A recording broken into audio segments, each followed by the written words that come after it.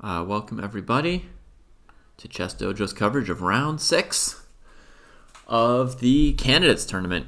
And um, I was realizing today, Kostya, that we're getting pretty close to the halfway point in this tournament. Yeah, candidates. Um, next round tomorrow will be round seven, and Yeah. that'll be that'll be halfway. And then there's going to be the rest day on Friday, right? So when the rest day happens, they'll be exactly halfway into their tournament. Everyone will have played everybody once.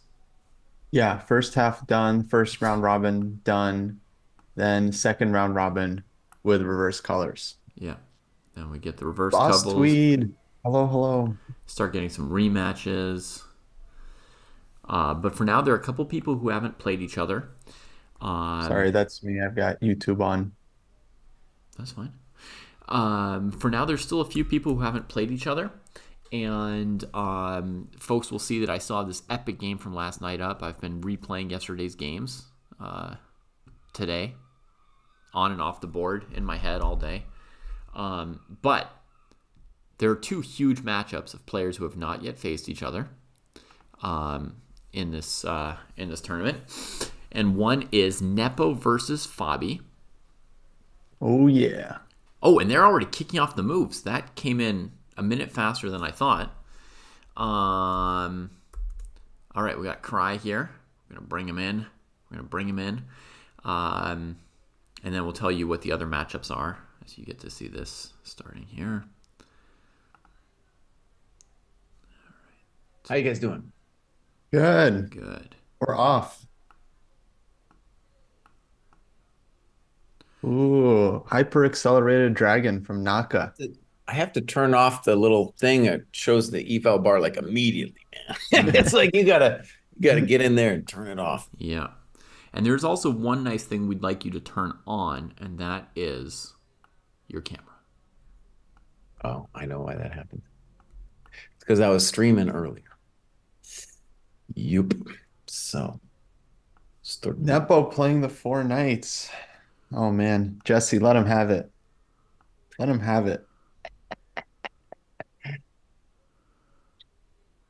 This one, so okay. My understanding of this is this has been played a gazillion times before. Like Magnus has tried playing this, and it's meant to be just dead. An interesting position, you know, interesting position. Why? What? How should I let him have it? Why should I let him have it? Well, I mean, if I understand correctly, he's being a weenie. He's half a point up against Fabi and just like safety first. Like just don't lose no matter what. Mm. Maybe a little bit, but I'm gonna guess that he has some idea. Okay. I'm gonna guess he has an idea. All right. Sorry it took me a second, folks, to uh, realign the cameras, but I rejoin you all now. So we've got an opening from Jan. Kosi wonders if it's a weenie opening, and uh, and Jesse says he's got some kind of an idea. Honestly, you know, our boy is spicing it up pretty quick here with Bishop G4 Bobs. Mhm. You know, he's not playing.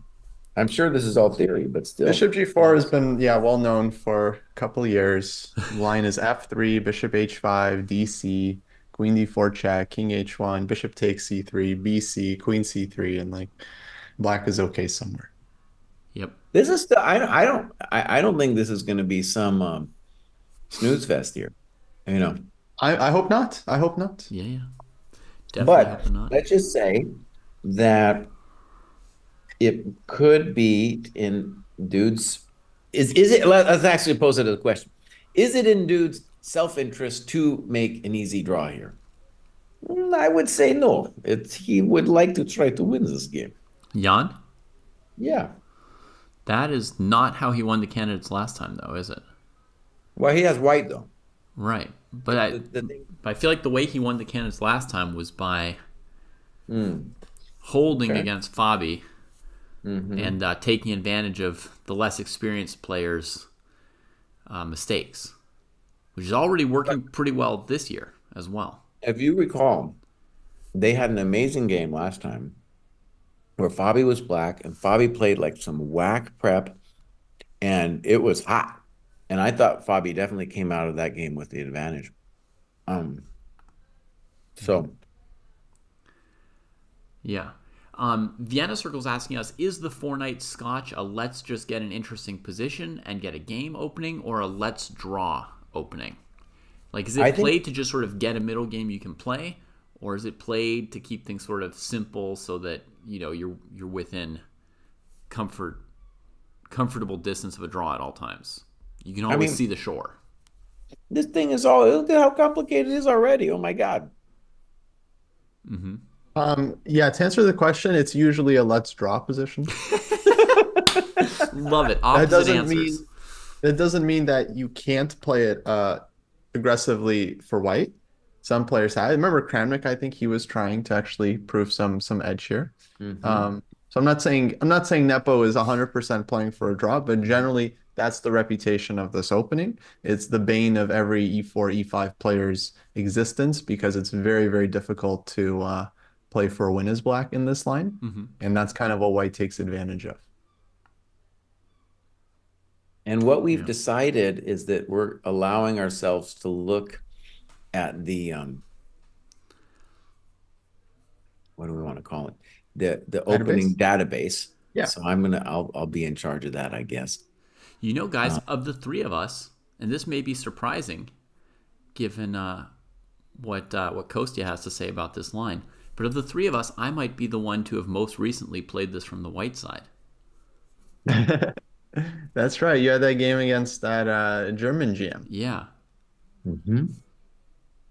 Yeah. Somebody advised me instead of playing the King's Gambit to play this weenie thing, and I played it. Mm-hmm. And the game good was an instantly dead draw. It really sucked. Easy draw. The high rated player. It's it great was a very easy draw against a high rated player. That's true from that perspective. Um, and that was the day I was sick, so I didn't, I didn't, I didn't complain about it too much. But if I had been feeling good, I would have thought that was kind of a waste of a day. Okay, guys, I want to give a little bit of um just an update here. Mhm. So um this actually happened in the candidates tournament, this Bishop G5 move in 2021. Um, and I'm just seeing if That's I'm not- recent. That must be from the candidates interrupt us, the first half. Oh, that's a good memory if that's true, dude. Okay. Yeah, because that candidates The tournament second finished in 2022, right? No, wasn't that the second half? Because I think the first one was in 2020, Oh, which is shocking to think about it. But yeah, they really tried to run a tournament during like the start of the COVID. start of COVID, right? And then they had to cancel it because all the players like Grischuk, Wang Hao, everyone was complaining. So this position has been reached a bunch, and both Bishop C5 and Queen B2 have been played. Mm. I would guess that after Queen B2, knight before Queen B4, over 2600, there would be a draw rate of 100%. Um, okay, we can check that theory. I can't imagine a player over 2600 losing with white or with Oh, black. dude, I'm looking at it here. This dude Paravyan, who is like 2600, Yeah, yeah, has I know. won and lost a bunch of games from this position. What? Oh my goodness. Classical games, Jesse, or uh, Title Tuesday? There's some. Let's just see. There's some Title Tuesday, some Rapid. Okay. Um, I mean, even in a rapid game, I'd be shocked. He he lost after the trade on B4 with just same colored bishops that are going to get traded on G6. We're going to leave this game, folks. Um, Um, oh, come on. Let's give it a second, buddy. Yeah, give it a second because we don't want to miss the handshake. Ah. look, there's another very very important matchup today for the standings that may have more of an effect on the standings than this one. Now, Right. now Bruce has sent me on this whole like quest to find a game where somebody over 2600 lost. Lost in classical. Not like they mouse slipped, you know. The problem is actually like ChessBase has really killed itself yeah, with uh, Title Tuesday. Title Tuesday. just ruined the just, like, database completely. Just ruined it, dude. By by the way, ChessBase has continued its crimes since we talked about it on the podcast. Uh huh. We're gonna have to we're gonna have to do a ChessBase special on our podcast because they've been blowing it so Oh, Danny in the Twitch chat makes a good point. Naka used this line to beat Fabi in the Grand Swiss. So that was an example of someone like going for this quote unquote drawish line, but actually having very devious intentions. Mm-hmm. Okay. In but not after knight takes b4, queen b4. Well, I, I, I think it was a different line. I don't remember exactly how that game went, but My claim Uh-huh. is just once that knight and bishop are traded. yeah, it Okay, definitely so- wasn't this position with knight before, queen before. Yeah. The topical move here is rook b1, but also king h1 has been played. Exciting stuff. So another matchup that we have not yet seen in this candidates that may be may have an effect on the final standings.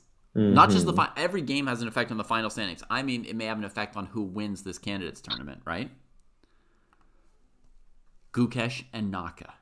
Yeah, Gukesh Naka is a huge game, and Naka has gone for um, Hyper. pretty interesting line. I actually had this uh, recently myself as black. Did you play this line with Tatev? Yeah, exactly. I lost that game. That was a tough game. E5, Bishop G4. It was like a fantastically interesting game from the perspective of it was hard to, you know, who was right or wrong early on when you started fighting with each other. Yeah, yeah, yeah. Um, Bishop B5 check. Okay, Kostya, you're going to be our, our expert on what's happening so far. Knight C6 and just takes right away. What do you say so far? So knight c6, bishop takes c6. That's an interesting move because black was ready to go rook c8 next move. Mhm. And um, yeah, so this is definitely a way to play for an advantage with white. Um, one, I guess, nuance is that as soon as white touches the d pawn with d3 or d4, black should immediately trade on f3 and do the same thing as to not to allow white to play knight bd2 and reinforce the because the bishop on g4 is coming off. It's just such a bad piece here for black that You're never going to like retreat it back in there and be like, ha ha ha, lording it over you with the bishop pair. Yeah, because this is, I guess, white is taking like a Nimzowichian approach. Mhm. Um, we're playing against the doubled c pawns, and yeah, generally like the bishop pair has a hard time defending these static weaknesses. No, looks fine to me for black. What would white's next move be? Gukesh is thinking about it. Um, here white can castle, white can go d3, d4. Or Queen A4 Um, as suggested in All chat. these are moves. Looks like it couldn't be bad. Queen a4, queen d7. I don't really know what you're doing. Yeah, okay, it could be bad. It could be bad. Uh, Sam, uh, Jesse says if we go Queen D7, defending the pawn, and we're threatening to mess up White's pawn structure, it's not really clear what White does next about the knight. So, yeah. Yeah, strategically very, very rich position. Yeah. Um, I'm also super interested in the Vidit game, Okay, Vidit Firouzja, I have that one up too. as Oh, old classical line. Holy moly. this is this is a line from my own book. Nice. And uh, wait, Firouzja played Queen D8? Yeah, I'm going to back up like two or three Hold on. moves for folks. So I'll show them this position here. This is called the classical Sicilian here with knight f6 and knight c6, right, Kostya? Yes. Yeah. So at this point, classical Sicilian, one famous line here is bishop g5, which is called the Richter Rauzer attack. But basically, bishop g5 is looking at castling queenside, and it's one of the more aggressive lines for white against this setup. Um, and bishop c4, played by Vidit, I think it's considerably less popular. It also has Yes. Aggressive intentions, right? Like white's thinking maybe Velimirovich kind of attack, like bishop e3, queen e2, castles queenside. hmm And normally black plays the move queen b6, which prevents that by hitting d4 early on. Well, isn't this like the whole problem with Fisher's setup here with because queen b6 and then it was discovered like, oh, my knight has to go back to b3 and that's lame because then my bishop on c4 can't go there. Yeah. You know, It's a it's a tangle. It's a tangle there. I spent my youth, among other things, playing the move bishop e3 in this position and saying, "There's no way you can just move your queen around again and again, like to b2. I play knight b5. There's no way you can get away with this, black." Mhm. and they got away with it every time. um, and I lost like I don't know three or four games in tournaments, plus you know dozens of practice games, um, playing bishop e3 in this position, just obstinately. I'm bringing out my pieces. You're moving your queen around. Die. Uh, you guys, I want to share a little story that I got from um, you know, these great interviews that happened afterwards. This was with Naka's Okay. interview about his game with Firouzja yesterday. And you know, me and David were uh Kostya left and me and David were doing it. And you know, definitely like Firouzja had a great game, collapsed, probably should be ending in a draw. But then there's this moment where Hikaru makes what looked to me and David a little like a frisky move. Um, and it, for Knight a F4. second there, it looked like Firouzja had something, and me and David were like, "Oh, maybe he's got something." And Naka was like describing the situation is really interesting. He was like, "Yeah, it's well known that he's nervous. He started shaking, and I noticed he was shaking, you know. And then I noticed he was about ready to go for it. He thought he was better, and Naka didn't feel he was better." And there was this really interesting psychological thing where then he collapses in the last 10 minute of the game. And for Naka, and apparently for other people at the top, this was like totally symptomatic of what's going wrong with Firouzja's chess. And I was like, oh, that's interesting. I hadn't I hadn't really appreciated that when I picked him for number two in this tournament, you know? And right, that's how you're gonna get slain.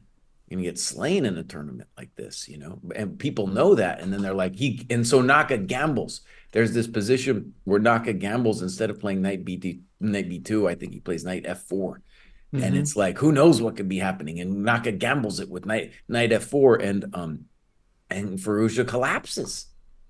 It's like, oh wow. Also interesting the gamble because you know Naka is a gambling dude. Mhm. He's a gambling dude, man.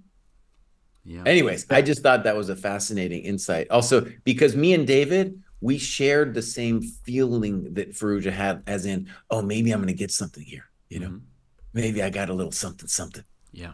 No, that was that was fascinating. I saw Naka's recap and he was telling about it, and yeah, I felt like he he read Firouzja like a book, you know, and Mhm. uh, it was the same thing. I think uh, Giri made this point on Twitter. It was like the same as the critical Rook G6 moment from the last World Championship match, where Nepo thought the game is over. They're repeating, then Ding Mhm. avoids the repetition with this weird move Rook to G6. All of a sudden, you're still in the game. The game isn't ending, Mm. and like you com lost like your entire competitive focus at that point. And uh, no, that was a fascinating moment, the way Naka turned that around. And I think it's great for the tournament too, um, because Naka, I think, really needed that win to to remember what it's like to win in game. And now, now he's like, now he remembers, like, oh yeah, I'm actually a top chess player. I'm actually one of the best chess players in the world. So this is, I think, fantastic for the tournament because now there's so many killers. Nepo, Fabi, Naka, Gukesh, Pragg. All these guys can just take anyone out at any moment. Mm-hmm.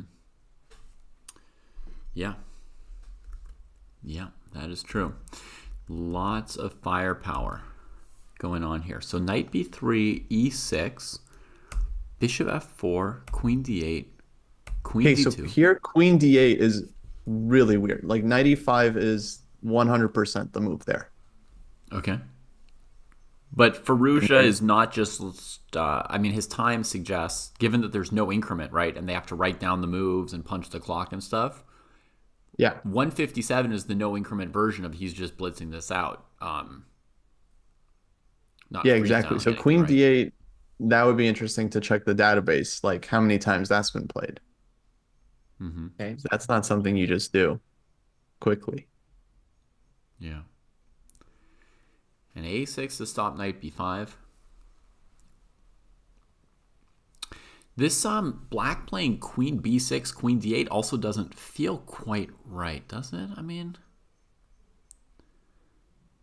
well, no, I guess it's okay. It's okay. Yeah, apparently Gelfand played this weird queen d8 move once. It's definitely a weird looking move. Yeah. But I mean, you've made white retreat the knight. If you get in b5 while the knight's on b3, their bishop has to go to e2, so they've wasted time there. If they play knight back to d4 to be able to play bishop b3, then they move back and forth while you move back and forth. So it's not it's not like at the ideal level you can just say black's dumb here. Yeah, for sure. I could see Alireza winning this game though, because it's going to be a super sharp Sicilian, and okay, to me, Vida, he's always going to be more of a D4 player.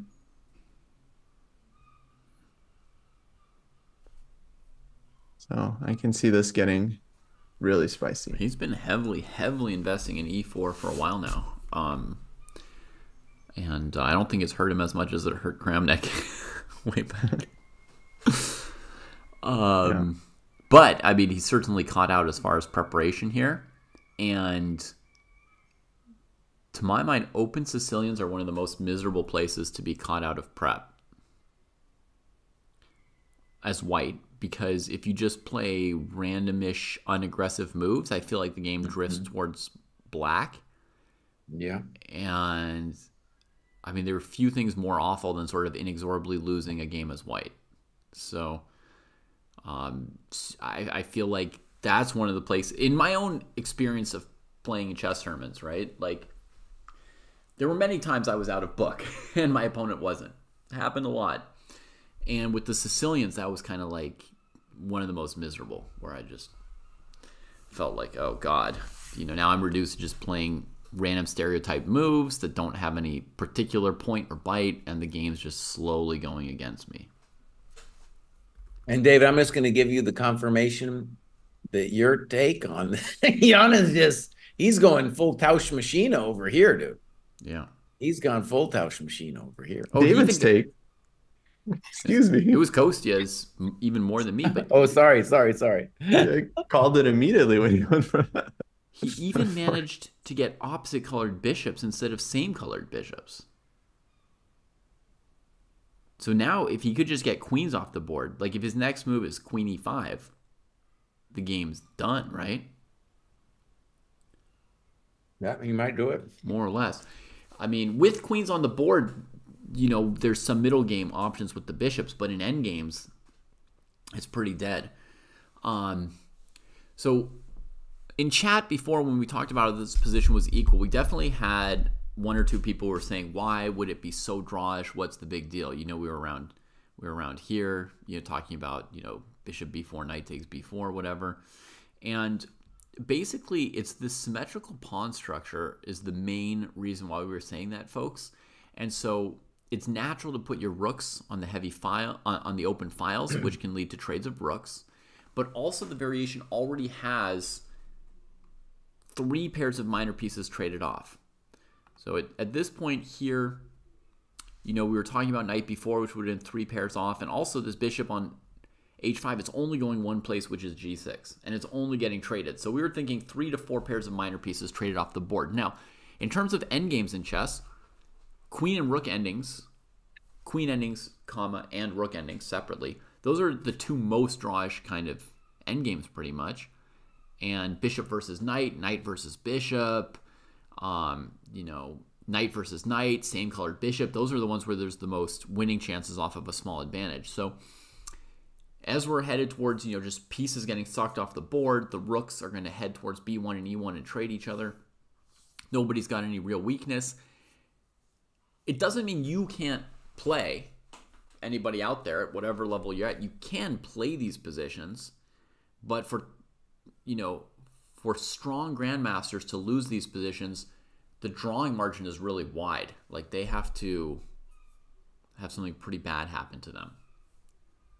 Um, if they Ooh, have a small disadvantage, to, um, they know how to draw from a bad position. Can we go to Naka's game? Yeah. Castles? Yeah, yeah, Queen E5 from Nepo. It's, Queen it's E5 from Nepo, dude. the full Tausch machine. Now, wait, before we talk about Naka, I just want to say quickly how you know if the guy's winning tournaments three times in a row with this approach, you you can't call it that dumb. I know Bruce doesn't like it, but you know how dumb oh, can yeah. it be if you're no, drawing, I mean, uh, if you're you know getting there if you're from Nepo's point of view, I, I think it makes perfect sense. It's you not, you reduce the risk. It's not dumb, and, right? It's uh, just uh it's just you could say cynical or terroristic, right? Like Grischuk's candidates run. You know, it is cynical, yeah, and it's also it is tempting it is tempting fate because the chess goddess Caissa famously doesn't like this kind of behavior. And people might not believe in it, but people do get punished for doing this kind of thing. Really? I thought they always get away with it. I mean, especially this early in the tournament, I if I was his coach, I'd be like, boss, you have white. We know that Fabi's prep, but you are too. So you're gonna have to at least roll the dice a little bit. No, no, you no. He thinks he can full Tausch machine against Fabi and maybe one or two other favorites. Mm-hmm. Petrov everybody. You know, Yeah. like even if your name's Abasov or whatever, he'll just Petrov you. Petrov everybody, provoke somebody, win one or two points here or there because he's because he's figured out that he's got the better nerves that the other people, you know, they haven't been there, they don't have what it takes to hold it together.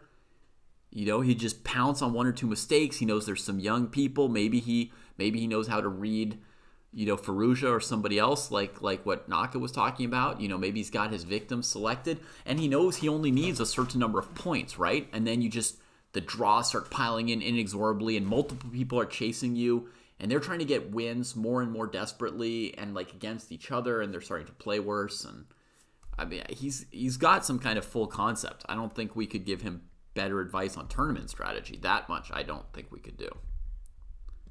Boss, is it because you've been in France so long that you're saying inexorably instead of inexorably? I've always said that. is, is that a France thing, dude? no, I mean it's just a, a me thing. Some a lot of my words I learned from books, so I don't necessarily know how to say them. Okay. Yeah, Jesse, you're making fun of a reader. I just wondered. Sometimes you, I, I lived in Europe for a long time too, and I, I came back and I said some funny things, dude. I was Yeah. saying some funny things. So so Sam asked what how many points does he need to win the tournament, right? I mean, last time he won the tournament with plus 5, right? But uh plus 4 would definitely be enough to win the tournament, we think, and plus 3 could do it. So, you know, he's already at plus 2 and he's probably got a plan to get to about plus 3 or But so it, it's and it's see way too needs. early to uh to tell that. I mean, I, I don't think this is I don't think he has some number of points in mind. No, no, this is just Fabi's the number one seed. I don't want to take risk against him. Let me draw this game. I don't think it really extends too far beyond that. Yeah, and actually, here's an interesting thing. Uh, so chess numbers did this, um, you know, question like, what happens if who wins? You know, so if either one of them wins, their chances of winning the tournament go up above fifty percent, and then with a draw, they're both kind of settling around thirty percent. Fabi's a little higher.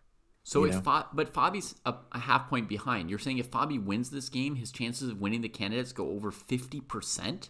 Yeah, fifty-three percent, because he's the favorite. Now, halfway one of the things into the that tournament, halfway Yeah. into the tournament, and he'd only be maybe tied with Gukesh. But remember, so what chess numbers does is what he's saying is like, and I, I believe this is when you're rated higher, your chances of winning every single game are just higher.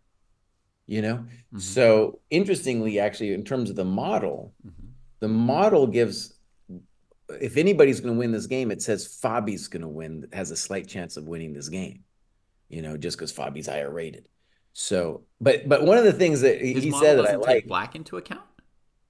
it does, but I'm just saying that's how much it's favoring Fabi. But Wow. one of the things that he said that I thought was interesting is like his model is basically an ELO model, rating model. Mhm. But the problem is, dude, Jan's performance rating at this tournament has always been so high Right. that it's like is there's maybe we need to somehow take that into account in the model. Yeah. You know? No, I mean if you were trying to do a more specific, uh, if you were trying to do a more specific prediction for a tournament, then you would take into account factors like how is somebody done in, in tournaments like this or this exact tournament, etc. You know, Yeah. for sure. Okay. The other thing uh, is that Fabi had won this game. I mean, he'd be winning with black, and then he gets white and Nepo in the in the second half. So, Mhm. I think that's a pretty big deal. The thing is, Sihan, I- right now Gukesh is ahead of Fabi. So even if Fabi won this game, I'm saying they'd only be tied if if Gukesh drew today, for example. So, but yeah, I mean the models. I mean he he has to outrun everybody. You know, there's a lot of people near him in scores. But okay, the model's heavily favoring Fabi, and just as uh, Jesse says that Nepo has a high performance rating in candidates tournaments, I'm sure Fabi has a decent performance rating in candidates tournaments too. Yeah. Like he won one once, and he was within one game of Karyakin the time Karyakin qualified, right? Mhm. And the last candidates, he did a little bit badly. He sort of faded. But it was right at the When end. he, He had a wasn't in line chance. for first, he suddenly Yeah. dropped some points.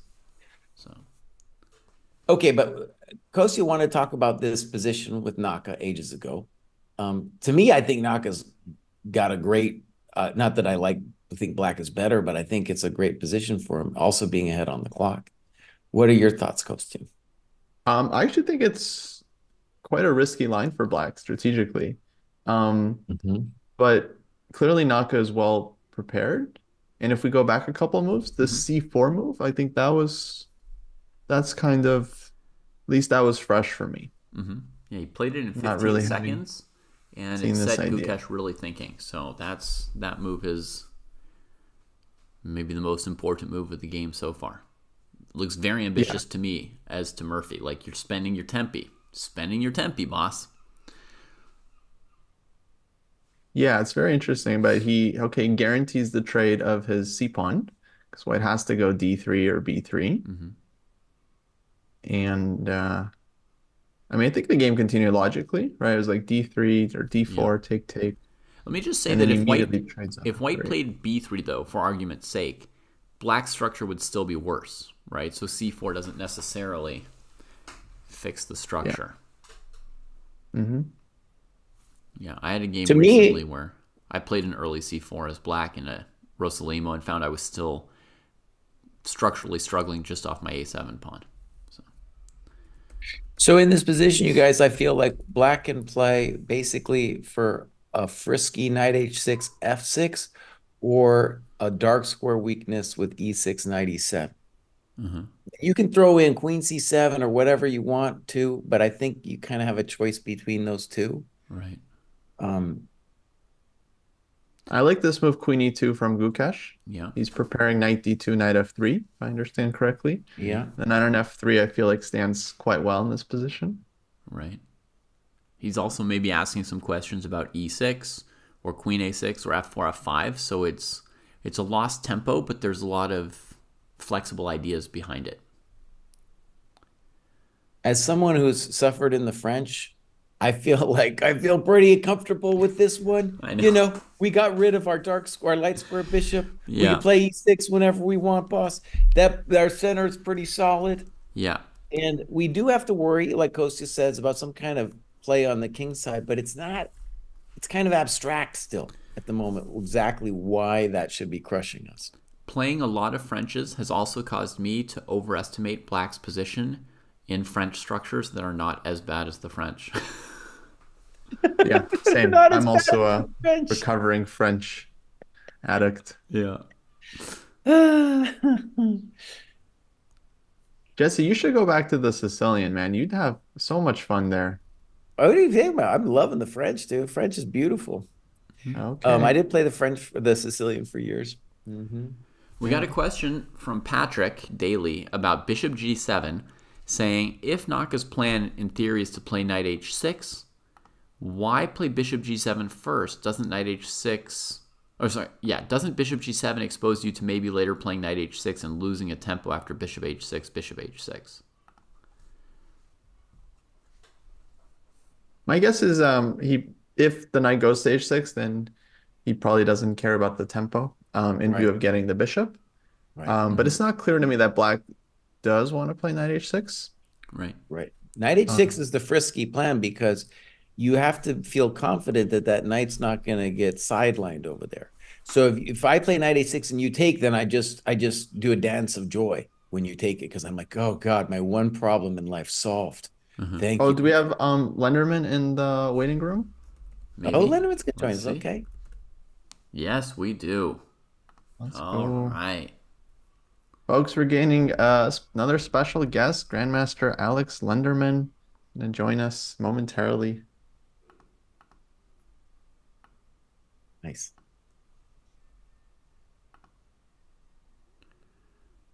Hello, everyone. Hello, Alex. Alex. Okay, David's Nice gonna have see to you all.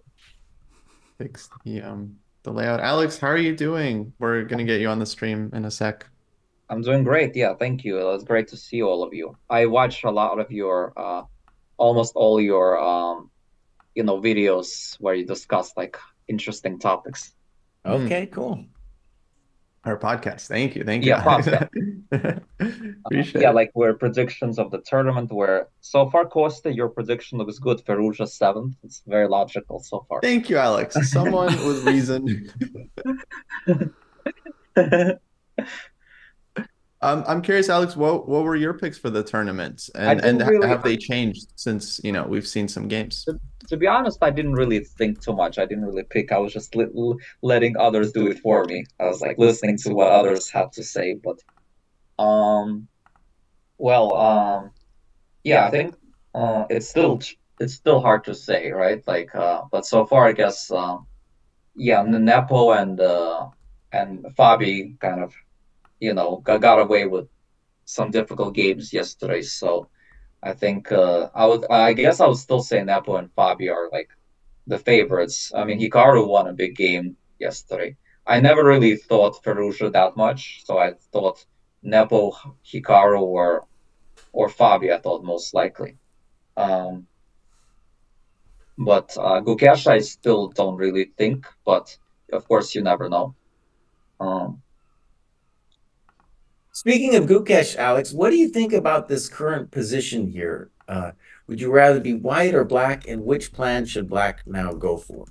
let me check. Uh, I have it on my phone. One second. Okay. Um, okay, so this is uh okay, let me turn off the engine. So it says uh, Black's turn here, right? Yeah. Yeah.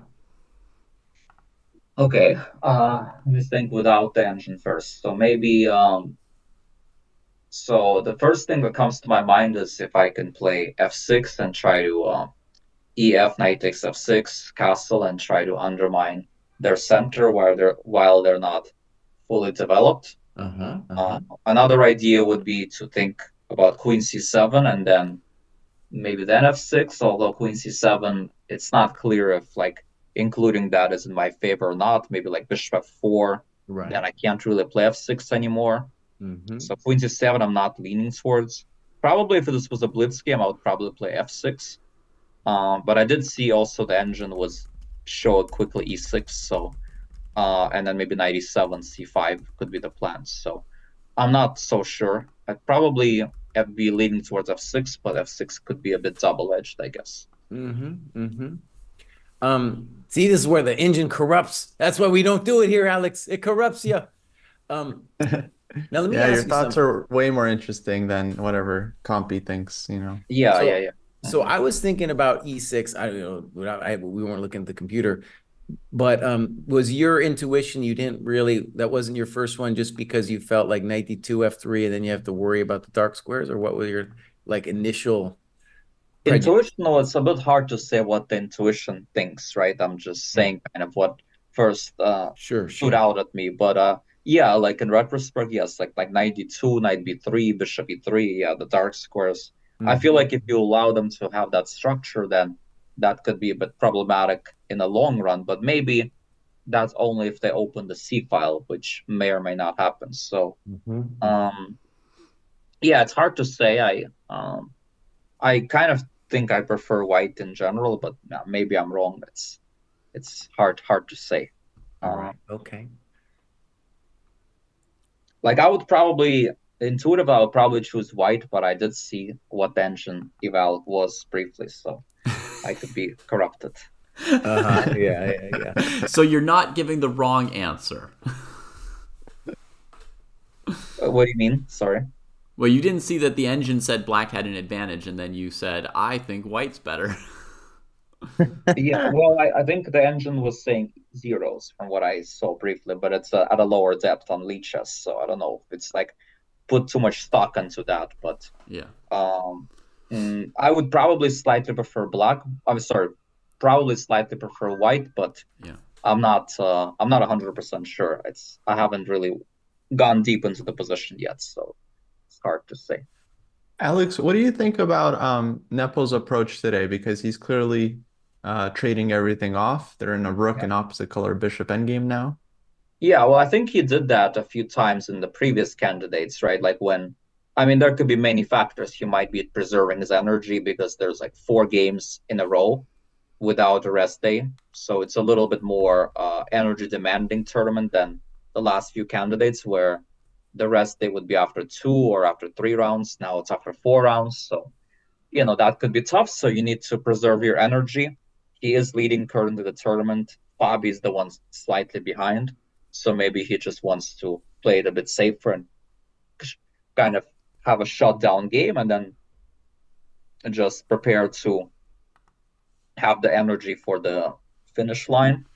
Mm-hmm. Um, or maybe he just woke up not feeling very energized, right? Like sometimes you just feel a little bit sick. You maybe didn't sleep that well. You know, could be many factors. Um, so I feel like that's a really good point and something people don't often take into account. But yeah, like if you wake up and you're not feeling well, it'd be a bit irresponsible to go for like some super sharp line and like just go all out anyway, knowing that you're probably not in your 100% best form. Yeah, especially not against Fabi, who's picking up his form. He had a lucky escape yesterday. I think he's definitely was looking for a fight, looking for a chance to maybe take over with Black if if given a chance. Mm-hmm. So I think it makes perfect sense for Nepo to try to shut it down and play very risk free. Uh, and this kind of strategy, he's been doing that. I think he did it a few times in the both of the last few candidates. I remember he did that in the pandemic resumed thing when Nepo mm-hmm. played against Anish Giri with White, and he just kind of shut the game down, not take too much risks and stuff. And uh, you know, later it was right because he was like running away with it, and then Giri was the one chasing him. But imagine if he would have lost, he would have lost the tiebreak edge, right? So at that point, maybe he had more to lose from, especially with Giri surprising him, maybe. I don't, but um, so I remember, I think that, and uh, of course last year against Hikaru, although that was when he was almost r- wrapped it up anyways. So yeah, I think uh, I think he knows himself very well by now. He knows what works, and uh, although against Ding, I have to say, it didn't work very well. I think he did that in game eleven uh, in the World Championship match when he was leading by a point, and uh, he just shut it down, even though he had a clear advantage at the mm. point when he shut it down. And uh, Ding was a bit vulnerable at that point. Um, and I feel like if he would have found a way to press in that game and win, then the match would be more almost over. But instead, he drew that game. He gave Ding maybe a little bit of confidence. And then game 12, was, of course, was that crazy game where Nepo could have easily won, but he didn't. And I feel like maybe that was um, the sign of like maybe playing it too safe. So I guess with with any approach, it's like finding that balance, and it's never easy. Um, and as much as I tell my students at a lower level to try not to take draws, but of course, yeah, when you're a professional and you're playing elite level, it's just the rules are different than like at a club level. So it's mm-hmm. uh, it's hard to um, you know uh, hard to say. We'll I guess we'll find out after the tournament, but at the moment it makes perfect sense. I feel so. We'll see. Uh, you guys, why don't we let's go to the Pragg game, mm-hmm. and we'll get Alex's take on it. Maybe start with uh, move move five, okay. move five, or four. We can start with Black's move 4 mm-hmm. provocative, going then going for the semi Tarrasch. Well, semi Tarrasch, I don't know. I don't think it's provocative, right? First of all, it's not clear if he was gonna play after CD4 if he was gonna play the real semi Tarrasch with knight takes D5 or mm-hmm. whether he was going to play c takes d4, which is considered the Berlin of the d4 openings, right? Uh, uh, yeah. The, so it's not clear. Um, My so, guess is he was going to play the Berlin. maybe, yeah, probably. uh, so, so already it's not. Yeah, probably yes. Uh, so already it's not clear. So I think Pragg wants a fight with Abasov with White for sure, right? And- and my memory is my memory right that we had the same opening with Pragg being black against Vidit. Gook. Vidit was black. Vidit, Vidit in round yeah. one, right? Yeah, and it was a crazy game. But it's notable that the two Indian juniors came to the tournament probably with the same idea in mind against the uh, semi Tarrasch, right? To play E3 and just get a game. They're willing to play either mm. side of an IQP or a hanging pawns or whatever. So For me, I think it's Pragg's seventh move B3 that's quite surprising. Like, Yeah, Right? I- yeah. Yeah, yeah, I agree. Yeah, at B3, I don't think I've ever seen before. Yes, I think I thought usually they resolve the tension in the center at this point, like DC followed by B4 or CD or whatever. But Right. B3 was a new thing for me. It was obviously still prep. It was played very quickly. And then Abasov pl- reacted relatively quickly. And then take, take bishop E7. Uh, white played C5. B6. Yeah, I'm not really sure what's going on. A very, very unusual position. Mm, Um, yeah, it, it makes sense. Like White wants a fight. Uh, Praga definitely wants to fight with Abasov because Abasov just lost a very difficult game, right? And if Pragg wants to win the tournament, well, he has to win with White against Abasov, especially with White. Um, so, you know, clearly he wants to keep pieces on the board and hope for the best and see what happens. Yeah. Now, from my chump GM perspective, I would rather be black in this position. Um, The one at the def- end, or on- sure, at the end, you know, uh, in general, like this pawn structure, it's always a bummer for white because that pawn on d4 is usually pretty weak. But obviously, the claim that white's making is they have enough juice on the queen side to compensate for the structural problem, right? Um, Well, also, it's not clear if the bishop on c8 will be a problem or not, right? Like, right? unless black can go bishop b5 at some point, it's not going to be that easy. So I feel like, yes, if um, if white does not get any initiative, or then I guess black will be better in the long run. But I, I think I've seen this structure before where white can definitely put pressure on, on black. So I would say it's very double edged. yeah. Yeah, Uh, I but I would that. probably slightly prefer white, but you know that's Mhm. just me. Can I ask the, Uh, G, the, the the GMs about something here, or maybe Kostya will know as well? When Black played B6 here on move nine, I would expect with you know A3 and D4 that B4 would be a major candidate for White, trying to hold that space advantage on C5. Mm. I any any thoughts about that choice where he just traded off immediately?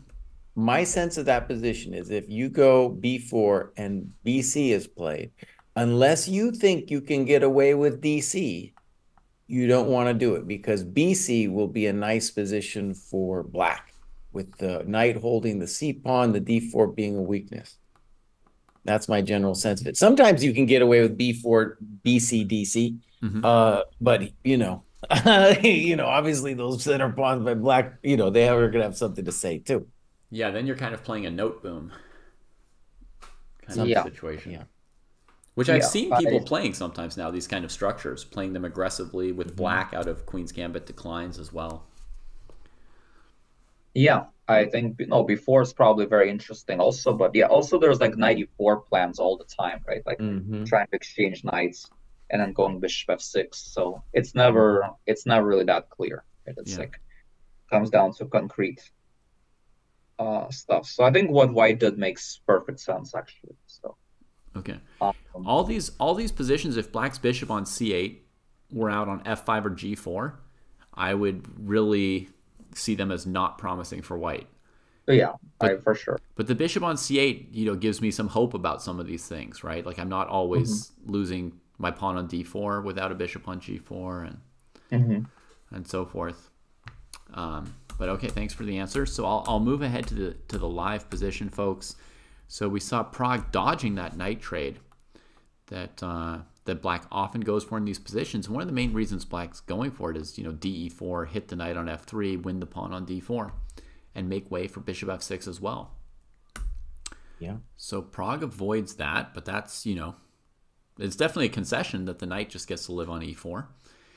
Queen B8 instead of A7 takes a little pressure off D4.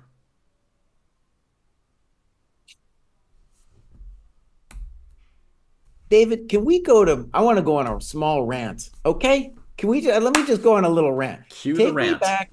Somebody let me clip it. take- yeah, here we go. Take it back to move six, please. So, so uh, after a six, I want. I just want a tiny rant. Just allow me a tiny rant.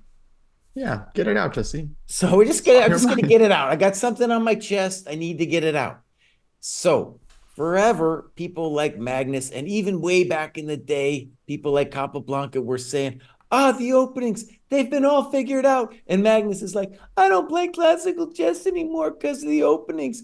And so I just want to say after this position with A6, for me, forever, it was thought, and I think this is not just me, but forever, it was like the plan was DC, bishop c5, b4. The bishop goes somewhere, and then you get fancy and play things like queen c2, maybe bishop b2, and you do some stuff. However, right here, we're going to see a new idea with b3. And then in the round one with Vidit versus Pragg, we saw this amazing DC b4 bishop moves and then rook a2, rook a2. And so to me, it's just an example of like, no, boss, the openings are not dead. That is an illusion. And the reason it feels like an illusion is when you were in a position like me and other chump GMs, and we played DC B4, Queen C2 all the time, we felt like, oh, that was just the thing you had to do. No, that was an illusion. It was not the thing that you had to do. All right, that's my rant. Uh, fair, I, th- I, think I, th- I think um, I think the truth with Magnus is that he just simply did not want to play another match like this, right? Because there's a common expression that says like every match is like a few years from your life, right? So I think he just simply doesn't he doesn't need to really prove anything. I think he just doesn't enjoy the process. He doesn't really want to lose, right? But he also knows that for him to win or to have a very good chance of winning, uh, for him to be a real favorite, he needs to really put in all this energy and stress. Like he has to prepare for like months before, and I just don't think he wants to do that work anymore. And if he and he if he feels like if he doesn't do that work, then he won't win, and he doesn't want that, right? So he's kind of between a rock and a hard place. So he kind of made some, you know, kind of semi excuses like this, which, well, of course, there might be some truth to it, but at the same time, you know, you saw how Magnus it, it happened. Like he went for a fight against Sergei Karyakin. He went for this like knight of three and whatever Colle system or whatever. And guess what? He overpressed and lost, and he almost lost that match right? So it's not that simple that you could just like play chess and then just like win, right? Like it depends on your form, it depends on a lot of factors, right? So it's uh, it's not so simple with Magnus. I mean, I think he has a, right to do what he wants, right? He's not really hurting anyone. He's not really obliged to play chess. I think there are some other things that I did not like what he did. I probably shouldn't uh, shouldn't say too much about. Ah, get into it. You, you well, can like say what you want, Alex, but I'm just gonna I'm just gonna interrupt for one second to say, folks, you see how well Alex is prepared. Imagine him in his chess games. He has listened to multiple Jesse rants on Dojo Talks, and he he knew in advance what what the talking points were. He was ready for this. Yeah, I just want to interject. He says Magnus hasn't hurt anybody, but he's hurt me. Okay. He's hurt me. It's true. He's hurt one person. well, the, the truth is, like he, like let's just say he would have played the cha- the the championship and he would have lost. Then you would have also hurt like a bunch of fans, right? Like it's like uh, no matter what you do in life, you can't please everyone at the same time, right? Like so that's kind of the philosophical way, like because you know that's just how it is, right? Like it's um, you can't please everyone at yeah. the same time. And you, if you uh, have to pick we... one person to not please, let it be Jesse. I mean, well, well, I don't know about I, I don't know necessarily about that, but uh, but okay, uh, that's. uh, I like your banter quite a lot. You guys uh, really have a lot of fun with like uh, a little bit this trash talking each other. It's, yeah, and now you're part of it. Welcome to the dojo. Welcome, Welcome to, to, the, the dojo. dojo. um, but yeah, in all seriousness, I don't really like how Magnus handled the whole situation with with Hans. So you know that was something that uh, potentially, yeah, I I didn't like. But uh, okay, other than that, uh, I don't know. I think also sometimes he's reacted to some losses in a very difficult way, which maybe did not set good examples. So those things you can argue that sometimes Magnus did not show himself in the best way. But again, you know, he's uh, is perfect, right? And I think he's still a great world champion. He's done tremendous lot for chess, and I've also done sometimes things that are not perfect um, to people, and uh, I feel bad about that. But that's that's just how life is, right? Nobody's perfect. Uh, he's still a great champion. Still respect him tremendous bit, and um, you know I think uh, you know he has a right to do what he wants when it comes to his chess. He's he's earned it. I feel. Um, but yeah, that's actually in a way that's true. Without Magnus in the cycle, that makes people maybe take a bit more risks and they're more inspired to play this whole candidates because they know that they have a very good chance of of winning if they get through to the world championship match or at least much better chance than when it was magnus at the end uh, which looked like a very tall order for although sergei karyakin had a real chance of of winning like he Yeah. just a couple of small moments away he would have became world champion so uh, and Fabi also had like very decent chances. And even Anand, you could say that had he found this tactic in game number six, um, he had a chance. And I would say Ian also, if even though the, the final match was lopsided, if game six would have gone a little bit differently, a couple of small nuances there, that could have changed the tide of the match completely, right? If somehow Nepo would have taken over at some point and won and not made a couple of mistakes right before time control. So really like every match, I would say, except for the first match that Anand, I mean, Magnus beat Anand, that was like a one sided match, relatively speaking, where he just won those end games. I feel like all those matches then, they were competitive, they were close, and anyone could have won at some point, right? Like, but especially Sergey. So in reality, it's like, um, you know, Magnus was beatable and he understood that at some point he might not win, right? So it's, uh, it's so and to, to do all this work and still not win that's a very unpleasant task right Yeah. so he just wanted to enjoy life I think he'd even reached a point where if he won, it was still not worth it, right? yeah exactly yeah Like Yeah, even if you're you right. told him in advance you will win the match, he would still say, "But I have to spend four months preparing just for this match." well if you told him in advance that he doesn't have to do any prep and Yeah. he'll win then i'm, then I'm sure he will I play agree. but Yeah. of course that's not how life works Yeah. He- you know in fact he might not do he might end up doing a lot of prep and still not win right, Right. that's and so and that would be a a pretty big bummer, right? And that's one of the reasons why I sort of stopped playing chess because I realized at some point I see a bunch of my chess friends uh, trying very hard, you know, to become better as adults, you know, become from IM to GM or you know stuff like that. And I'm not even meant talking about uh, you know Kosti or David. I'm talking about some other friends that I have. Um, and I just see how tough it is for them, despite the fact that they're working extremely hard. So I just decided for myself, you know what, I'm just gonna coach from now on. It's just not worth playing anymore. If it's if it's this hard to get a result, like like now I'm like what, like 150 points from even trying to qualify for the US championship. There's just no motivation to try to play, just to maybe have a great tournament once in 10 tournaments and maybe once in a while win the US Open and then get last place in the US championship. Like what's what's the real point there, right? Like it's just um it's just not fun anymore, right? Like so so then I wanna invest more time and energy into trying to become a better coach where I still have uh I have to I have a lot to work on as a coach, but at least I feel like I'm in the right direction. Mhm. Uh, so I feel like I understand Magnus completely. He realized he can't be, he can't get to 2900 like he wanted, right? At some point when we, we just reach our plateau, right? Like Magnus is frustrated he can't reach 2900. I'm I've, I'm frustrated. I I, ha- I have no chance of getting 2700.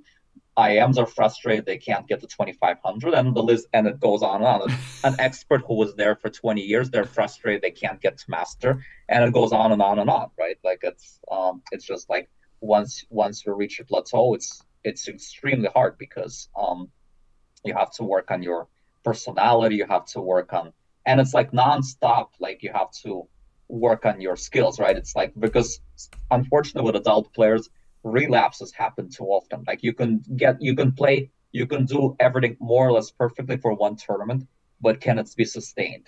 Like you see, Anna Zatonskih had a tournament of her life. Uh, and shout out to her, she won Cairns Cup. But did that translate into future good results?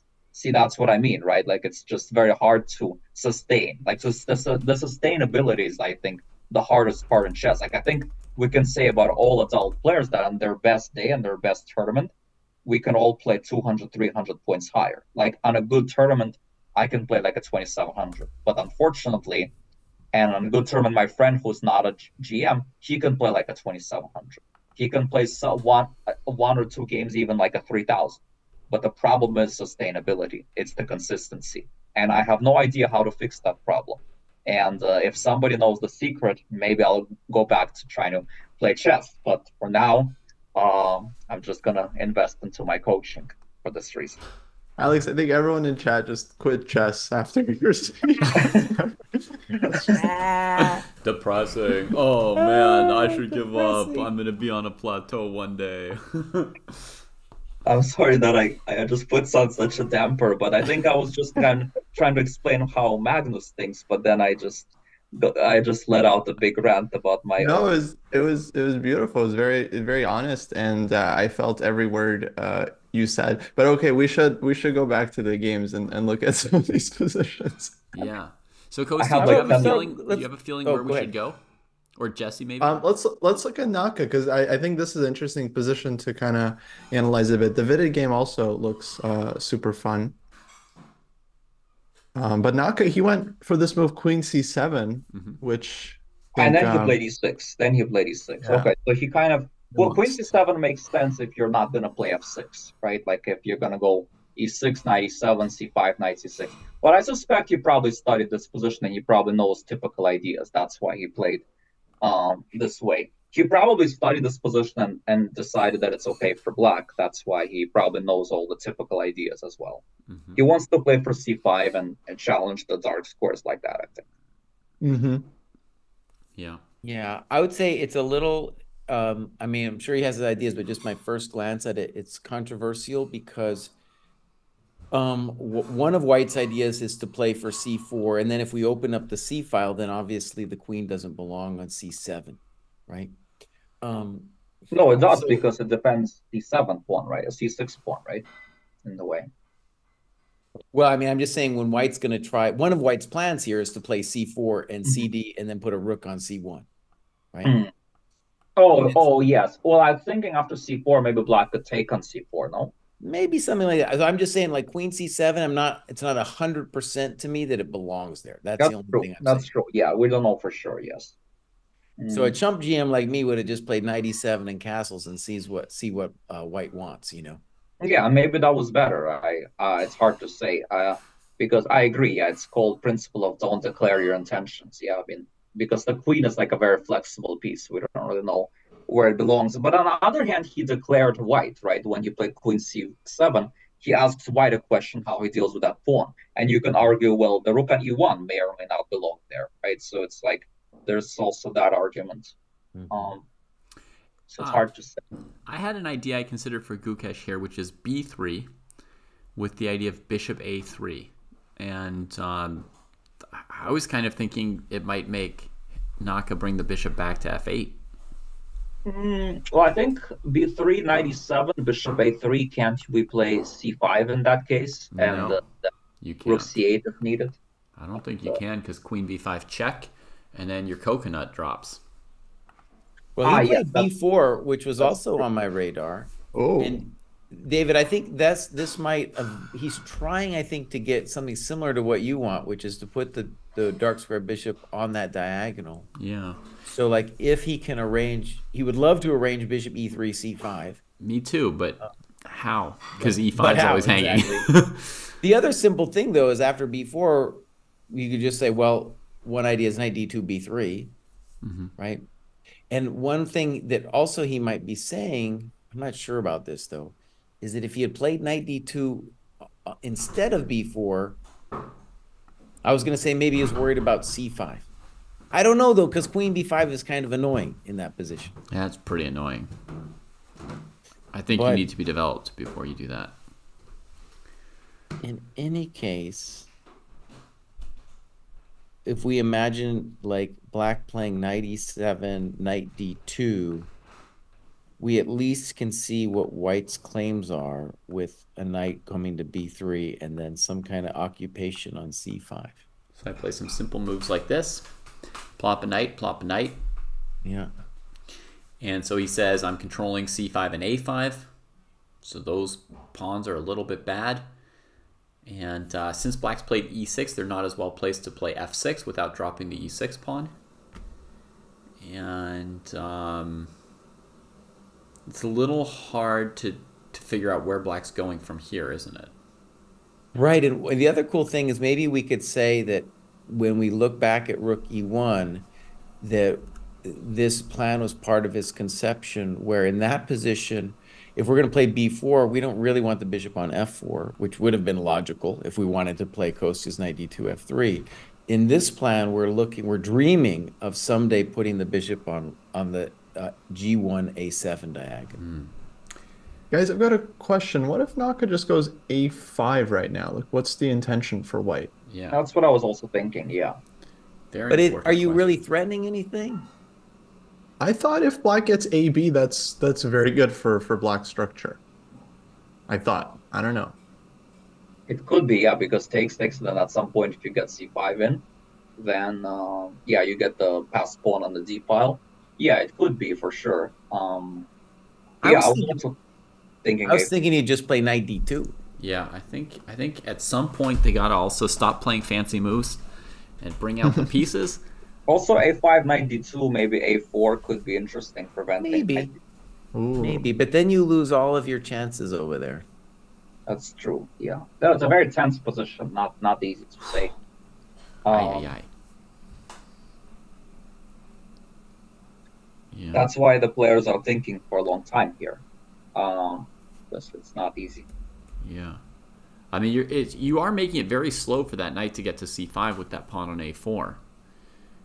Um, very very slow. Uh, Merles has an idea to bring Black's knight to c4. Um, as soon as he sees b4, he wants to go knight e7, probably get castled, but then go knight c8, knight b6, knight c4. So Ah, yes, that's would be. Yeah. it's like this basic line I gave where we put White's knight on b3, right? Maybe there he says, yeah, you've got c5, and this is what I'm doing. Mhm. One thing I'll say about putting the knight on c4 is that um, when you look at this game, right, it's a game for who controls the blockade squares, i.e., the dark squares. So we're talking about c5, d4, e5. All of these squares are going to be central. And if you put the knight on c4, well, first of all, it's going to take forever. But second of all, that knight is really needed to fight for the dark squares. Okay, 97 played. So I'm anticipating. I let let's play guess the move. I'm, I'm anticipating knight d2. Yeah. We'll see. 92 was It's like weird safe to bet me though. It's still it's still weird to me that he played b4 before knight d2. So maybe he has some other idea that I don't see yet. Well, before uh, he played before to maybe stop c5 because if you go knight d2 immediately. Oh no, you can play c5 because Ah, queen yeah. b5. Yeah. Queen b5, exactly right. Mhm. So knight Well, although king, been. although maybe king f8 is not. Yeah, so- that's what I was thinking. I didn't want to go there. I didn't want to go there with the king f8, but maybe that was his fear. Yeah, here it comes, knight d2. Mhm. I don't think. Yeah, I don't think you can live in fear of king f8 in this position. I don't think that can determine what you're doing. Uh, yeah, maybe not. Although then e5 pawn might be hanging. That's the thing. Um, so I wasn't sure, but okay. Yeah. Yeah, and a You position might see this, King it's like F8 in online chess from black, but you wouldn't see it here, I think. Oh God. And Well, I is talking about f4. We might play f4 someday. We might do it. But first, we're going to put the knight on b3 and just see what happens, I think. Um, sorry guys, I think I have to.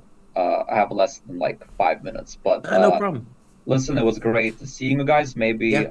For another round, I'll stop by. Maybe, maybe even later to that tonight if I have a, a few minutes here and there. Sure. But uh, I wanted to thank you guys for uh, uh, having me here, and also, yeah, I apologize if I said some something that might have No, bit no, discouraging. but uh, but at the same time, um, I do think that in life everything is possible. Now, possible but very difficult, right? Like, but very difficult does not mean impossible, right?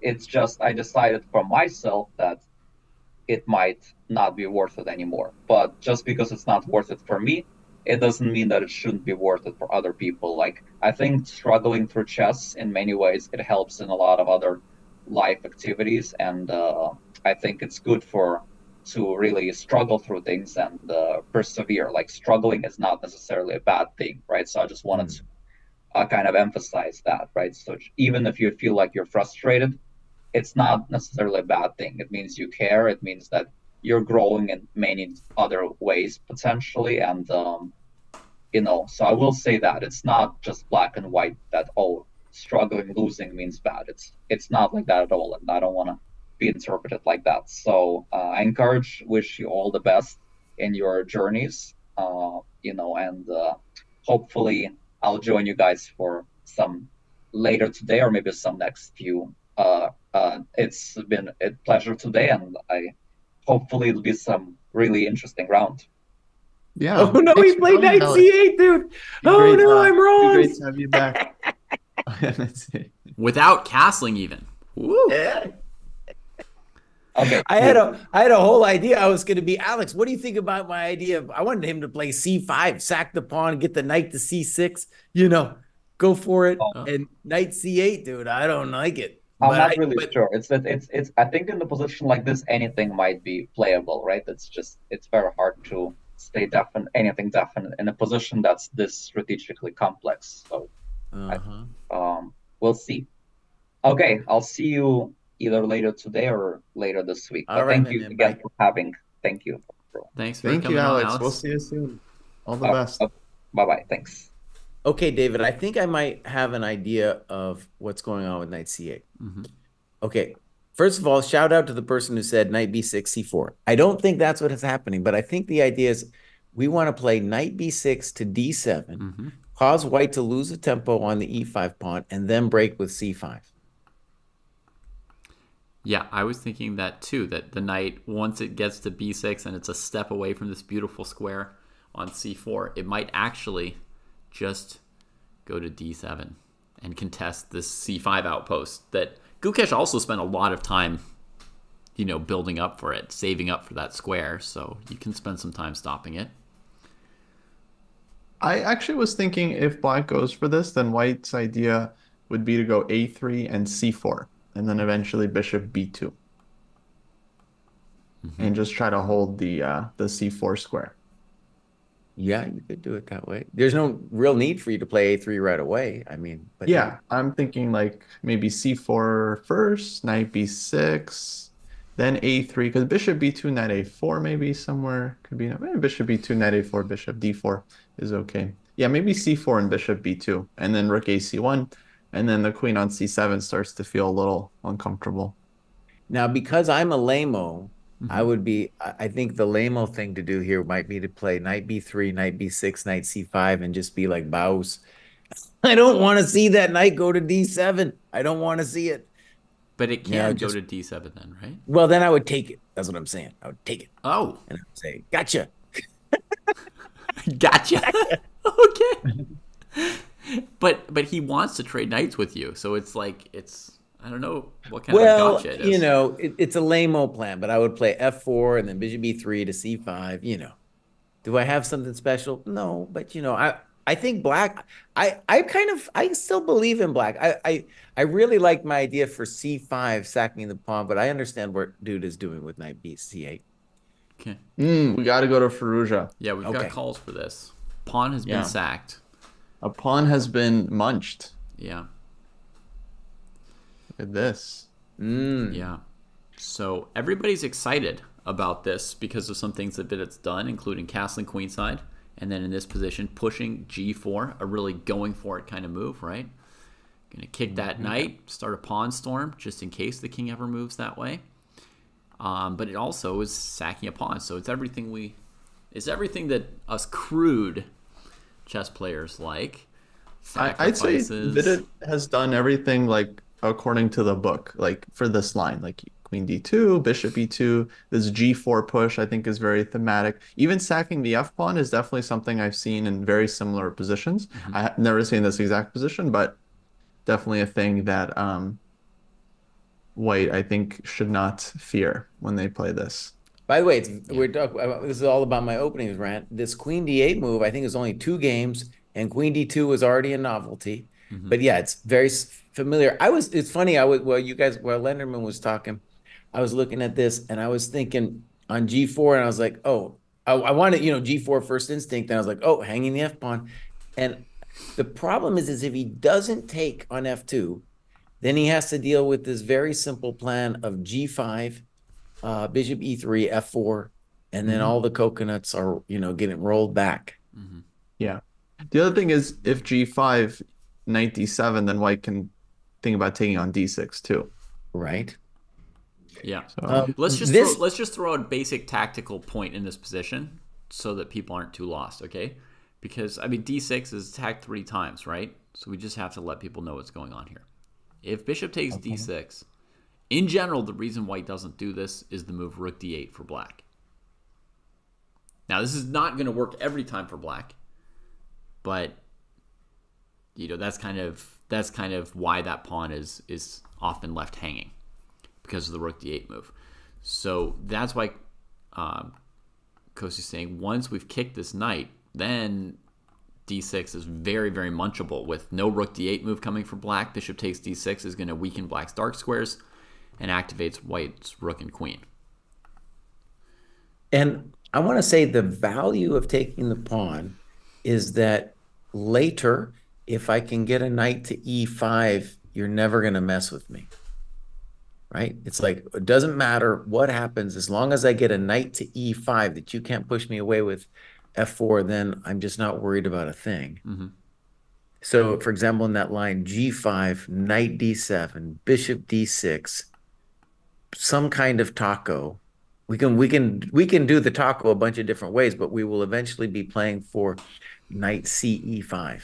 Oh, sorry. And we're just gonna say Hold on. bows. I'm never moving, you know. Never moving. Yeah. But the thing is, like, I mean, there's tactics, right? Knight takes b5, Oh, yeah. pawn takes, bishop takes, and white says, I mean, if you won't move, you'll die where you stand, right? I mean, just attack all those. Mm-hmm. well, someone's getting welcome to the dojo here, that's for sure. And one thing I want to stress in that line is you could do it. You don't have to go e5 right away. You could play rook d8 first. You got other options, you know. Mhm.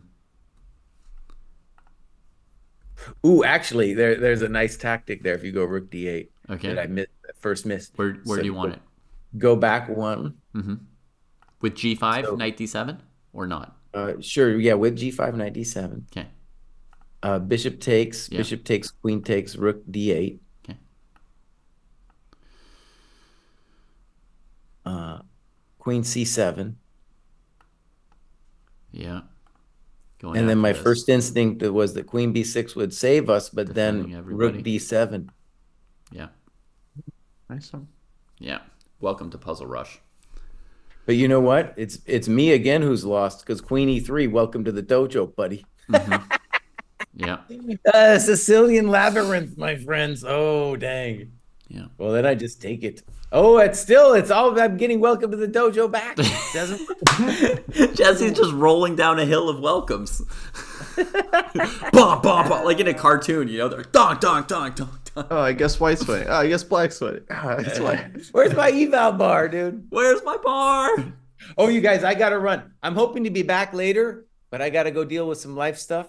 So I'll see you guys soon. All right. All right. All right, bye. Sounds good. Took him out quick. Whew.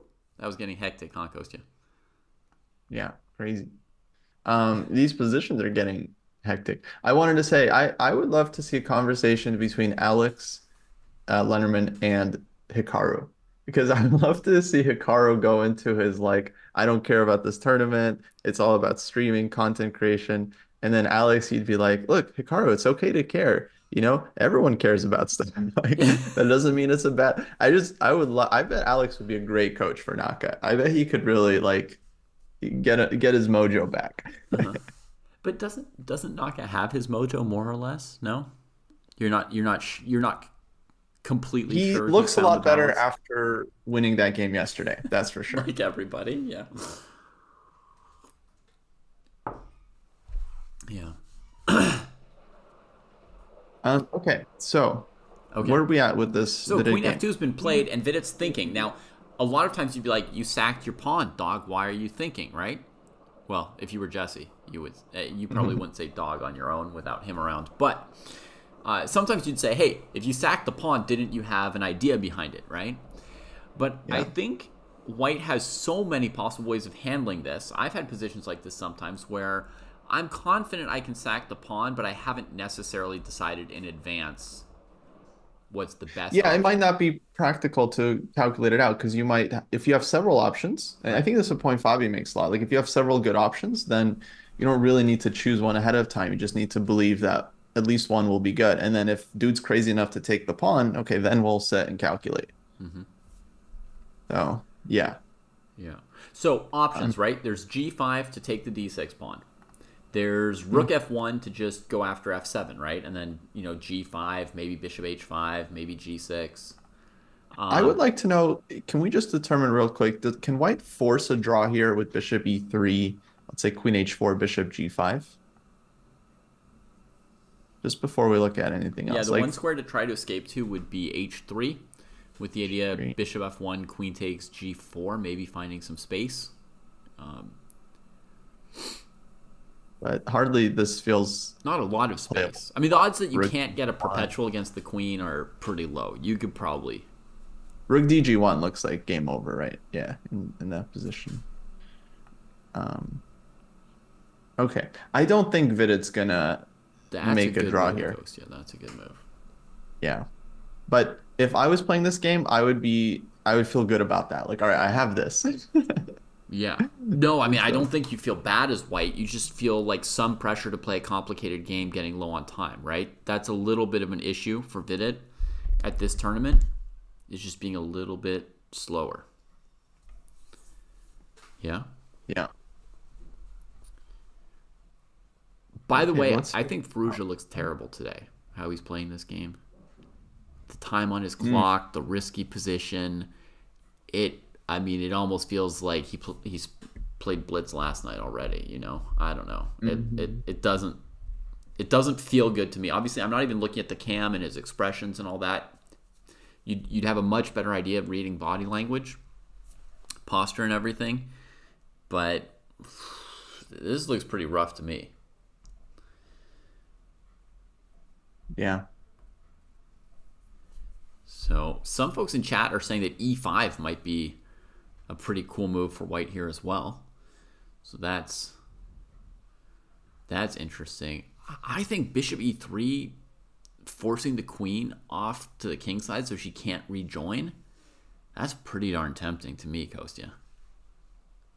Yeah, bishop e3 it, feels like the move, but I mean, I think it's this is definitely the moment to think for Vid. I don't think you play bishop e3 and then start start No. thinking, you know, Yeah, I agree. because maybe this e5 thing is uh, is really strong. Yeah. Um, definitely was not an instinct for me looking at this position. Okay, so let's have a quick look at the e5 move. I think they were starting with d takes e5, although knight e5 looks very viable to me as well.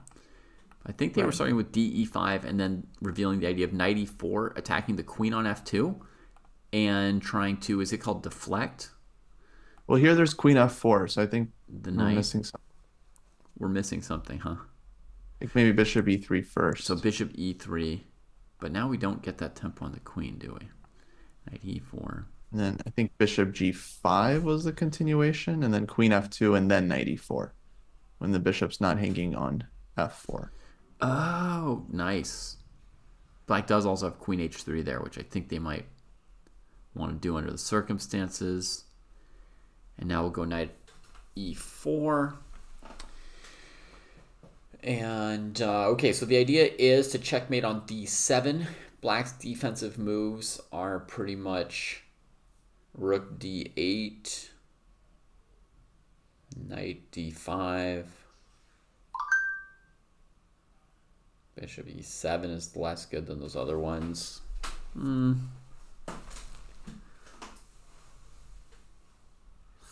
Uh, Patrick, in that one position where you want to checkmate, you can't because your queen is pinned. That's what Kostya was telling me a second ago. Let me show you what Kostya told me. Kostya told me that if I go knight e4, queen takes f4, knight f6 check, I won't be allowed to do this.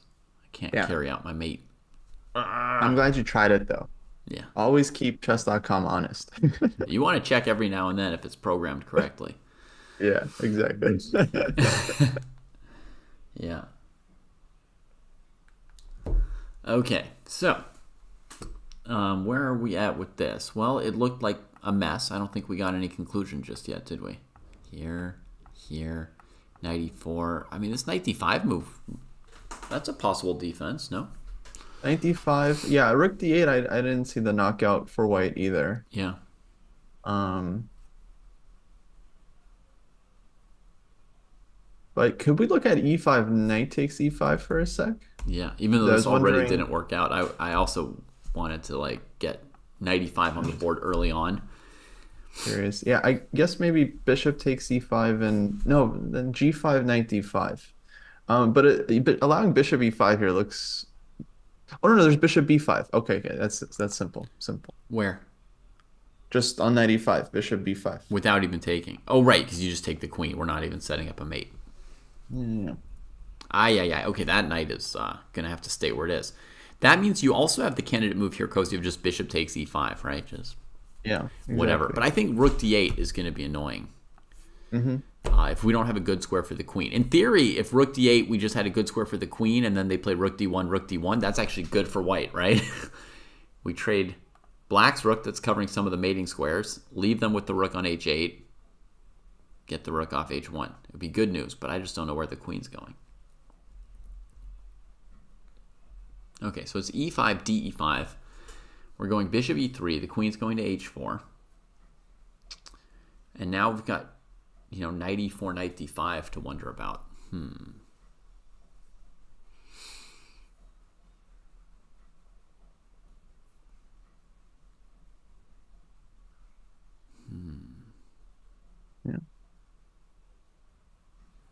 Well, big. It feels like a big chance for Vidit. I don't know if the c5 thing is good. Um, feels like it's based on some some stuff, but Technically, I think Nepo and Fabi, they were maybe still playing.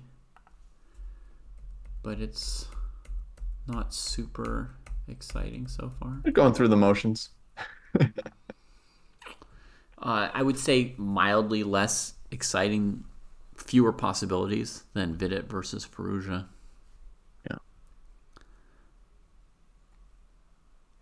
exactly. I don't see a knockout with this e5 line, honestly. Chat, I'm inclined to maybe play g5, bishop d6. Is that really weenie of me to want to get my pawn back?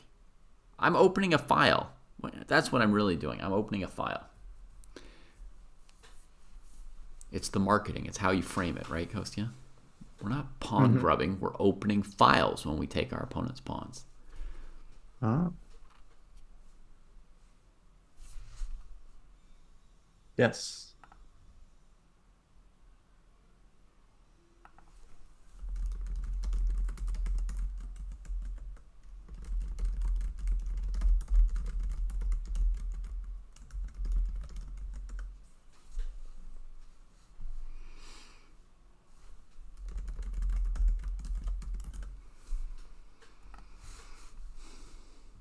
Well, I know Abdul wants. It's what I said. As soon as I say something about taking a pawn, it summons Abdul. To our resident pawn grubber. Yeah, he's like he's like. It's more than just like a pawn grubber. He's like the god of pawn grubbers. Like when someone's gonna take a pawn, first they like pray to like Abdul, right? They're like, let Abdul be with me, and like, you know, whatever. Put a benediction upon my pawn grab. I know you said you don't like how Firouzja looks today, but Yeah. he's wearing a very fancy yellow shirt. Okay, So I like yellow. he is putting in effort. It's not like he just showed up in sweats and uh, Right. messy hair. No, I yeah, I was.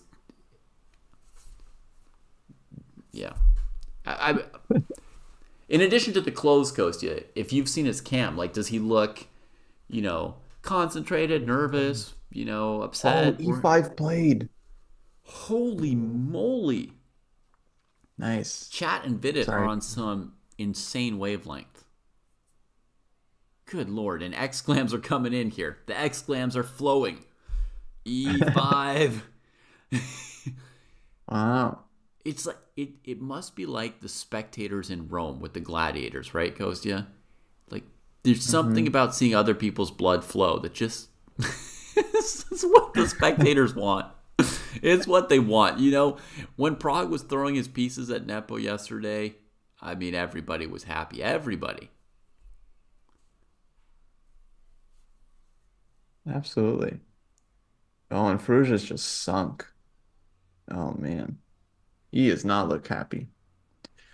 Surely Firouzja understands it's over. No, guys, they don't they don't got the eval bar next to them, so they don't know. They never know in these kind Yeah, of middle he games. just saw that- this move e5 that he's calculating. Like they, Um, they yeah. know once they calculate like a mate in three or somebody's lost their queen. But when you just have a complicated position, you're like, I'm busting him. No, like they've seen these positions go both ways a million times. Yeah. But for sure he you're never happy if your opponent tanks and then plays e5. hmm Because you you do have this you do have this fear that oh did I just completely mess this up? Yeah. Jack Gleason is onto like a really big thing though. It does make you feel really, really good or quote like a GM when you predict the move of a super GM, right? I mean, it's that's a good feeling. If you're calling for E5 and then Vidit plays it, then suddenly you're just rooting for Vidit forever because he played your move, right? Absolutely. Well, on this one, I'm definitely rooting for Vidit. Yesterday, not so much. Today, for sure. Well, I was rooting for Vidit yesterday. He had a good position. By the way, you remember when he played Queen G3 and Fabi was thinking, and we were like, hmm This was obviously that it's plan. Like, why haven't you prepared f6? When you played e5, you were, you know, there was only one move for white, which was queen g3. You surely like had your plan. Did he just notice something? Did he hesitate? Remember that whole thing? Yeah, yeah, yeah. I read that Fabi overlooked queen g3. He literally played e5 Wow. thinking like this chump is just going to retreat his bishop and lose e4. And then Vidit played queen g3 and he's like, He's- "Oh shoot, I'm the chump."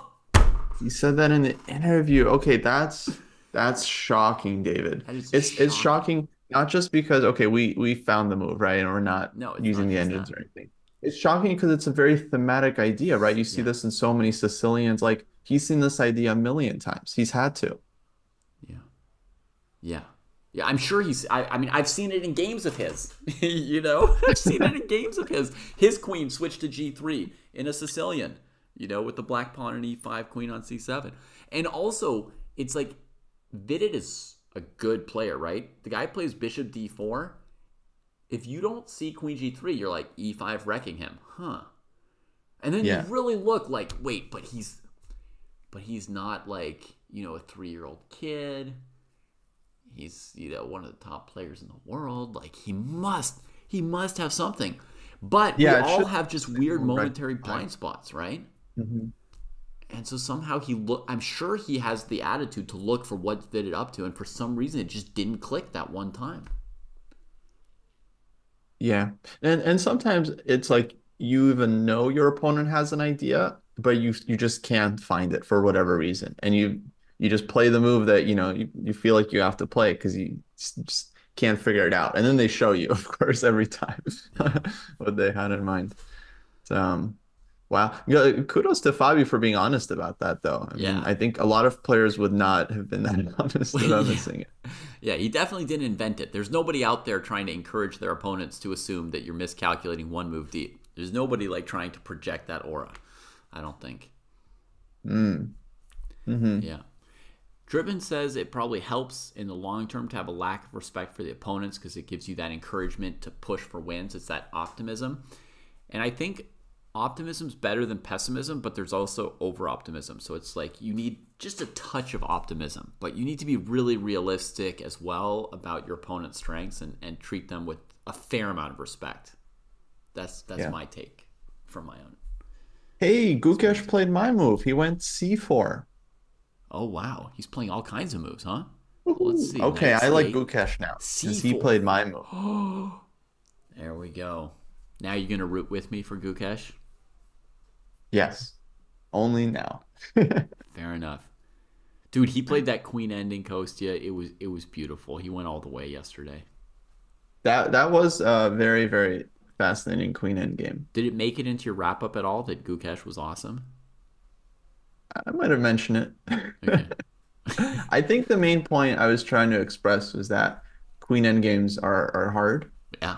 um, because you know I had to run the game through the engine and it was uh, you know it was a bit back and forth with with the evaluation.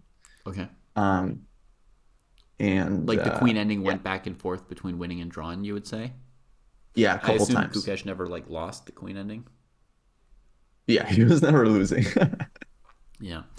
but it definitely oscillated with with a draw and a win a couple times.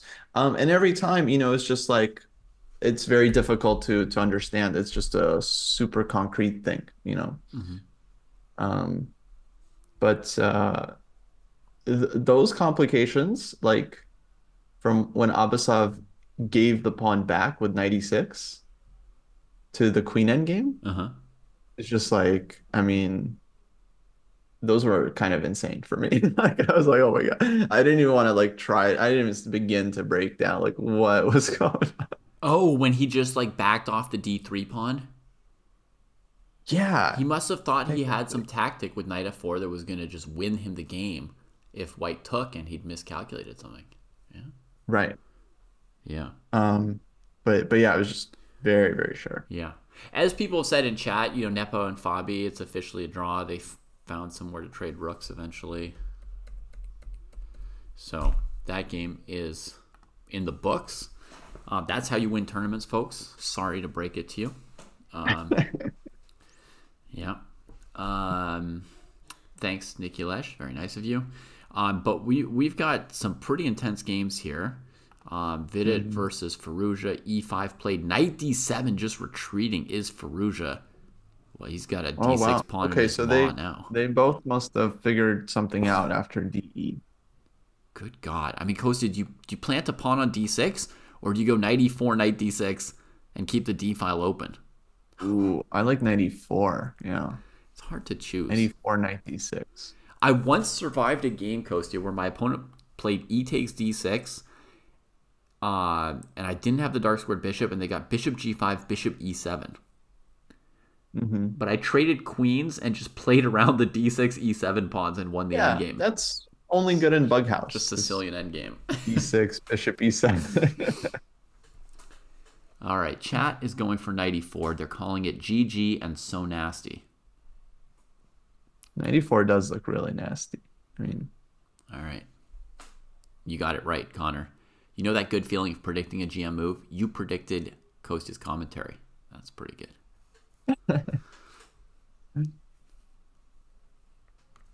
Knight c5 may be interesting. Knight how many times is C5 Queen gonna hit B6? That is a wild move for white. I mean, black's got that covered a whole lot of times. Knight c5 would be a heck of a somebody tripping.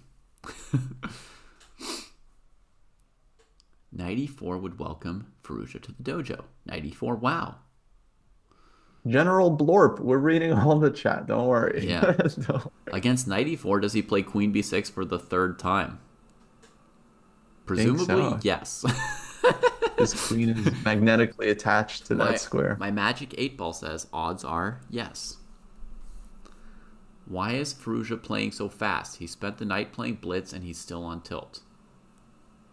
That's just a theory. That's just a theory. hmm But I mean, I don't think he took yesterday's game well. Yesterday's Oh, no. game, I mean, he he would have probably been pissed if he drew yesterday's game, I would say. hmm That's my guess. I think he'd be pissed if he drew yesterday's game. Well, it did. Um, I don't know if you guys, how much, uh, what you were looking at exactly when you were following the game, but I, he had like a very clear draw when he played f6 check. Uh, right, like he he in that position, we don't have to spend too much time on it, but like he could have taken like the d4 pawn, they would have gone into like a rook endgame, and it would have been uh, a dead draw. hmm Yeah, yeah, yeah. I know. But he mean. played f6, thinking, okay, I'm either killing him. he's, well, either he thinks he's winning, or at least he thinks he's the one pressing. Yeah. Uh, so clearly he was trying to win that game very hard. Yeah, yeah. He had a lot of options. Um, yeah, Jesse and I were just arguing about different ways for White to win around that phase because we thought when he got like f4 in and rook g2, we thought he was really coming steaming back. Mm-hmm. Um, should we practice trying to calculate this for White, or should we just check all the games and see what's going on? Somebody told me that Tan's game was interesting, and Tan Zhongyi is currently in the lead in this tournament. So I'd queued up two of the women's uh, candidate games in advance that I thought would be interesting today. Tan, who's in the lead, Take a quick look. Yeah, Tan's position looks uh, beautiful. she's down a pawn with a. Well, okay, tactically, she's also got queen and rook and bishop hanging. She's down a pawn with sort of like a, a ready made killer attack, but it looks like she's going to have to invest a lot of material in it. Bishop d4, maybe forced, but she's thinking. Yeah, I'm curious. Uh, maybe she's thinking about Queen G3 right now, Uh huh. and then the intention would be Rook B2, HG. Okay, knight D4 she didn't save her d4. bishop. That's why she was thinking also- she's that crazy. Wow. Self-pinning and keeping the piece hanging. Yeah, she's just giving all, trying to like play the least possible predictable move of all. But that that's actually clever. That's similar, I think, to the idea with Queen G3. Like on Rook B2, she's she's popping. She's popping another piece. And the knight clears the third rank for the rook to come to E3. Holy So- moly. I'm gonna guess it's gonna be very bad for black if she takes on B2 here. Yeah. Oh man, my instinct is Tan is killing her. I mean, Mm-hmm. and that's a that's that's a brave move. Yeah. And It looks it looks like a bad French. Yeah, that? but the intention, folks, I don't think it's to pop on E6. I think the intention is to pop on G6. Yeah, the knight can't go to e6 unless black plays rook b2. For the moment, it's stuck, but it'll have its chance, perhaps. I was thinking, you know, if she just played bishop d4 and then c3, she would never lose that bishop, and she's got a ready-made attack and great comp. I thought, easy move, you know, but no. Yeah. But no, holy moly. And I'm curious how much time she spent on knight D4. yeah, my thing isn't doesn't telling me say. exactly, but Yeah, according to just a one second. Eh, I don't think so. Seems unlikely. Yeah. Um, I just want to point out something to folks. See this rook on f1? If you play against an opponent and you don't really know their style and they've got this rook on f1, they're trying to mate you. They played rook ae1 because they don't care about the other side of the board at all. All they're doing is mating you. So just be aware. Just be aware when they trap their own rook, it's because they can only see your king. Just a little tip. Let's check on her Now, if go- country um, woman. go back a couple of moves, Oh, yeah. she spent a lot of time on H4. So maybe she did already see some of this beforehand because it was H4, Rook A4, and then I think H5 Mm-hmm. looks like was played pretty quickly. Big move. Big move h4, yeah. How is knight takes e5 not an issue? I don't see what to do. Well, good question. I mean, we'll start with rook takes knight. Um Now, were you maybe thinking of playing bishop f6 and going after all white's pieces? I mean, this was a non-trivial but very interesting move, bouncing across.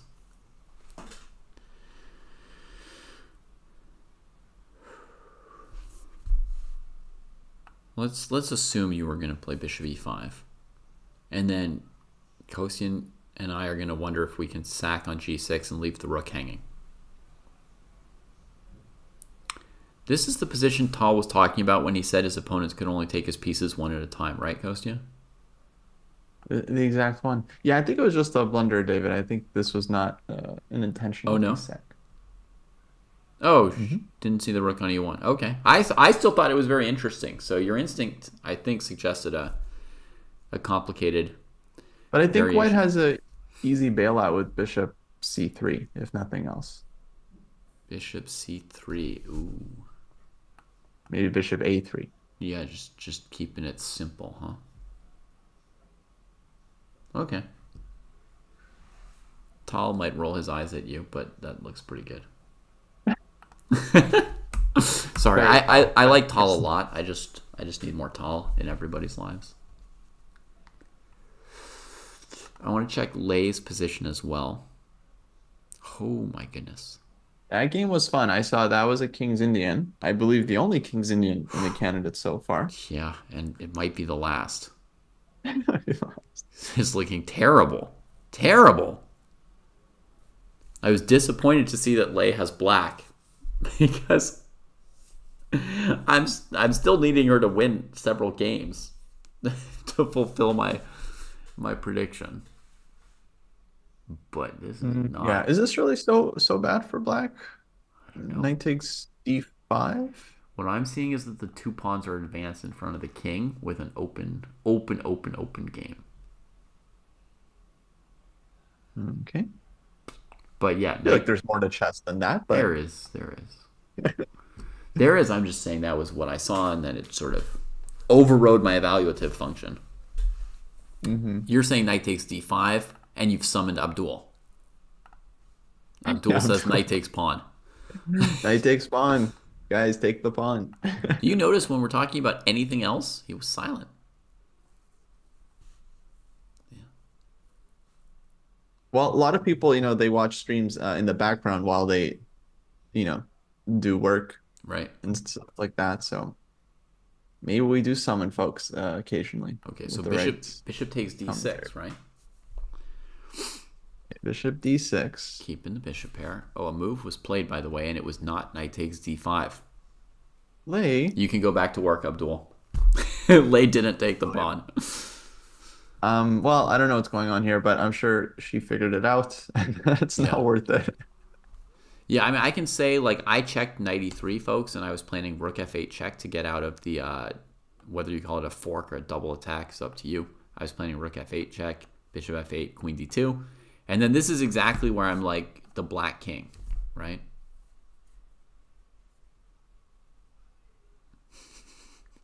Some of y'all have easy jobs. We've got multiple people whose job is petting their cat. Nice. That's like even That's easier than full-time job. that's even easier than chess streaming. okay, this position would be terrible, right, Kostya? Um, queen d2. Yeah, this doesn't look good. Yeah. Okay, so the move was knight e5. Oh wow, she didn't lose her d6 pawn yet.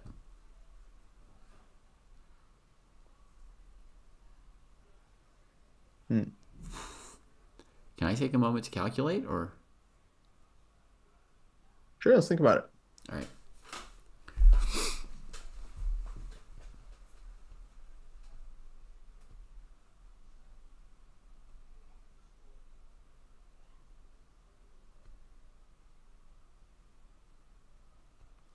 Meh. All right, none of my fun moves work. We can go somewhere else.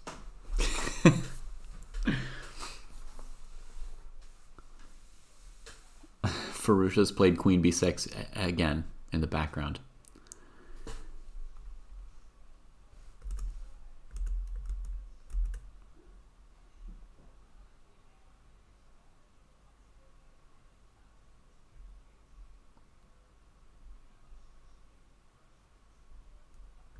Another queen b6 from Firouzja. Yeah. We'll be back at that game in a second, folks. Um, I'll just tell you, knight e5 doesn't win for white here in any obvious way. Um, maybe bishop takes e5 would be better, but that's not a dream. So I'm thinking maybe just the slightly boring queen d2, you know, connecting rooks, developing pieces, and whatnot.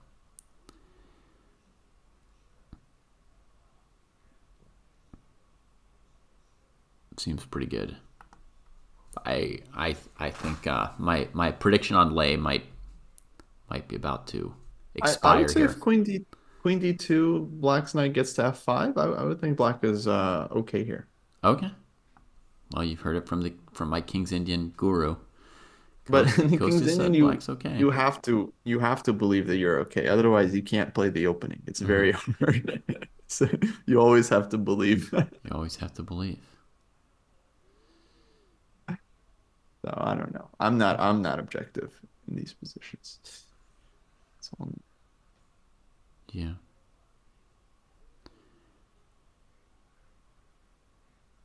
Okay.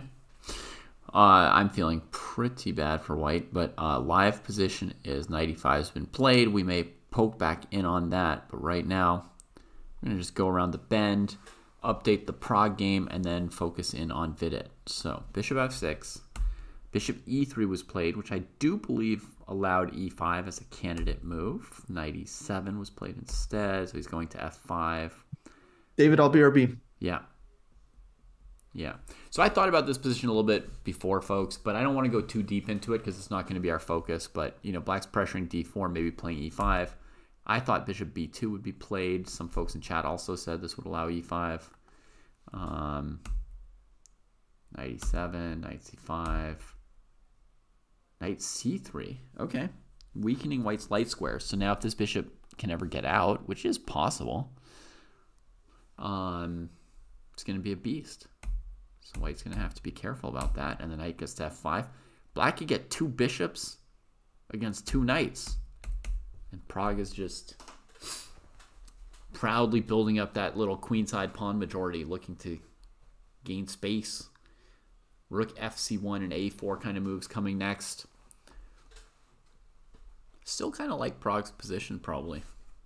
As long as this piece is suffering and this pawn can't move and he's got this majority, somehow maybe it's just uh, maybe it's just player prejudice. Like I just sort of believe in Prague, so he's doing this and then I believe in it. But I kind of like his position. Let's go check out Vidit. Okay, Patrick's with me. Patrick likes the two knights as well. But maybe Patrick also is just a a Pragg fan like me. All right, so here we had e5, knight d7. Vidit simply took without the knight e4 that evoked so many excited squeals. Takes here. Just retreats because, you know, you're going to hit hit knight e4, rook f1 anyway in a moment. And Vidit's thinking. And this is um this is I think the biggest issue for Vidit and Gukesh both so far this tournament is they're just playing so much slower than the other players. Um, I think it's I think it's really hurting them. Um, like yesterday, Gukesh, uh, you know, he had a good position against Abasov, and like the last couple moves of the time control were shaky, and he had one minute with no increment to make four moves. So of course they were shaky. Um, it would be surprising to me, honestly, if they made it through the whole tournament without blundering a game at some point due to time pressure. And obviously, I want Gukesh to win the tournament. And obviously, he one of the things he's doing is he's calculating super well, and he's putting in that effort. But I mean, the time control is is risky, and just being so low on time consistently, game after game, you, you do pay for it at some point. I think almost anybody. Yes, Kevin James is absolutely correct. These are people who can play entire games at a higher level than most of us in a blitz game. And that's true for, you know, maybe 9 out of 10 blitz games they play, Kevin James, are better than my classical games. I didn't I didn't carefully investigate that number, so it's not guaranteed to be right. It might be 8, not 9 or something like that, but a high percentage of the 3-minute blitz games played by Vidit or Gukesh or, you know, probably anybody else at this tournament are going to be better than my classical games in quality. However, those one or two games, those one or two games they play that aren't better, they're playing a 14 round tournament, right? I'm just saying it's going to cost them once or twice. You see what I mean? They're not infallible in those three minute games. If you look through, you know, 10, 12 of those games, you'll find something aberrant somewhere in there. Um, so I, I, I that this is just my take, and I could be wrong on it, right? But it it makes me nervous. Obviously, I'm rooting for them. I'm not trying to criticize them, but I think it's really risky. And my, you know, yeah, my, my nerves are, are worrying when I watch Gukesh, and it's been several several rounds like that. Uh, and you you just know that eventually something's going to go wrong. I think. So like here, look at this beautiful position he has. The only thing you could say that Vidit might not win this game is he's got 40 minutes to make 25 moves. Right? He hasn't even made it to move 20 before using up, you know, two thirds of his time. So he's likely to be at move 20 with something like 10 minutes or less. And Firouzja's position's bad, but is Vidit going to checkmate him by move 20 or is he going to have a game that he still has to play, you know? I think it's um I think that's really going to be his Achilles heel this tournament. It's hard to adjust something like that really significantly mid tournament, especially when we see the problem like four or five times in a row. Um, and the same for Gukesh. Um, so yeah, I mean, Gukesh is probably getting into time trouble as we speak, Noah. If we click over here for a second. Oh, is he alive on the clock after all? No, I thought that when Hikaru castled, he was 20 minutes ahead. So does that mean Gukesh played bishop b2 and Hikaru's been thinking for 20 or 30 minutes just on this move? Or is my game not like not caught up for some reason? Sometimes your board doesn't update as fast as other people's boards.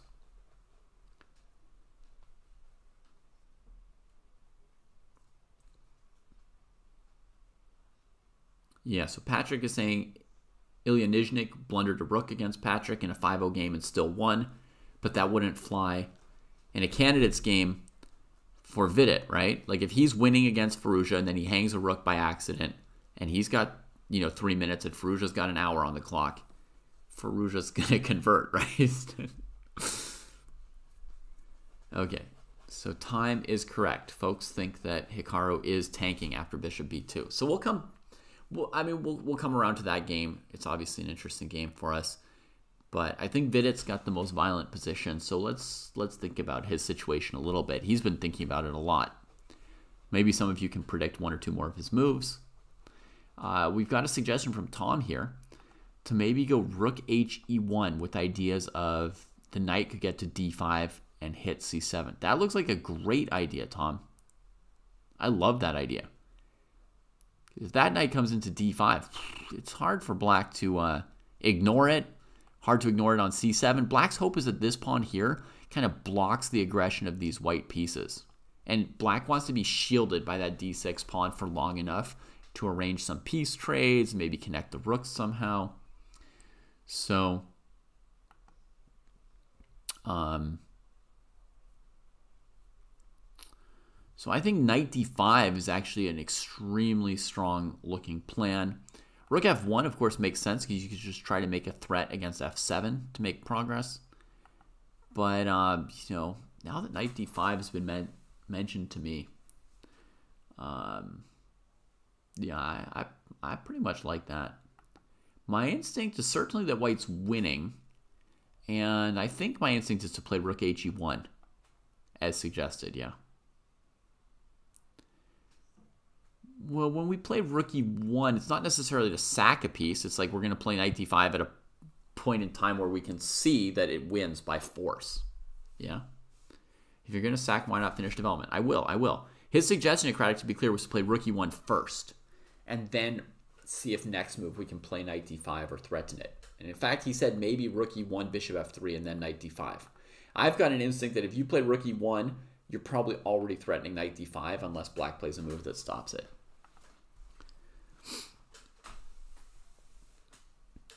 So, does Firouzja have to long castle against rook e1 to avoid knight d5? Maybe. Um, one of the things white would like would be to keep Firouzja from castling. But if you can't keep Firouzja from castling, the other thing you would like as white is for him to castle, so you know which way he's going, and then you can hunt that way, right? If he castles kingside, you can start throwing These pawns, if he castles queenside, you can start, you know, lifting rooks and preparing a sack on b5 to open up the king. Or there's like a maneuver where you go a4 to open up the king, and then against b4 you play a5. You have to set it up tactically. Here, um, you can see, and this assumes the king's castled, right? Well, I can give you a more realistic situation, maybe like rook e1, castles, a4. This is an idea to pry open the king once it's there, right? The idea is that you're trying to trade pawns to get closer to the king. And if they go b4, you want to go a5. And this doesn't work tactically, but the strategic idea is to then your knight didn't have to retreat somewhere bad. And you've split up these pawns so you can, you know, attack them and, and, and work your way into the position. Now here it doesn't work tactically because pawn takes knight hits the queen and you lose a piece, right? But that would be something that you might start setting up. As soon as they castle queenside, you might be looking like, okay, how do I set up a4 here, right? Um, you would also have a very, uh, tactically speaking, it's not a strategic element of the position, but someone's probably yelled this at me by now in chat, I would predict. Yep, Waximus has. Um, yeah, you have a you have a tactical move that's just crispy critters. It has nothing to do with positional. But if we were to play this positionally, it would be something like you know queen d3, looking at a4 maybe, or you could go bishop f3 and queen g2, putting pressure there. Whatever. Castle as long as illegal because bishop e3 wins the queen. So maybe he'll play queen d8 here. And then after bishop f3, um, he might be able to save the game with queen b6. He can't go actually. queen d8 again. He's I cut don't- off. He's cut off. Hang no on, Kostya. I'm doing a routine. You're interrupting my routine. So he goes queen b6. This might hold here for black. White might not have anything better than king b1 yet. And now you could prepare queenside castle and get out of this bishop e3 move with queen d8. You also, knight d5 doesn't even hit your queen now. And then if we overprotect g7, we might be able to develop this bishop eventually. And yeah, I mean, I know I played queen b6 a few times here, but black's looking good. Black's looking really good. Patrick seems to prefer white. Kevin James as well. Knight c7 wins the queen. Okay. I like well, how chat's analyzing with you. well, well, you guys have your perspective on chess, and I have mine, right? So, yeah, maybe a small advantage after knight c7. That's a little bit more reasonable, Murphy. Without an eval bar, we'll never know though. Yeah, without an eval bar, we won't know. We'll have to check the player interviews tomorrow. Um, but uh, that said, rookie one, uh, he's not going to castle queenside. He's not going to castle queenside. I think we've I think we've all come together to come up with a really good plan for white.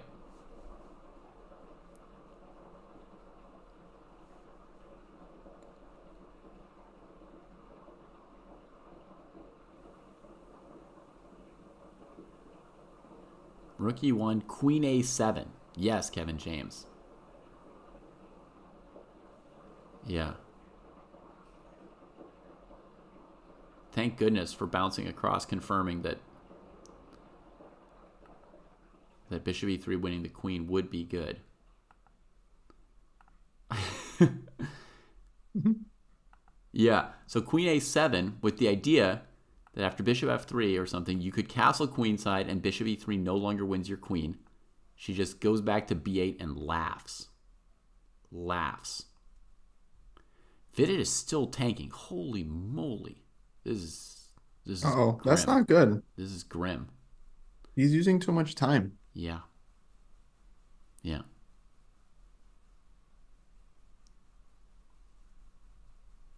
But okay, I mean, sharp position. You guys, you were thinking Rook HE1, Bishop F3 looks normal.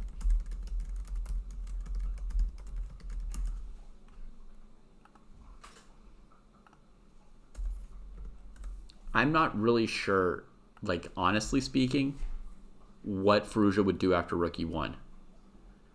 hmm Bishop E3 play. Vidit has just played bishop e3. Now he's toying. How he has to go queen d8. Oh, come on. Yeah. That's all- Forced queen d8. Marusha, you're cut off.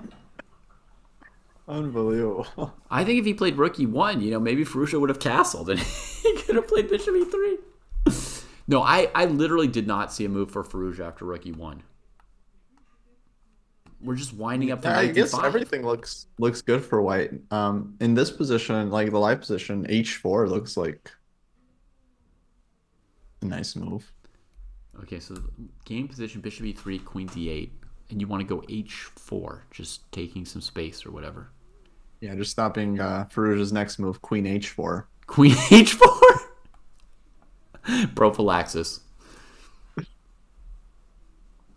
Uh, Luca, yes, this is winning for white. But I have said Vidit could, you know, flag slash blunder. You know, he doesn't have a 100% chance of winning here. But if you go to another stream and check their eval bar, or if you load the games yourself, which you're all welcome to do, you know, here's here's a here's a link to the games. You know, you can see all the games here. You know, if you want to, you can load an eval bar and find out that Vidit has an advantage. If that's if that's what you need, it, will confirm that.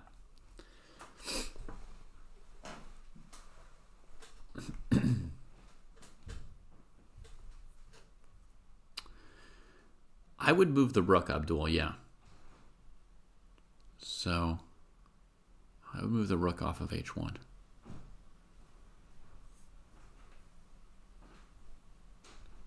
I mean, the bishop is on b7, but also my rook would be better on e1 or f1, I feel. Sometimes cavemen tactics work. Tell me about them, Dan. What what what caveman tactics are you referring to? I was worried earlier that you didn't realize that I was just joking when I moved Black's queen back and forth six times.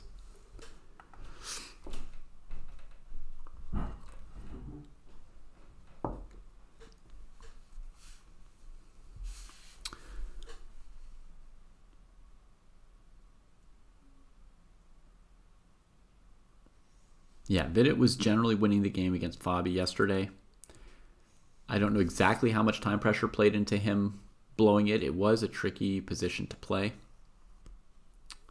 Yeah, it was it was tough for Vidit, you know. Um, apparently it was his queen e5 move. They gave up the advantage. Yeah. Which we I don't remember us spending any time there. We didn't have a lot of time, but we had no idea that that's where that's where he lost it. Yeah. Uh, Kostya, he played bishop e3 after thinking for almost 17 minutes. There was literally one legal move for Firouzja in response, queen d8, and he's back to thinking. So, It's not good. He's got has to make 24 moves. I mean, his position's amazing, but unfortunately, Yeah, I have to say it seems like he's going to lose the game in a winning position. I, it's not inspiring confidence. Yeah. is he maybe going to go bishop b5? Maybe he's calculating all the way to checkmate or something just for fun. Maybe I mean he's he is winning like overwhelmingly, right?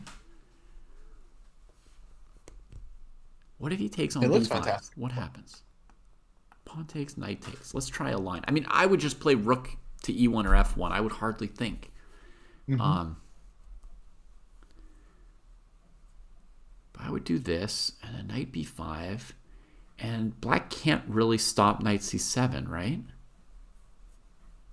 Um, yeah, maybe, maybe, uh, I was gonna say rook c8, but a nice line I thought is uh, if f6, knight c7 check, king f7, and go knight takes e6. Good, good destruction move. Some folks who like caveman tactics will appreciate this move. Knight takes e6. The king can't take because of mate. And you know, it's just some some good old fashioned thrashing going on here. um, he's played a move though. Let's see what he's done. Rook h f1. Okay, good, Fine. good Vidit. Fine. If that were the product of 10 seconds of thought, I would say good on you. Four and a half minutes, I don't know. Now here's a question. What is black's next move? Like G6? It's very difficult here for me. The weird thing is, it feels like Firouzja's moves would be harder to pick, but he's been banging them out somehow. I feel like when you don't love your position, you just you play fast. You just get it over with. Yeah. No, this move looks good. Uh, very hard to pick moves for black. I think you said it, Ghosty. Maybe Queen H4. Um, with the idea of then castling queenside at some point. Maybe Rook C8, trapping your king where it is. Rook C8 feels like a move. Yeah. Good God. Yeah, normally we play Queen B6 as Firouzja. But here, maybe Right. not. It's not available. Can we prepare Queen B6? Pair Queen B6 somehow. Try and recover that square. what does Vidit want? Somebody asks. I don't know. To give his parents a heart attack, I guess. They must be watching somewhere and they're like, Move, son, move. I mean, white white has many ideas in, in the position. You can put the bishop on f3. You can try to set up uh, some kind of knight d5 sacrifice. You can double on the f file. Yeah. Um, you can advance, you know, g5, h4 just to, because okay, the big problem for black is that it's like it's not even clear where the king will be safe, even if he get, gets time to castle, which I don't see how that happens either. Yeah. I think the basic thing you would do here next as white, honestly, is you'd improve bishop e2 and knight b3. And then start looking for knockouts. Can you just take on f7? I think you would need the bishop on e2 out of the way so you have queen f2 for that to work. I feel like this bishop would need to be striking at some other light square. e6, g6, something, and the queen have access to the f file for you to have the ingredients for rook f7. Yeah, if you put the bishop on b3, then I think rook f7 starts to feel interesting. But here, I don't. It's not a threat. Like, see how the white queen can't really move right now? For all the fact that black's pieces can't move. White's queen can hardly move, right? And then the bishop e2 and knight b3 I would both call passive. So that's not really where I look for knockouts when I've got a bunch of pieces that could improve a whole lot. That's where I look for moves like, you know, rook e1, bishop f3. So. And yes, you can consider bishop takes b5 as well, just because it might end the game. And, you know, it gets the bishop on e2 out of the way. Knight e5 played. See, look at that. Firouzja came up with something relatively fast there. I mean, he played that faster than Vidit developed the rook on h1, which was a much easier move.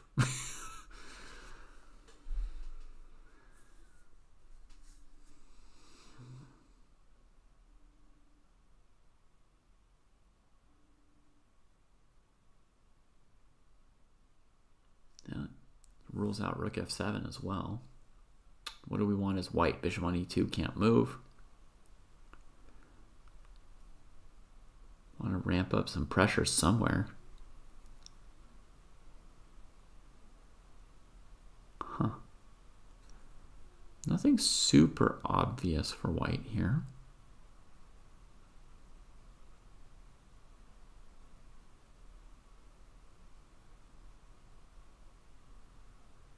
Oh, but he's played his move faster. Good, good job. Queen d4, getting a little bit more space for her. D4. Yeah. Hmm.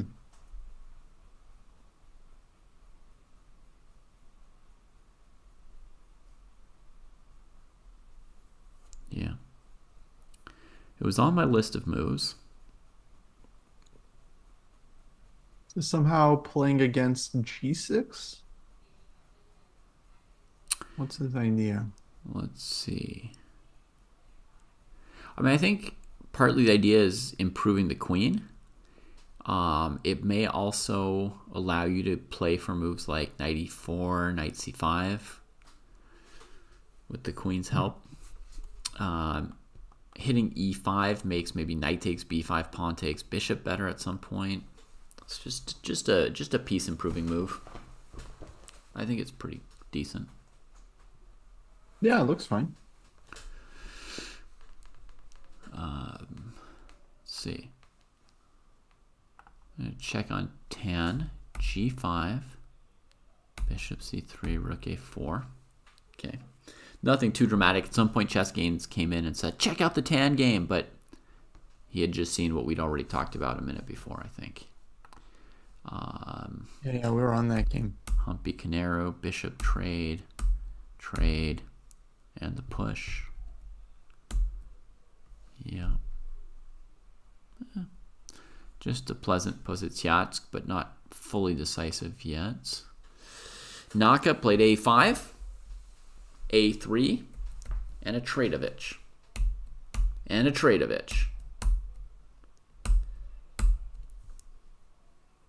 I think Naka has uh, has held Black's position successfully, Kostya. Yeah, this one is looking um drawish.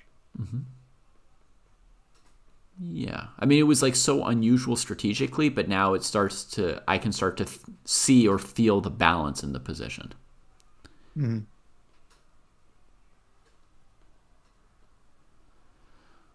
So, yeah, I think a5 was a good response there to White's Well, good, c4 um, idea. Good prep by Naka once again with black. He picks this kind of unexpected line, Mhm. and he's well prepared, and seems like he had no issues equalizing in this one. Yeah. Yeah, he's got plenty of time to play the next 20 moves and a fine position. Yeah. Healthy game. Now, Vidit is not known for, like, when things simplify, just agreeing to a draw. And I know, you know, they can't offer a draw, but there's the unspoken just going into Tauschmaschine mode, right? Where you just Yeah. plop your pieces on on obvious squares and the opponent plops theirs and you play really fast and just trade stuff off. Gukesh kind of has a tendency to grind absolutely anything.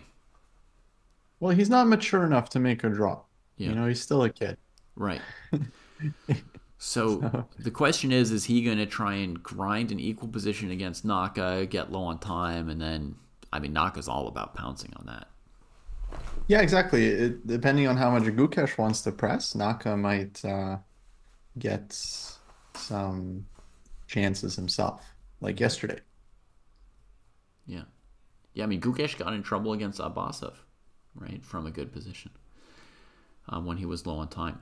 Also, I mean, he took a super equal looking position that other people would have agreed to a draw and gone into Tausch Tauschmaschine mode. He took it and he grinded it and he won, right? So there's both sides of it, Mm-hmm. you know. So yeah, I know, I know, guys. Hikaru's Hikaru's very strong, stronger than Abasov, um, you know, in in defense and avoiding getting ground. Um, so it could turn out worse for Gukesh. You're just, you know, talking about what Gukesh does. You know, the, there's the plus and the minus to it.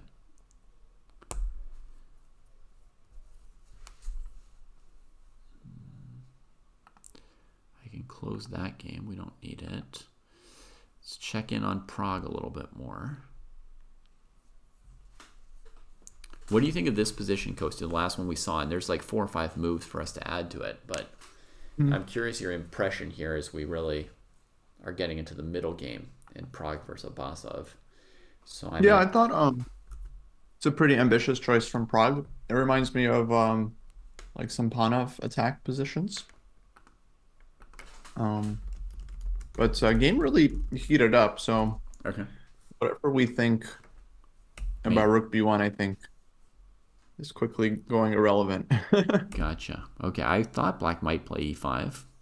I mean, I didn't think with majority. It's just it occurred to me that he might go for it.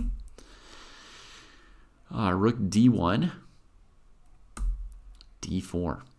Okay, so that looks like a pawn sack that the bishop on c8 might triumph. But Pragg didn't take on d4. Huh.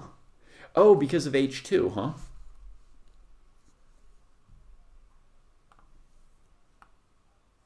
He doesn't have a safe way to, to take on d4, leaving the rook at the end without mm-hmm. giving back the pawn.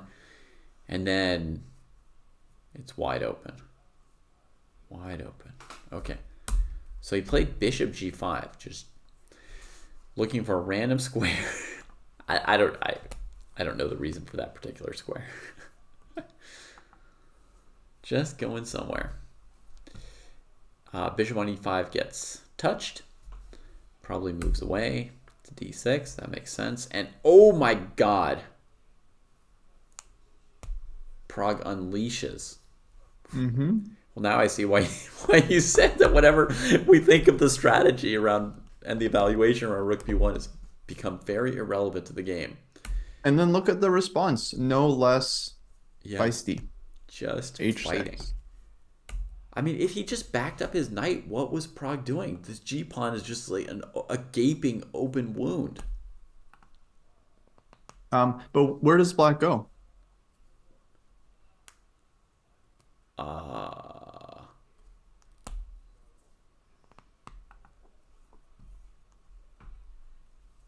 okay, I guess I can't go 97, can I? If I go 97, it's takes, and here, and takes. And black ends up down a piece. Mm-hmm. So it would be knight h6 would be my square, Kostya. Yeah.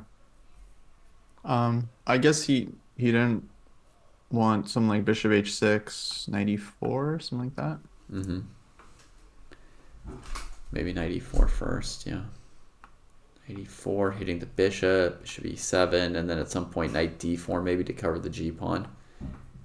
And then, Yeah. you know, the question is, do we have counterplay with queen f4 and this bishop pair? I mean, black has no pawn that is not isolated. So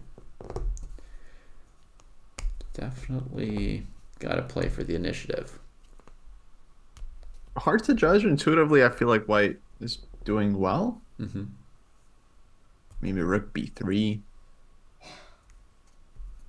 There's a classy move. Yeah. Okay, so he was considering something like this. I mean, Yeah, so h6 from black makes a lot of sense because yeah. it seems like white has to uh, move the bishop away and Right. then and then he can play And 97. then maybe 97. Okay. But what will Pragg do? I mean, he could do anything. He could play G, and he's played a move. He just like played it. He just played it. I haven't seen it yet, but Queen e4. he could play Queen E4 here. That's what he did. That's what he did. Wow. That's um, an obs- extremely obscure move, Kostya.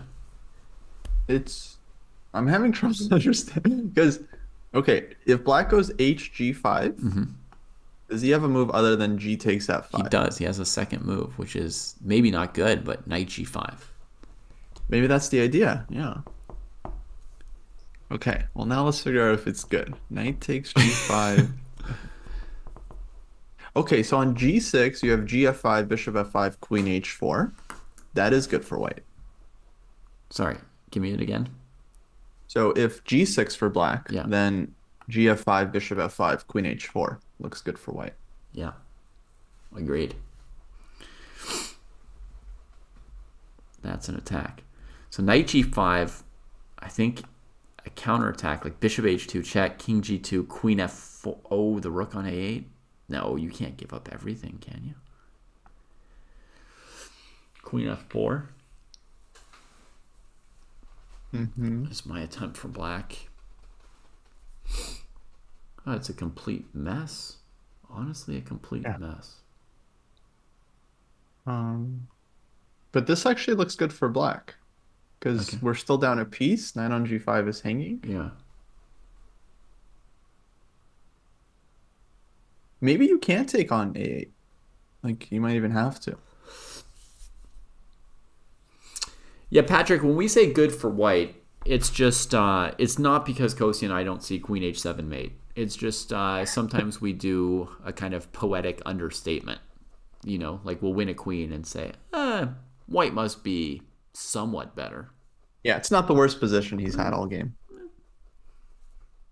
Um, it's British. We're trying to be British because they're always very understated.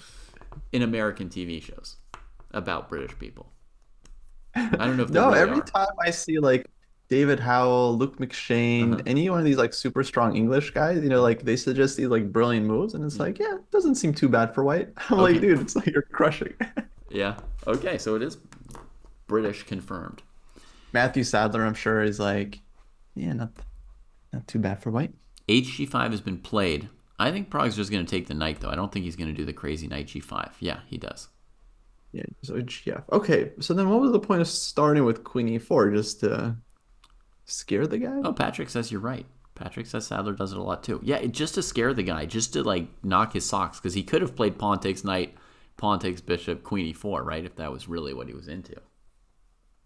Yeah, easily. Um, yeah, I don't know. Pragg's just feeling beastly.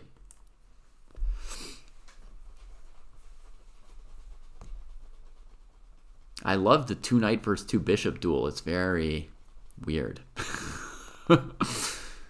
very weird. That bishop on c8, Coasty, he's trying to like checkmate it. That's what he's doing with his queen. Look at it. Look at Yeah. that. He checkmated that piece. Um, we might need to go back to Vidit's game because Okay. I I'm confused about something. Did he flag or checkmate? Rook c8. He's he's doing some weird stuff, in my opinion. Came in. So yeah, Queen A7, Bishop C6, Queen A6 is on the board, What's weird about and then that? what's his intention on Rook A8? Oh. Bishop a7? Like Karpov. A7. You know, just the Karpov. positional Karpov, you know, Bishop a7 to win control of the A file. But is this really Is this really clinical? Not exactly. this? Here's another possibility to get the queen out of dodge, Kostya. Maybe you like this Uh-huh. better. Knight b5, That's more like it. Okay, Rook A6. rook a6, knight c7, queen c7, pawn c7. Uh-huh. Rook is attacked, right? So I think it's going to go to a8. Mm-hmm. And you may have already seen this movie before. Bishop a6. Oh, Bishop A6. I have seen that before, but it's always nice to see the classics again. Um, okay, nice to revisit makes- classics. I like to reread this book. A lot more sense. that makes a ton of sense. Thank you, David. Yeah. Welcome to the dojo, says Patrick to uh Firouzja there. So yeah, maybe not Bishop A7, folks. That's maybe more of a of a joke. But this Knight B5 looks like crushing, right? I mean, Absolutely. Absolutely. No, that, that line's very convincing. oh my god, Rook A8's been played. The question is, did Vidit calculate some of this stuff when he played Queen D4? Because it's a little bit obscure and hard to predict that this would happen. Like he played Queen D4, and Black moved the Rook away from A7, right? So could he really have been playing Queen D4, calculating weird lines with Queen A7? I don't know. I thought he spent some time on Queen A7. He did, yeah. I'm just wondering, like, did he look at this stuff before, or it's just an opportunity that just came up in the last two moves? Mm-hmm. And if so, you know, He only spent a minute on Queen D4. yeah. And if so, this is the kind of stuff where, like, you want to have some time on your clock when you're calculating trapping your own queen, right? But he did it super fast. Yeah. Um, so mooted, I think knight b5 is, is the winning move, right? But if you want to get into bishop a7, I do believe white's position has a good chance of supporting that move. For example, you said knight b8, queen b6. Right. And I mean, black's queen sort of checkmated, b5's hanging, right? Queen b6, bishop b6, and it's just a simple positional win for white. They take on b5, none of the black pieces are talking to each other, right? It's uh Yeah, he's reaching. Vidit Santosh is reaching. yeah, Feel like he's reaching for the B pawn. reach for the b pawn, my friend. He's not reaching for the bishop on E. He has two legal moves: B pawn and bishop E3. So Well, no, frankly, his position's so good that he might win with queen c6 and then attacking the light squares. But, but I mean, Oh, mainly, going for the bishop? mainly it should be knight b5 or bishop a7. He goes Karpov. Goes Karpov. oh, he does go bishop A7. Yeah. Wow. Sometimes you study too many classic games and you forget to calculate. No, I mean he's, he's low on time. So if if knight b5 doesn't pop into your head, and knight b5 might be a blunder, right? I mean, You want to review knight b5, Kostya, and see if you can refute it? Hmm. No, it looked, it looked fine to me. Um, looked winning. Uh, I mean, I haven't refuted bishop a7, but it's the kind of move where if things go wrong, it's it's an obvious. Well, you wouldn't blame bishop a7, you would blame this whole excursion with queen a7. But it it does feel a little fishy. I mean, you would blame like 40 minutes spent on developing one or two pieces to obvious squares, and then one minute spent like sinking your queen into a trap. I mean, Vidit Vidit sees everything, so he knows what he's doing, but okay, but if he sees everything, what do you think of knight b5? Is it bad? Is it good? I I think knight b5 was fine. If it's fine, he should have definitely played it. Like it's the dream of bishop a7 is to play knight b5. If you can play knight b5, play it. Uh, maybe Murfinski's line isn't super clear, like with bishop b7. Um, Okay, rook, knight. Good job, Murfinsky. Thank you for that. Bishop, great. Right, right, right, right. but uh, I mean, even if you take on a6, I gotta think that's good for white. I mean, you just have so many pawns. And rook for two pieces. Okay. I, I would think it's Here's winning. here's a knockout. You go rook f4 after you exactly. trade, and then you go rook a4, rook a8, Yeah, I mean, just looks Right. terrible. just like what we did with bishop a6. I mean, pawn on c7 is uh, strong. Yeah. Who'd have thought this pawn that no black piece can get to across the d file? Who'd have thought? Yeah. Yeah, if you try to stop me with knight c4, rook takes c4, exactly, Patrick. There's just there's nothing to be done. Oh, people are applauding. You guys are too too kind today. We've got a good audience, Kostya. We got a good crowd. You should try some some jokes. Jokes? Jokes when you've got a good crowd, right? Hmm, maybe. Maybe I'll try a joke or two. Some material, you know. Here's a joke. Firouzja's position. Yeah. Good one. I like it. I like it. Bishop ace. So, I mean, yeah. If anyone wants to try and refute knight takes b5, have at it. Our working theory is that Vidit was too low on time to uh and was starting to turn practical and didn't look at every single move and didn't see it. But that it would have been crushing. Oh my god, my eye just like flitted across the button you could click on to find out the truth, Kostya. Oh my god. Don't get tempted.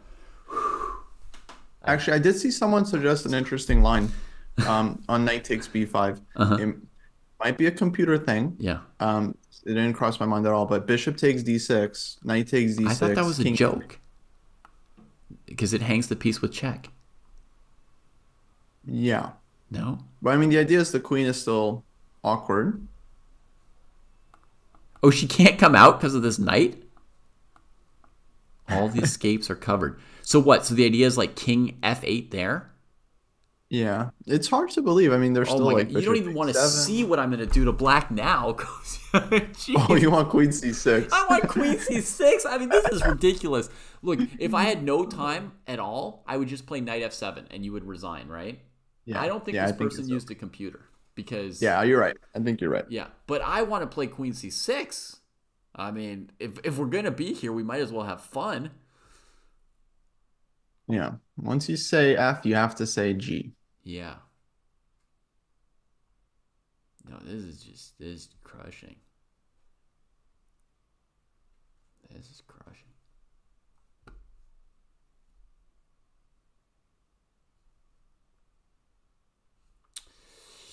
Okay, so queen a6, rook a8, bishop a7, g6. g6. Mm-hmm.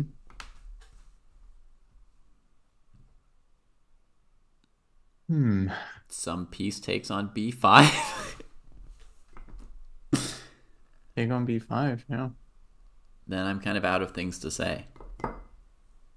No, no, g6 is is a very normal move uh for black here. I mean, you got to get your your bishop on the diagonal. Um, of course, just yeah, his queen side's falling apart. Right? Yeah. There's no longer a queen side, so we go to the king side.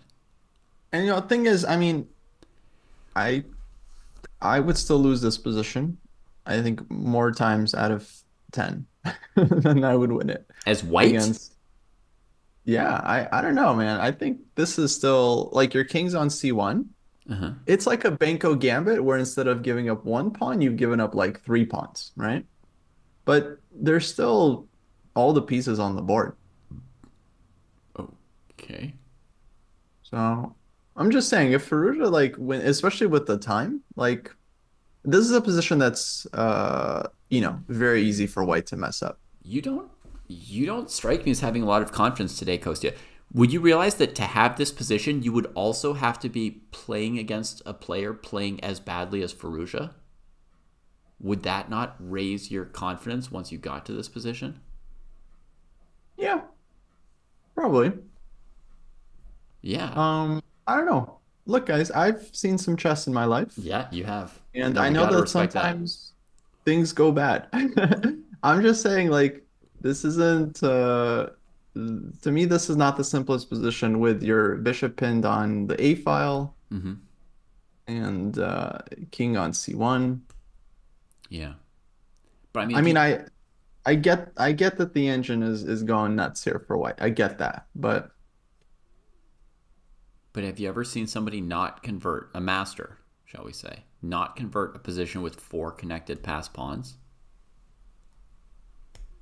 I'm sure I have. You've seen it happen? I mean, I've seen people lose all kinds of plus 10 positions. Yeah. My penultimate game, I did that, by the way, Kostya. I had four connected What's pass that? pawns and I couldn't win. My penultimate game, game- my second to last game that I've played in a tournament. Oh, okay. I had four connected pass pawns and I didn't win. Yeah. Yeah, I mean, stuff happens. I, I don't know if people have played chess before, but stuff happens, guys. And I had a 30 second increment, which Vidit does not here. As I predicted, he had less than 20 minutes at move Yeah, 20 hold on. 15 minutes for 19 moves? Yeah.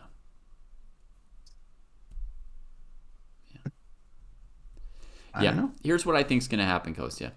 He's going to play knight takes b5. Nope. Play bishop b5. All right. Here's what would have happened if I were playing white, Kostya. he would have played bishop knight takes b5. bishop takes, bishop takes, bishop h6, king b1, and black castles to safety. Um, But instead of castles, why not bishop E e3? then I would have played maybe like queen b7. Bishop e3 instead of castling. Yeah.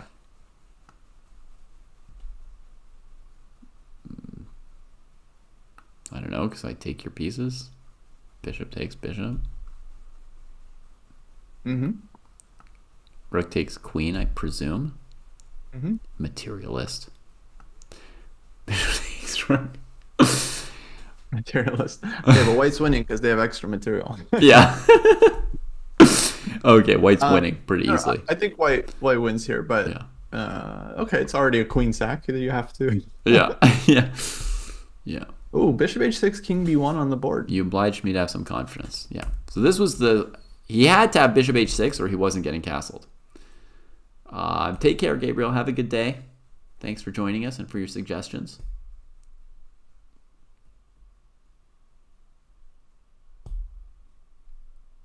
Okay, so now if bishop e3, he he is sacking the queen somehow, right? Well, he would take on c6, right, and just give the a7 bishop, but win a piece on c6. Oh, bishop c6. Yeah. Okay, it's easy. So now he's got a knight on b5. So he is securing his bishop ahead of bishop e3. He's playing a very safety kind of approach. And against castles, he might play knight c7 to unpin. Castles played. Firouzja, you note, is playing quite quickly. Yeah. Well, I mean, at this point, that's kind of all he has. Yeah. But knight c7, I guess there's still rook c8. Yeah. But I mean, then your bishop on a7 is alive, right? Yeah, yeah, your bishop's free. Yeah. So And what's the score? Two pawns for for white. two pawns for white. It's pretty good. It's pretty good. I mean, also the d6 pawn is truly an asset, right? It's not like a, is this pawn strong or weak scenario. It's it's requiring some tending. Yeah. Maybe you play h3 just just to prevent counterplay. Vidit's clock ticks down. We could watch a different board, but just like have Vidit's clock added to our thing. like we've got the whole like picture, and just at the top or bottom of our template, we just have like Vidit clock. All you Well, need to his know about the is his- position. Yeah, his biggest enemy right now. Yeah. Don't need to see his position, just his clock. All right, he went for knight c7 to unpin. He's playing the like safety first moves here for sure. The last several moves. Oh yeah, yeah. He's trying to get to the time control. Yeah. But he, he- you know, I, I can feel he was worried about bishop e3, and I don't know that it's best Ooh. to put the knight on the outpost. You know, Knight takes g4. the counterplay, right? I suggested he h3. See, see, this is where I lose this. You know, this is this is where. And now it's okay. It's gonna. It's just one pawn. If he takes it on on a8, obviously it's the exchange. But I think Firouzja is banking on on the pin after knight a8, queen a8. Yeah. White still has to figure out. Which knight to attack with the queen as you run away? untangle. Yeah. Really tough choice. Queen b5 versus queen e2. I don't know how I would do it. Wasn't queen b5 just a massive blunder? Why? Knight a8's Queen been A7. played. Oh, queen a7 defends that knight, huh? Yeah. Good thing I was gonna play queen e2 to overprotect e3 and h2. I think queen e2 is. is the way- Queen e2, knight h2. Oh, queen e2 has there's been played. button out. Queen e2 has been played. And against knight h2, queen takes h2 would have hit the bishop on h6. So black couldn't go desperadoing for one more greedy pawn. Yeah, exactly. You saw it yourself. Good job. so queen a7 happened, queen g4. Good lord. Okay, but does Firouzja have anything here? I don't see it. No, this is like you would resign almost. Bangs out bishop g7.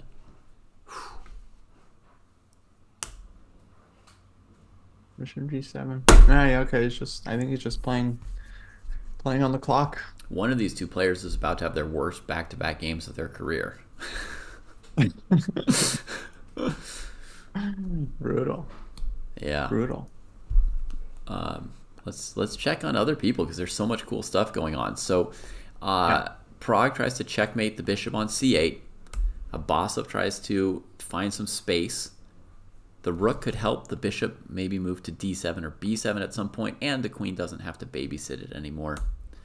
Rook takes d4, plunk in the center. Hey, look, the queen is covering b1. She's amazing on e4, Kostya. Mm-hmm. Some kind of genius level queen. G4 coming in. Ho ho! Well, that explains that move. Two can play at this. Um, uh, in case we didn't explain it at all, folks, the point is queen takes g4, bishop takes c5, and basically white's losing material. Mhm. Can't take back on c5, you're kind of routed. So g4. No, and g4 is the live position. He's thinking here. When the knight moves, he's going to open up, you know, h2 and e5 squares for this bishop. Maybe he's going to nope.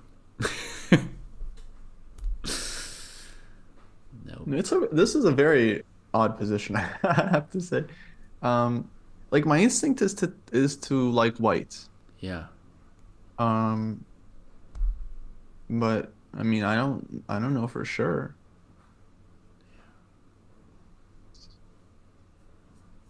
because like Brick E7 is coming, and then uh, two bishops, uh, open position. Mm-hmm.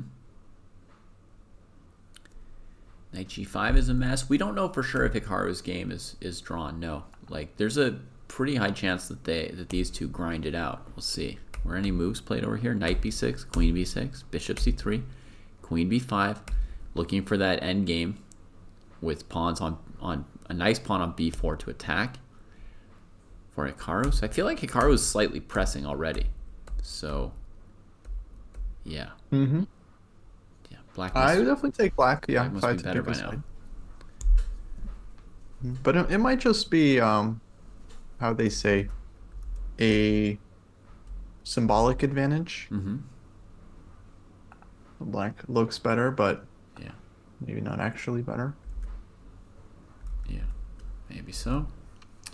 Um, but yeah, it's not going to be just a draw, as anybody was, as somebody was wondering. I think it's definitely going to be, definitely going to be played for a while. Definitely an advantage for Hikaru, and it's just a technical game that we could definitely get into. But these other games are pretty. Well, this game's pretty over, but the the Pragg game is very very interesting here, and he's gone from knight g5. Mm, So idea is to maybe play f6. for sure. Although Yeah. f6 g6, what would it do? I don't know.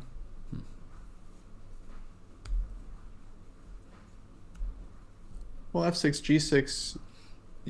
I don't know. Maybe you have some sacrificial ideas somewhere. Some knight e6s of the world. Uh, Gritty Pans, we talked about this in our um, podcast about you know about this tournament, like who we expected to do well in this tournament and so forth. And I think all three of us agreed, if I'm not mistaken, that anybody who managed to win this 14 round candidates tournament would look like a favorite mm-hmm. against Ding right now. Yep. even Abasov. I mean, it's hard to mm-hmm. imagine how Abasov would come into this tournament and win the whole tournament. It would be maybe the most shocking result in chess history, Kostya. Yeah, it would. Um, yeah, I can't think of anything like that. But it would, I mean, it would place him squarely as the favorite against Ding, I think.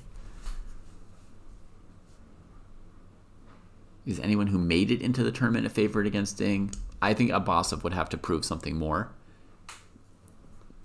than his um than his what's that knockout tournament called? World Cup. I think he'd have to do more than his World Cup performance to make us think that he's a favorite against Ding. Yeah. Bishop h2 check is certainly possible, Michal. It's one of one of his moves here. They're at move 27 for anybody wondering about their clock situation. So 13 moves to make. It's mild time pressure for Pragg, but nothing like Vidit's situation.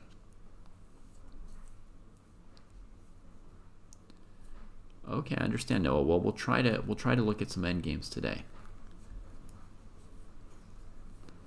Jesse's definitely noticed a huge pattern in the annotated games in the dojo that players who don't have any skill with the end game or much experience with it, they basically stop annotating their games when they get to the end game and just sort of, eh, whatever happened happened from here.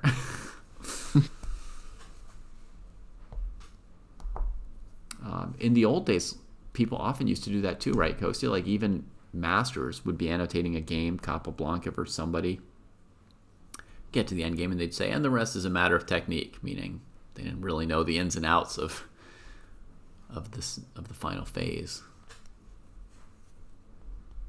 Yeah, Basso Yeah. is playing fine. He's giving a really good fight to Pragg today.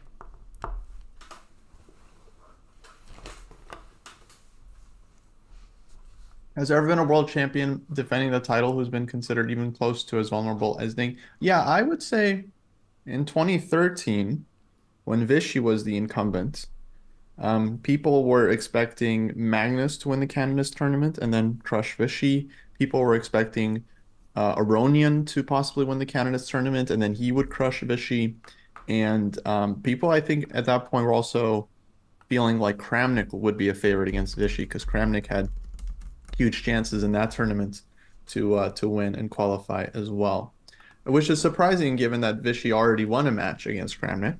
Yeah. Um, but that that was just kind of the state of Vishy's chess at that point. People didn't really like what he was showing. but I think not quite to this degree. So it's an example of Magnus was considered a favorite against him, but Ding has had a much tougher year than Vishy had. Yeah, yeah. Ding Ding looks like uh, he's having serious psychological issues. Yeah. And chess is a very mental game, so it's really hard to believe in Ding until he starts showing something else. Yeah.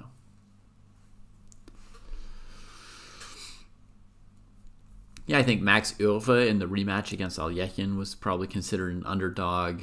Um, maybe,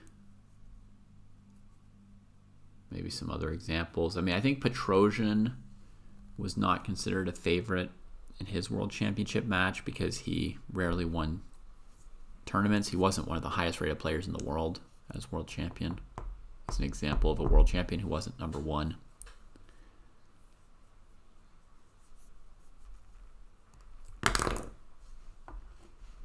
But yeah, I, I do think Ding is, um, yeah, definitely looking like one of the most vulnerable champs.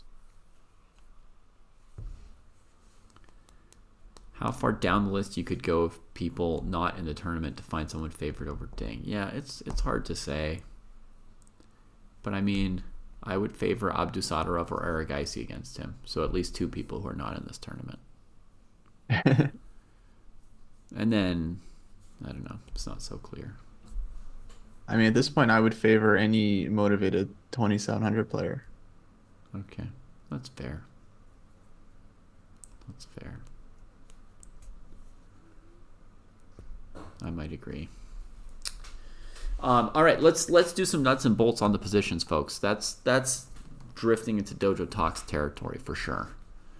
So let me check over on some of these games we saw earlier. I'm going to go to Tan Zhongyi against Anna Muzychuk, unless Kostya wants to direct me elsewhere. No, where you're going to go? So um, after the tempo with bishop c3, saving her pieces, Tan went into action with f4, which could be seen to try and pry open g5 with fg5, or it might be breaking the fourth rank pin to just play knight e6 and get it all over with. Like if F4 black looks quite strong. if black plays h6, knight e6, F5 could be the idea too. yeah, Just like just passing by. blasting. Anna counterattacks the bishop on c3 and does nothing to defend any part of the king side. Oh my god. Uh, not going well for black at this point. Tan surprisingly doesn't sack a piece.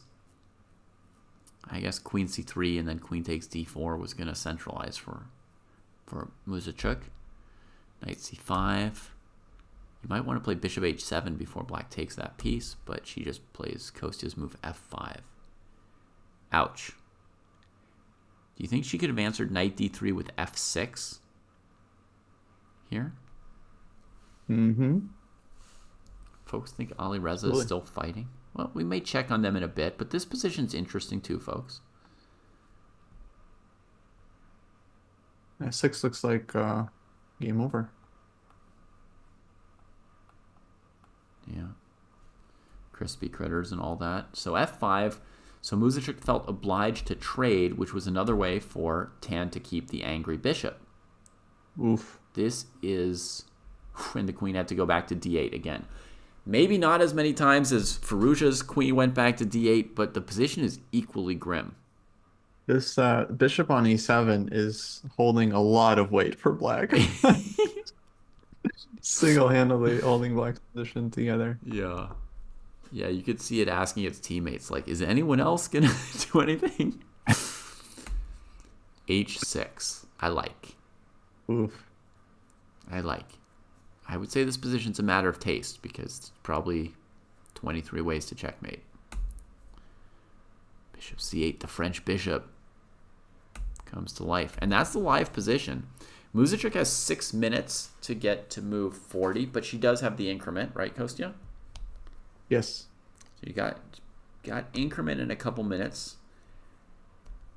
I mean, if she made it to move 40, it would already be an accomplishment. Okay, first thought here would be queen h5 Mm-hmm. to unpin and hopefully threaten something like bishop h7 and rook f7.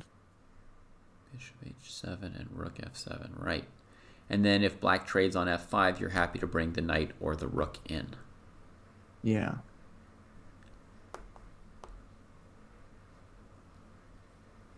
Oh, this is a French. That explains why black is lost. Kos- See, even random 1200 elo guy gets it. Grandmaster Jesse, he's he needs some help. yeah. Goes to how about this move? Bishop takes c8. Queen takes mm-hmm. c8, knight f5. Oh, Rook takes Okay. queen. go to the end game. Rook Knight takes G4. bishop. King mm-hmm. h8. What end game? Welcome to the dojo! Okay, d4. Ah, he's gonna fight on. no, that that's actually very nice because Yeah. then you take you take on f7. No, Yeah. that's that's lights out. I'm coming in. That's nice. I wish I could end the game with rook f4 here or something, but Mhm. there we go. That's that's that's why I wanted to play bishop takes c8. See, it is an end game. It's the end of the game.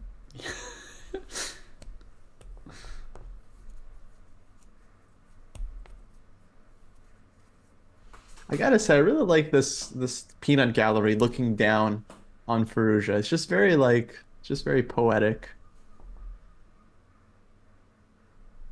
You're just watching the gladiators get slaughtered. There's a lot of slaughter. This tournament's very violent. Very violent. Brutal. Yeah. Absolutely bloody. Yeah.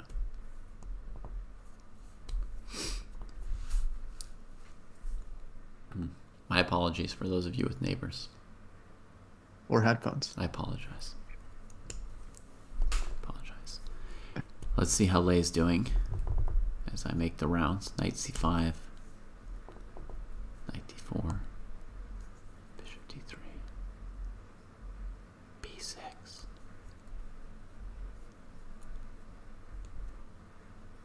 Is this what you want, folks? Is this what you want? All right.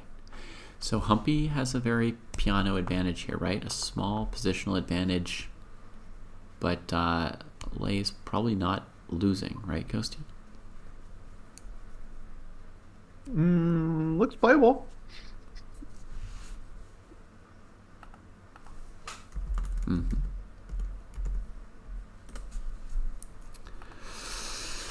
Knight on d4, bishop on g7. Yeah. Smirin would be satisfied with the position. Cool. Yeah. So Leia survived a bit, and the clock looks good for her. Humpy's got seven minutes. They're at move 24. That's a lot of moves to make. They've got the 30 second increment. Um, looking forward to seeing some blood somewhere here. That's where a King's Indian player can strike, right? White gets low on time. You've got some active pieces. Let's check on Firouzja. People said he was still fighting. Let's have a look. Mm-hmm. Let's see if it's like the Knight of the Bridge or, or something better than that.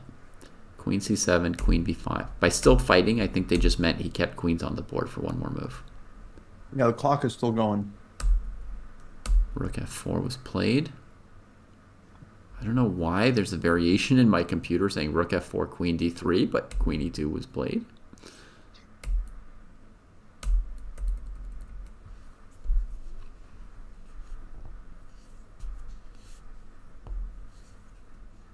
They're at move 32, so that it's got 8 moves to make in 9 minutes and 41 seconds with no increment. Plenty of time.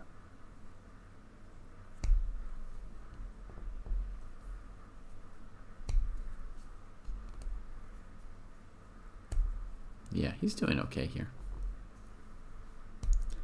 Is there check and bishop h6? Uh, yes. Hang on.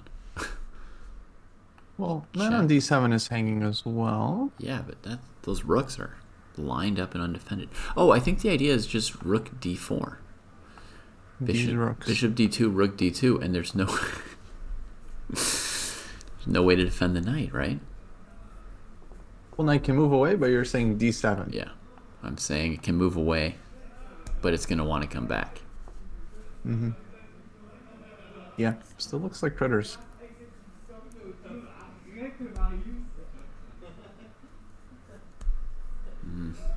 Yikes! That was a really good alertness bouncing across,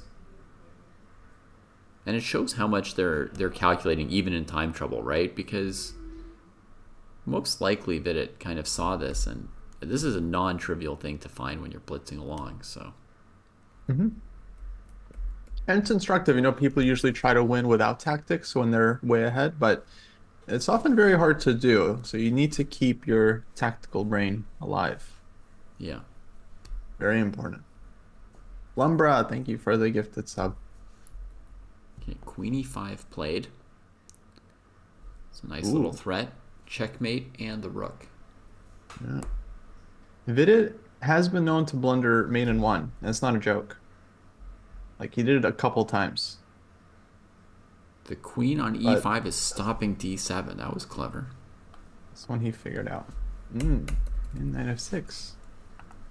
Firouzja with the pin.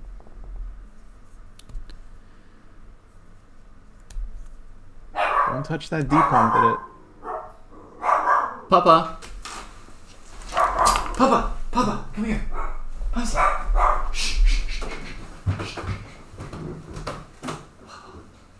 Alright guys, we're gonna get another guest on the stream. Known as Pup Up. Let's see what he has to think about Vidit's position.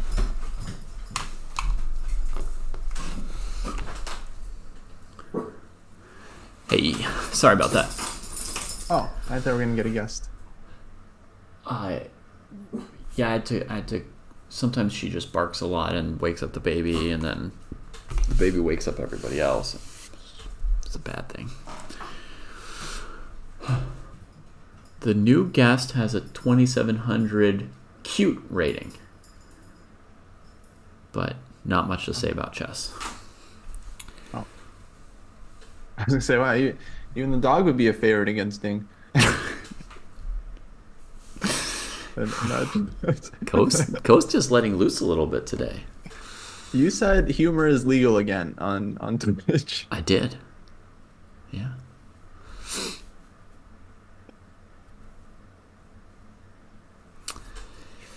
Let's see. He's come up knight of six. Okay. Seven minutes for Vidit.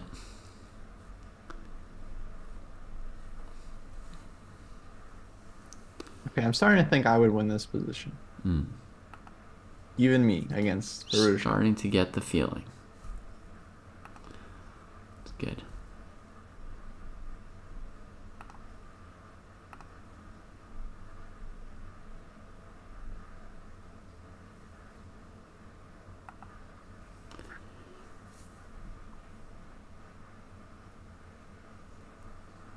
But it's thinking. But it don't overthink things.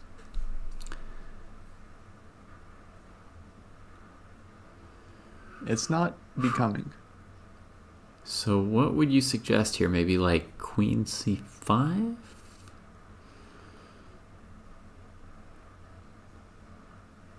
Um,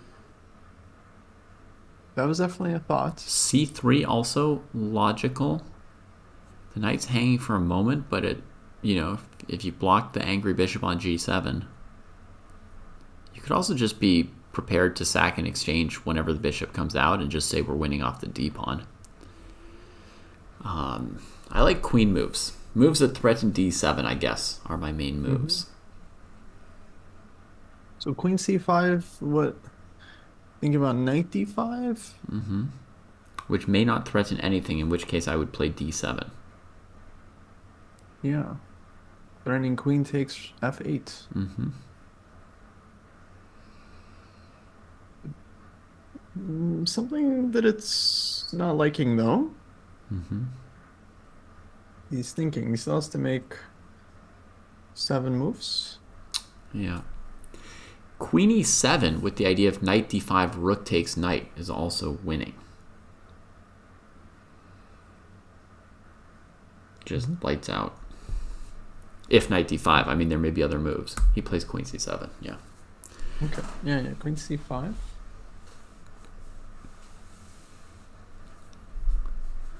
Simple kind of move. Knight d5 gets played.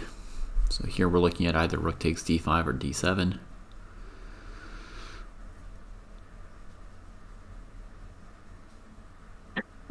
There is a good question for you in chat. Does screaming "Welcome to the dojo" not wake up the baby?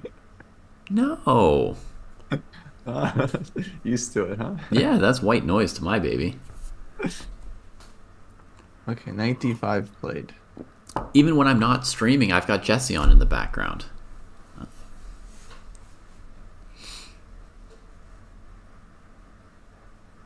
My baby's first Oh. words are always "I love dad."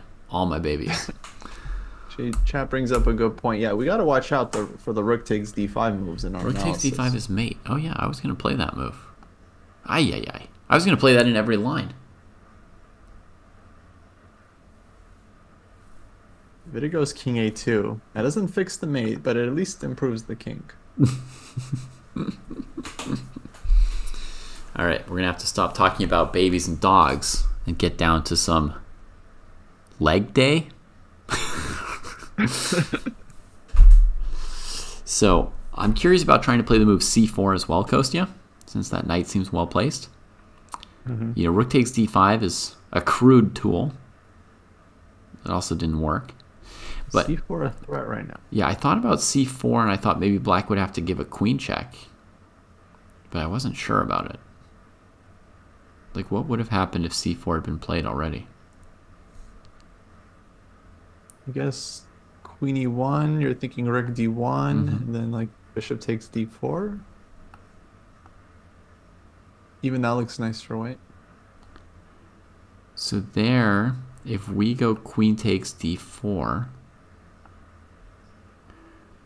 defending the rook, black has to somehow hit the knight with the queen or lose, right? Right, the pawn's covering this. It looks like a knockout. Oh yeah, yeah, yeah. yeah. Um. Hmm. I don't know. I'm not sure. Okay. Then the other move that we'd suggested here, the one that didn't allow mate in one, was d7. And Laurel's asking about that, saying, you know, well, queen f8. And there, the move for black would be rook d8. Mhm. Um, e7 also looks good. what also looks good? Just what we have on the board. d7. d7. This also looks good. So rook d8 for black. And now you could play something like queen c8. You could try c4 again. Um, could not do my original rook takes d7 plan. d7. I was trying to say it. I didn't get it till you wrote it out, Coast. I'm sorry. it's hard to say. Yes. It's such a good one that someone can't even tell when you're doing it, right? oh, but that's sneaky in a certain way, right? Like no one will ever know when you're saying D7 on stream. Right. They'll never know. They'll be scared to put their pieces on D7 against you when they play you in Title Tuesday. Yeah. as in, um, I'm looking at that square. Yeah. he'd be like, oh shoot, if I play this move, he'll be like, Knight D7, D7. Oh. Oh, Vidit goes c3. It's King A2. Get C3. That's useful. Maybe we should go to Pragg. I feel like this is uh This is just not much for for black here. just dirty. All right. Especially after c3. Now you can't even blunder Bishop mate anymore. H2, which was 10 minutes of thought for Nijat. King G2.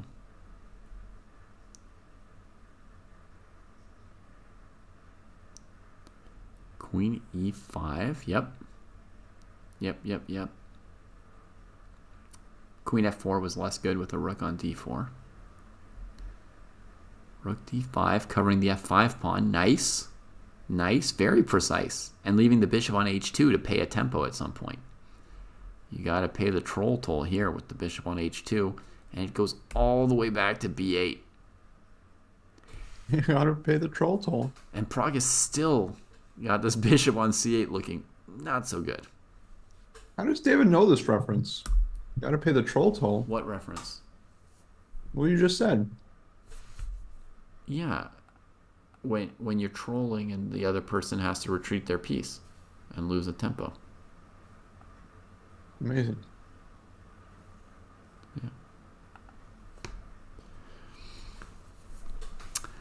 Um what do you think, Host? The material is equal. The position's so weird it's hard to even count it. Mm-hmm. Um I feel like I like white. Yeah. I feel like black's bishops are really struggling to play, and maybe Pragg could go rook bd1 and rook d8. Is that too weird?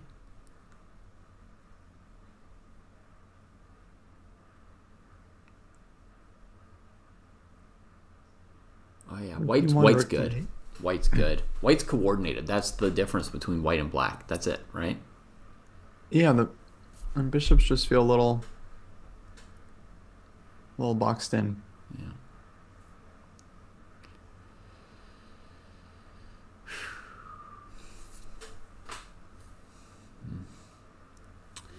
I had an idea a long time ago, Kostya, when g4 was played, that I wanted to go rook b to d1.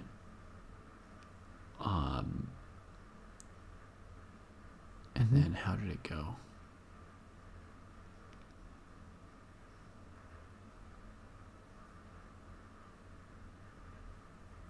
Yeah, black's bishops just look like oh, little yeah. baby boys, huh? Yeah, this was this was the trick. yeah, this was why this move was controversial because if bishop takes knight. For a second, I was like, why was this a big deal? The move looked killer. Okay, it was because bishop takes c5, pawn takes pawn mm-hmm. takes knight. That's the controversy, right? And then or controversy, and then rook to d8. But when I was looking at this long ago, I couldn't beat the move queen c7. Mm-hmm. Yeah, I don't see. I don't see the answer either. Right. Oh, maybe rook f8 and queen h4. Queen h4, weird queen h4, huh? I didn't see that at the time, but once I set it up on the board,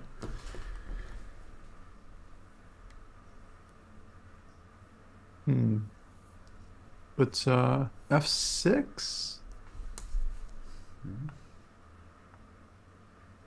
feels like there's no clear clear win. Or I Hmm. mean, what, what might be down a piece. I mean, rookie one looks quite a bit like a clear win. Rookie one. But uh, Wait, what do you play against queen d8? I h8, I mean, king of seven? and then rook two. Oh, Firouzja resigns. rook to d8. It's over. Did it? Did it? Did it? Did it? And he did it with Did it rook takes d5. Oh my goodness, Yeah. Wow. Go Vidit. beautiful, beautiful. The safety oh first Oh God. approach did it. He he was normally safety first doesn't win Kostya, right? Like you were saying, you have to be willing to calculate. But he had such an overwhelming advantage. He just punished that thing. Yeah, it was it was just way too winning. Uh, I just saw him on the camera and he mouthed to to Firouzja. There's no sound, but I saw him mouth "Welcome to the dojo." What? yeah, I'm. I mean, I'm no lip reader, but I'm 99% sure that's what he said. That's huge for us, Kostya. That is. That is huge for us. He used to be totally into meditation, and you think now he's gonna move into trash talking? yeah, it's like who told him to say that? Yeah. Oh, that's awesome. That's awesome. We should give him a shirt for that. We should send him a shirt. Send yeah, him a shirt. Go Vidit. Yeah.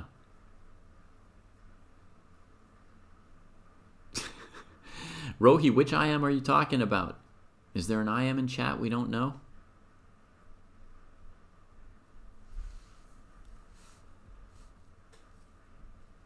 Oof, that was that was brutal.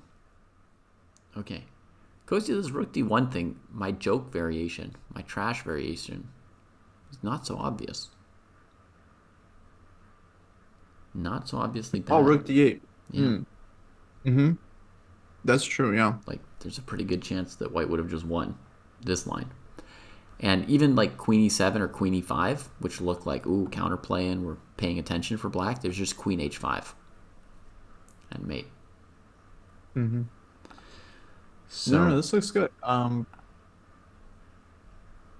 yeah, I'm not sure. so Uh, rook d1 was interesting. But anyway, then the reason I bring it up is not to dwell on my weird ideas, but to come to the present, I'm thinking of, you know, rook b d1 and rook d8 again, kind of thinking like it allows us to attack those dubious bishops, right? And maybe trying to win one of them at some point. Yeah.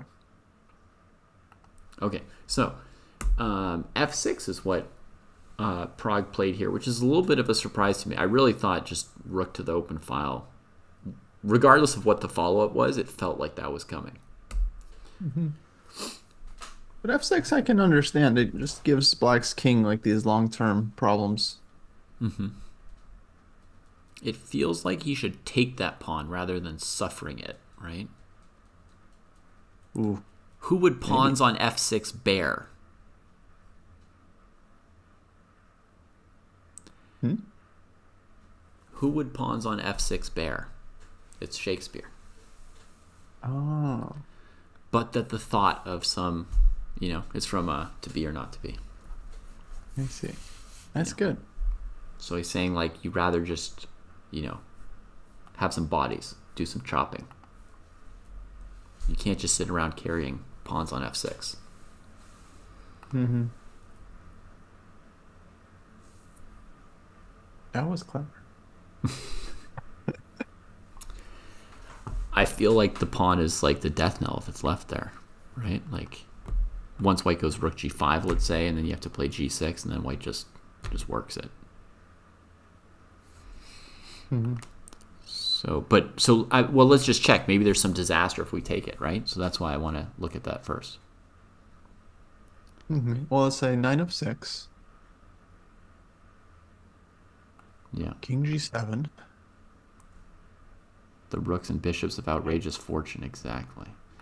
Uh, king g4. king g7, knight takes g4. One coconut. And just, yeah, claim that white's, white's better. White's up a coconut.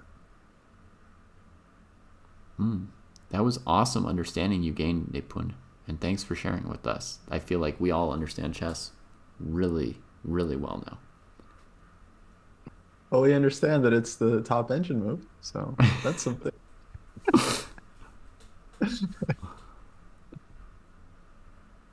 I don't know how I would ever find that move in a game yet. Okay, so somebody says maybe knight ce4 instead of coconut taking Kostya. Look at that classy move from Great Wolf.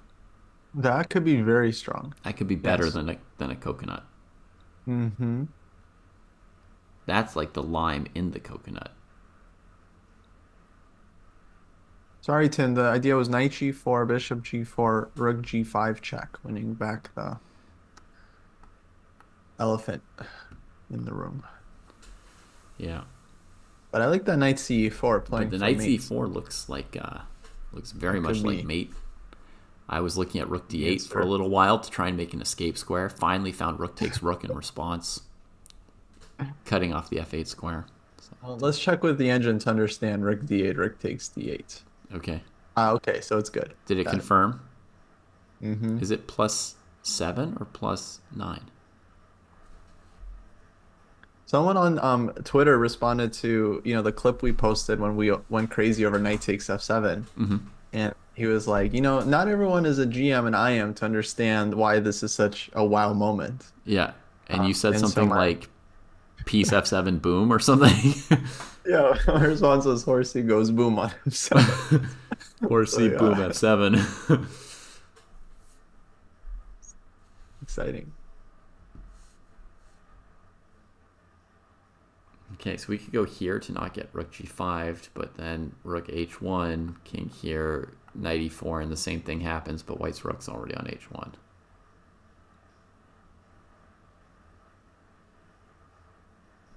Yeah, this looks like uh mate. Yeah. Polgar. Holy moly. So what's he supposed to do after f6, Coast? Kostya Kost?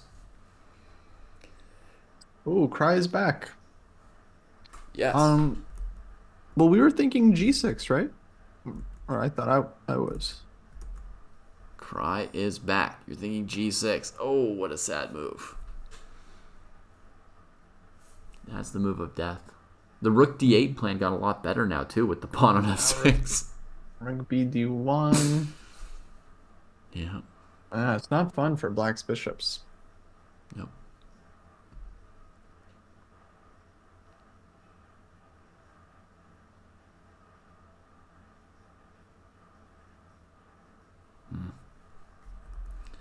No bueno in the cabeno. All right, let's bring Jesse in to annotate this moment. He's getting a drink. Oh, he's back. Oh yeah. Oh yeah. Hey boss. Ooh, dude, Firouzja lost again. Oh. Dang. Dang, the golden boy, dude. I told him about I was thinking about him too. I was like, too much for that Parisian. It's like the degeneration of fashion and all that other stuff, dude. Those Frenchies, dude, they will corrupt you. Mm-hmm. Yep. David, can I ask you a question, boss? Now that you're there, have you had any frogs or um, snails? I see some snails on my walk sometimes. Have you thought about eating them yet? Nope. Isn't that a thing, though, man? Isn't that part of the being French? Little snails here and there. If, I don't know if it's like a necessary part. I've tried escargot. It's pretty good. Escargot. Try- That's like David in in well, however he said inexorably. I don't know how he said it, man. It was too weird for me to even remember. Escargot. Yeah. Ooh, bishop f4 from Abasov. All right, cry. So give me. So that was obviously amazing. Um, that night on e5 I was talking about, I predicted it a mile away, but it didn't save him, did it? Mm-mm-mm. no. No. Uh. It was it was pretty thorough that game, right? One sided.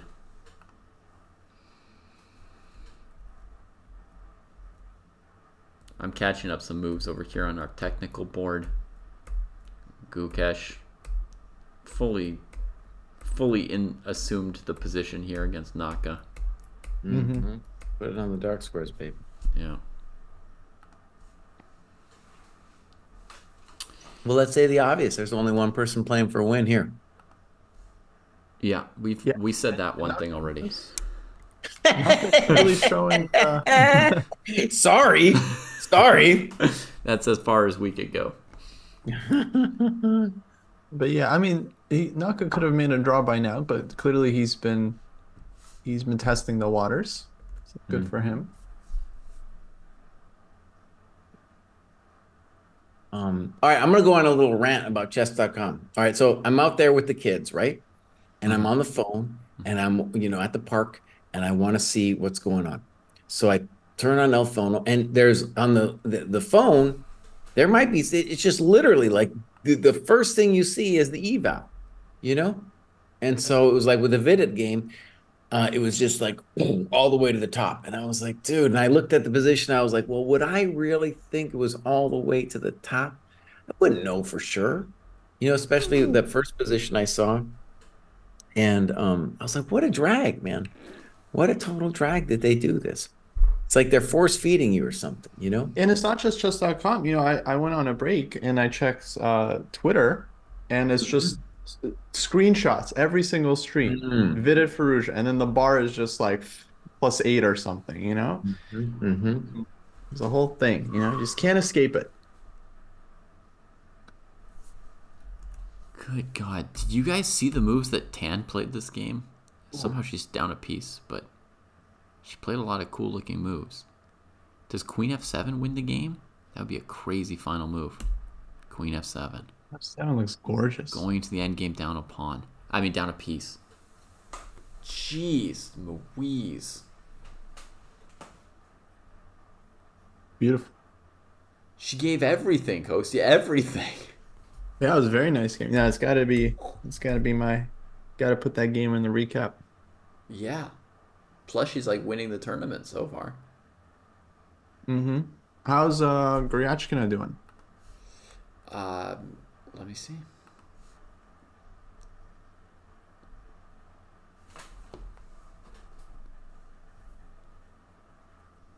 Goryachkina is up a pawn. Oh, I'm on the wrong. I'm on the wrong bracket here. Switch over. Mm, to me, that looks like very nice winning chances for black. Vaishali lost today with white to Lagno. And here's Goryachkina. One, two, three, one, two, three, four. Outside pass pawn. Mm, yeah. Very high chance.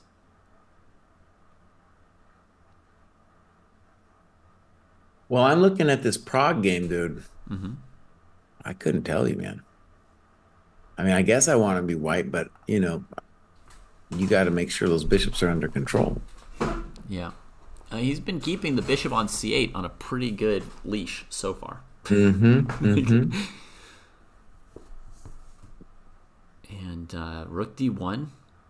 This was my pedestrian move, Jesse. I wanted to play rook d1, and uh, Pragg played f6 first. Mm-hmm. That was that was the difference between him and me. And now rook d1. And, you know, the general idea is to go rook d8 and win that bishop on c8 where it stands. Oof. Oof.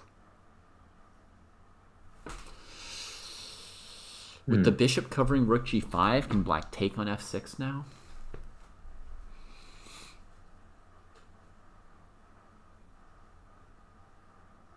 There's a problem though with the bishop on f4. You can't go king g7 because of knight h5. Exactly right. So that is just no bueno. You no lo puedo. So white white would just rook h1. I'll just put it on the board.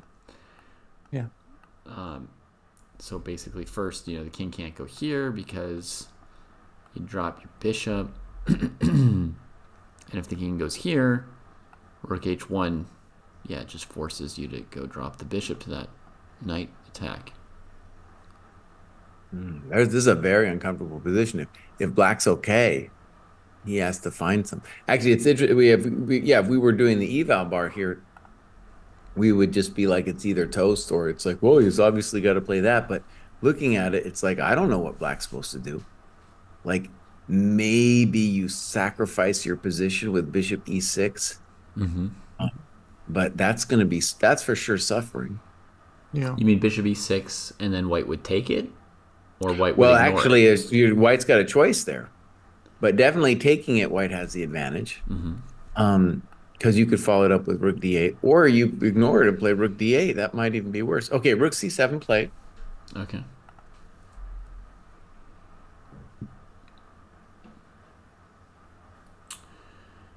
Yeah, it's a good question, Purist. What does f6 do here? I mean, one thing it does is it, it's cramping the black king. There's a lot more checkmates with that pawn on f6.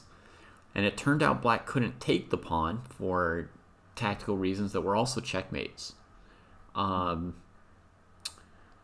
so It's yeah. a really good question though, because I think most chump GMs would that would not be their first instinct because it would be like, well, what am I actually trying to do? right.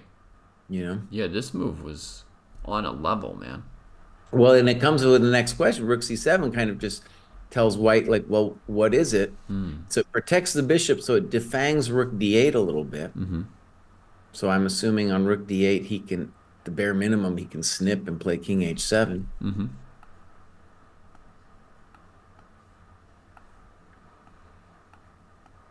So white definitely needs an idea here. Yeah. I think maybe knight d3 could run the bishop out of squares since the rook got in its way, and black's pieces don't have a lot of options in general this game. Okay. Well, at the very minimum, if the 4C move, he's got to play bishop h6, right? Mm-hmm. But we need a we need a follow up, I guess, after that. How about um, FG7, King G7, Knight G3? Kostya sees a fork and is determined to deliver. yeah, possible. Well, also my thinking is if we trade off one bishop or knight, either bishop or either knight, it's like that looks nice for white. Mm-hmm. Especially like bishop G3, King G3, or whatever. But wouldn't black play like King G6? Well, at least that would be my question. What about King G6? Mhm. Yeah, yeah. I was just hoping, hoping for some, some coconuts here, Mm-hmm. I've infected you guys with the coconuts. dude. Everyone is. It's been all day, Jesse. It's coconuts this, crispy critters that. I mean, the whole dojo is, Yeah. is diseased with your vernacular. Yeah, there's no cure. when Well, I heard you, Kostya, say boss one day, I was like, oh man, that's now it's bad. Now it's real bad. I had to wean myself off. to go cold turkey on the boss. I would feel kind of nervous as white here because I'd be like, well, I got to do something or else the bishops are going to end up murdering me. Mhm.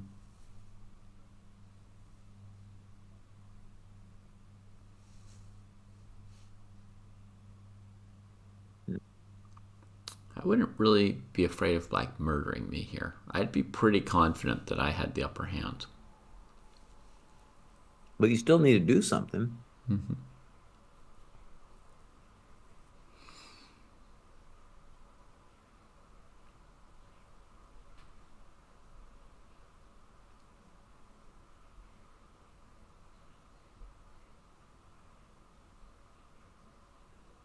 Rook hmm. one d4.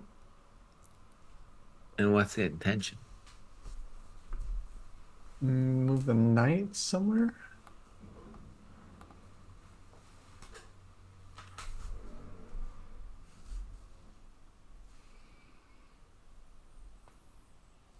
Okay, maybe. Mm-hmm. Also, people are suggesting like Rook h1, Rook h5 ideas, which does not does not seem so so bad to me. Mm-hmm. Yeah, I was also thinking about rook h1, but oddly, I mean, we could have played it last move. So, True.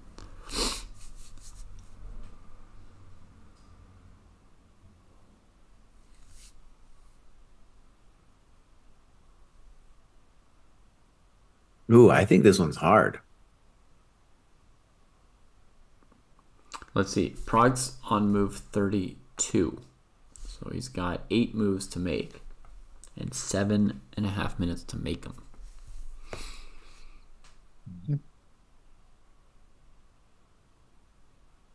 Hmm. Also, the post game with Pragg and uh, Nepo was really interesting yesterday. And what was funny is Pragg saw Queen E5, dude. Mm-hmm. And for us, and I think everybody else, I think the, the way the, the questioner was framing it, it sounded like that's what the computer wanted to. Uh, the computer had some other crazy ideas as well, but um, it's one thing that was really weird is like he because he couldn't see an absolutely clear path, um, he was just like, no, I can't do it. And I was like, Bows, you go down that path. There's riches down there. And, you know, weird, weird. I honestly, I think like maybe a sign of a younger player because he wants to calculate everything out. And the positions we were looking at, where the king was just exposed for like Fabi or somebody to be like, yes, please, let's go with that heavy end game with the with the uh, king exposed. Rook one d four, Kostya. You're a genius. You're a genius, buddy. Oh, let's go Pragg. Kostya, you just got one of the hardest moves of the day. Woohoo. Now So that's a one the- GM norm, right? That's one. One of the questions I had about that move was like, what about Bishop C1? yeah, Pragg. What about Bishop C1?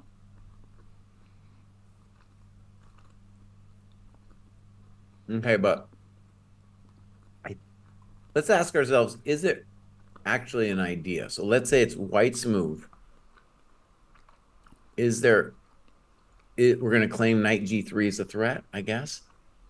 I'm also I'm just sure chasing down is. the bishop with rook c4, right? No, After bishop c1, you play rook c4. maybe. Bishop takes a3. Ooh la la.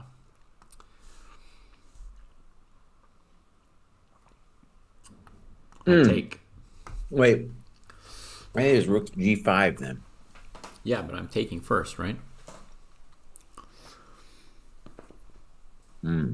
Fine. Now the thing about this bishop is, I'm assuming dude has to go like bishop c1 or bishop h6. So if it goes like bishop c1 and you tag me rook c4, Mhm. if I don't want to take bishop a3, I can go bishop You h6. could go back, yeah. That's fair. And then I've discarded my my rooks for what?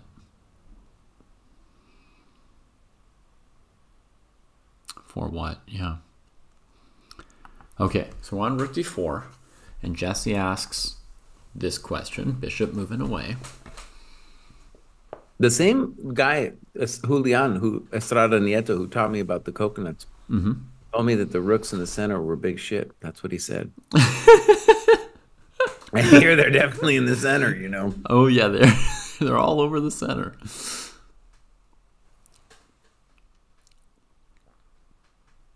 It's so funny.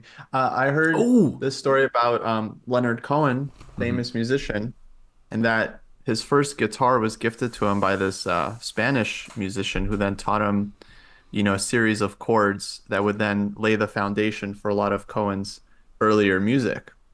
And so I feel like the foundation of a lot of Jesse's sayings come from this one Yeah. Spanish international master. So I found a knockout against rook c1, folks. You go rook d8, like before, right? You're threatening rook f8 and rook d8 mate. Okay. So previously against rook d8, like last move with the bishop on f4, black was going to trade and slip out at h7, right? Yeah.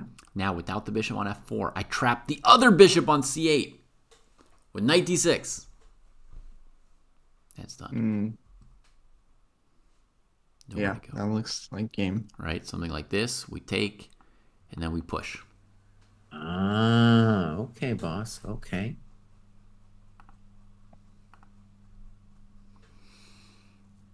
Um, Lumber's asking what we think is the best game until now. For me, first game that comes to mind was Nepo Firouzja.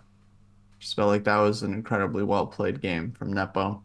Are you kidding me, dude? It's not even a contest. It was Pragg beating um Vidit, dude. You kidding me? What a a game. game. That was a good game. That was a good game, he says complacently. that was like coconuts of steel, bro. Yeah, that was a good one too. There were there were several great games here.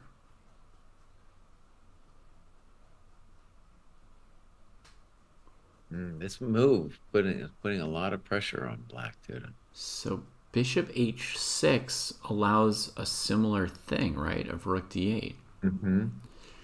So And king h7, which you would try to maybe get out of dodge, Mm-hmm. allows knight g5. right here, knight g5 check. Yeah, exactly. And that's got to be a nice position, I think. Why is that so good? Well, you have to give me your coconut. Yeah. Okay. Coconut. Oh, maybe. Okay. No, you're right. Maybe it's not so special. Good question. Good call. So king h7, maybe. Yeah. Yeah, you too. Good riddance.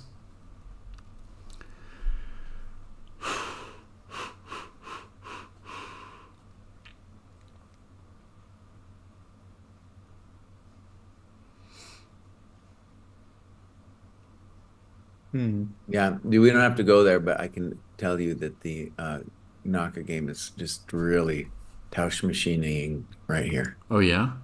That's good Hmm. news. is it good news? Yeah. Why is it good news?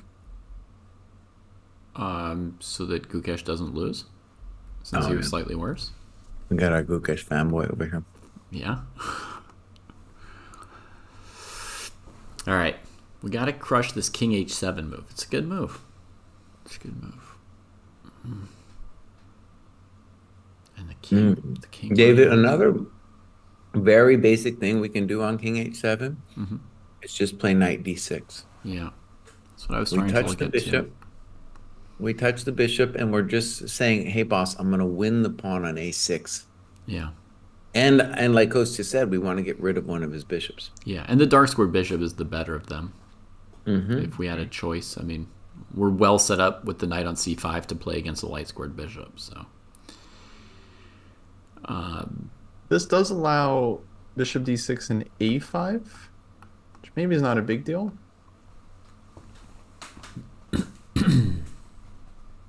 Right. Mm-hmm. And I would say White's a little bit better there, but but yeah, that was that's the thing we would have to like feel good about. Yeah, we haven't finished the game yet, but I think the next step would be to improve our king. You know, if black trades on b4, they trade on b4, you know. Mm-hmm. Bishop's still kind of trapped. Rooks are pretty Just good, so just bring the king up to g3, then maybe put the rook on d4 on d5, so we've got ideas to go attack the king some more. Wait a second. Uh, What if we just go full Brutalo mode and like King H7 Mm-hmm. and we play Knight G3? So they have to take it. King Well, I, I mean, okay. Now, by the way, I can play FG first. I can intermezzo. Yeah. Do you want to? I'm not sure, but um, I'm just saying if I want to be safe, I intermezzo, Mhm. and um, I think that's an advantage for White. Yeah, but not bigger than knight d6, this position here. This one's kind of cool because my king is embracing your coconuts. but with the rook on d6, we saw that f6 pawn. The black king was much worse. And now there's no A5. Mm-hmm. Yeah, I don't think a5 is like a very big. I didn't want you to play A5. Anyways, this is an option too. Rook c6 was the choice. So Well- found a move that was better than what we found for him, right? He fights and then he immediately here. goes as knight d6 stuff. Yeah. Pragg goes into knight d6. And if this all has to trade, then at the end the a pawn's just dead. Straight up Mhm. done.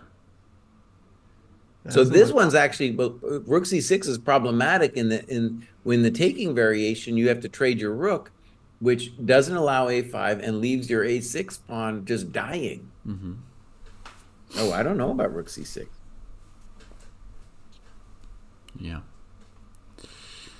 Pragg seems to have played knight d6 pretty quickly, so he's kind of knows what he's doing here. Um, I, playing a great game today, in my opinion, and I actually have a very low opinion of the game he played yesterday, but I think now with what Jesse told me, I see a little bit of like how you could be like close to finding something good, but but the, the, the decision making process messes you up. But I thought overall his game yesterday was pretty was pretty bad. Um, in that you know he got that good prep, right? So those moves he didn't have to come up with. Mhm. You can give him credit for his homework and all that, right? Or his second or whoever, but given that his prep landed him straight into a winning position, he didn't, you know, he didn't win it. He missed knight b7. Like it wasn't just that he didn't find what's good with queen e5. He like blundered knight no, b7. he saw knight his queen. b7. He saw it, dude. That was the thing that came out in the conference. I was like, you saw knight b7, he saw queen e5, and the weirdest thing was it was because he couldn't see a forced win on queen e e5. But he has other moves that don't trade queens. And after knight you, b7, he didn't even press the endgame at all. Well, he didn't under. I don't think he's that good at pressing the endgame. He played some moves, and I was like, oh, dude, you Yeah. know what are you doing? Right. So I thought overall uh, he the- played actually really badly yesterday, even though the prep was so exciting. It was like once he played, it was meh. For anyone getting mad, I mean, I'm a fan of his. I just thought Wait a second. On Can black, play draw. bishop, can black play bishop e6 here? What's going on on bishop e6, boss? Hmm, good question. I just wanted to knock a Gukesh official draw. Oh, dude, bishop e6, isn't that a problem for our coconuts? Hmm. you're giving me the cold sweats with this move. Jesus. That's something a person could miss. I missed. I didn't see it. Um, Oh, MD Knight, thank you so much for the bets. How about 96 and f7 check? Is that something? Rook f7, Something better And than something. knight f7. then e ed5. And then rook f4. Oh, Ooh, maybe, Kostya. Maybe. Kostya. Is that the second GM norm? Second GM norm. He's blazing through this title. Damn, what a line.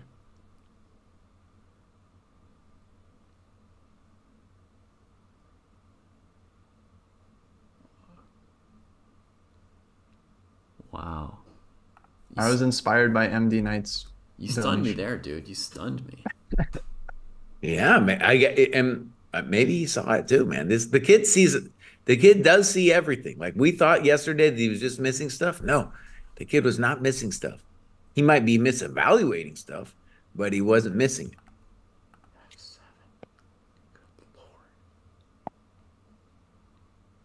Good lord.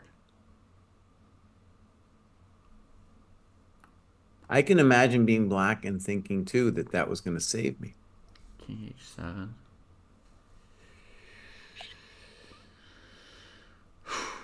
Yeah, I thought on King H7 there was like a mate or something, but I don't actually know. But it looks like the king can still tag the rook before we can go rook f4. Yeah, I might have messed this up. Oh, I guess there's rook c5 still.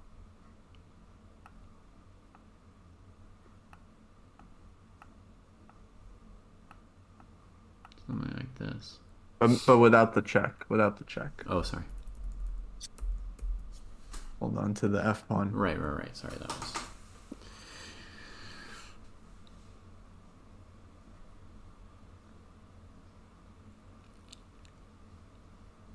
Yeah, that, that should still be nice for white, right? Like rook d6, rook f4, rook d7, rook c6. Hmm.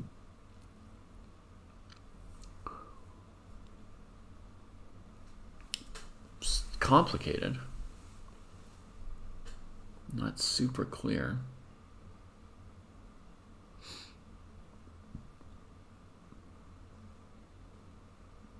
Oh, that's that's that's a hard life for black though. Yeah.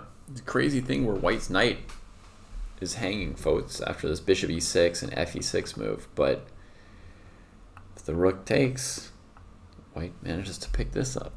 It's so magical that the knight is defended by rook takes f4. Yeah, it's very weird. Normally, this kind of tactic is why my Mexican friend would tell me that the rooks in the center are shit. By the way, 'cause they just they don't want to be in the center, man. They they have as much influence from the side. Yeah, they look so Also, clunky when this bishop here. Are not good. This I thought one, you said they were big shit. Like, yeah, big Well, shit, like very bad. They're very bad. oh, very I bad. I think very Mierda. Grande or something like that would be the translated. Whoa, he went g5. Wow, he's all in on the dark squared bishop. Would not give it up. Pragg is like in full puzzle rush mode right now. He's like, this is my chance. Wow, G5. Balls of steels, man. Okay, my first question would be knight E de4. Right, we could just go back. hmm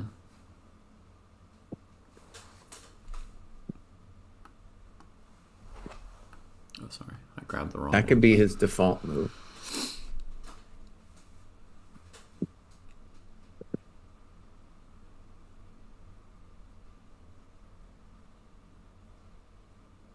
No, G5 is it's that's a combative move. I, I wasn't thinking about G5. Hmm.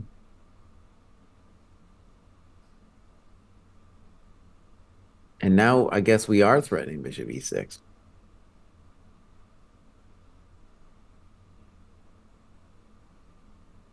Oh, hmm, good move. 94 seems like a fair, fair, a fair answer. So, but the issue is when you play knight G5, You're not threatening knight takes g5 because then I just play rook takes f6. Mhm. He took the bishop. Okay. I'm wondering if I had a thought here. well, I think he's going to go after the a pawn now with rook d8. Yeah. Rook fc8. There he goes. This is um this is just going to be a good old fashioned race, my friend, much like Abasov's race yes yesterday. And my sensei Smyslov said that the bishop was better than the knight when it came to pass pawns running on both sides. So Yeah. I don't know. I don't know. Hmm. Yeah. It looks does not look especially good for white to me right now. Like he's releasing the tension, he's trading the trapped pieces, right? The rook on f8, the bishop on c8, but I don't feel like he's achieved so much. Well, right, and we're gonna unless he has some fancy man's idea here, which I don't see yet. Uh, like rook a8, rook f6, rook a6, something like that. hmm Who knows what's happening? Mate, there's arguments for white, by the way. There's arguments. hmm Yeah, that your knight's on a a light very, square and um, you can just push the b pawn through, right?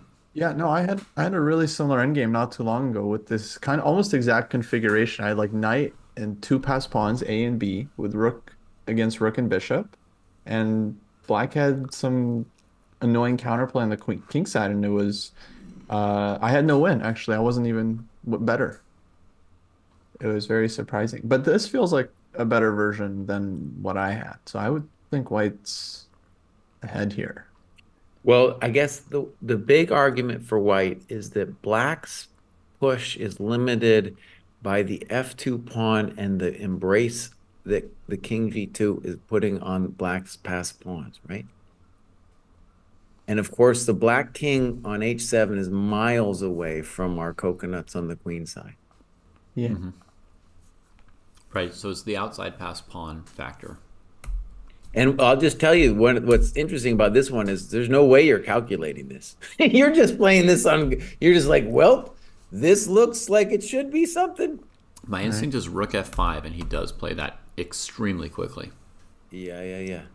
He does have good chess culture. Like he might be blowing it now and then, but he like I like the way even though he lost that end game yesterday, I like in principle a lot of the ways he played the end game, like the way he kept the pawn on h, the you know, Mhm. the counterplay and yada. Then he just blundered mate. he just blundered mate, dude. Oh, or the queen trade, however you want to call it. Yeah. So uh, default move, I think here. Ooh, I was gonna say rook c6. However, on rook c6, uh, bishop c1, a4, bishop a3 might touch my coconuts.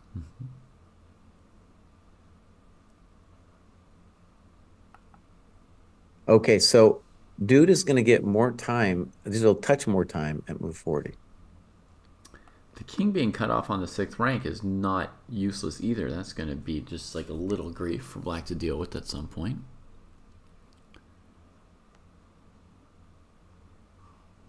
Mm, it's hard to find a great move here for white.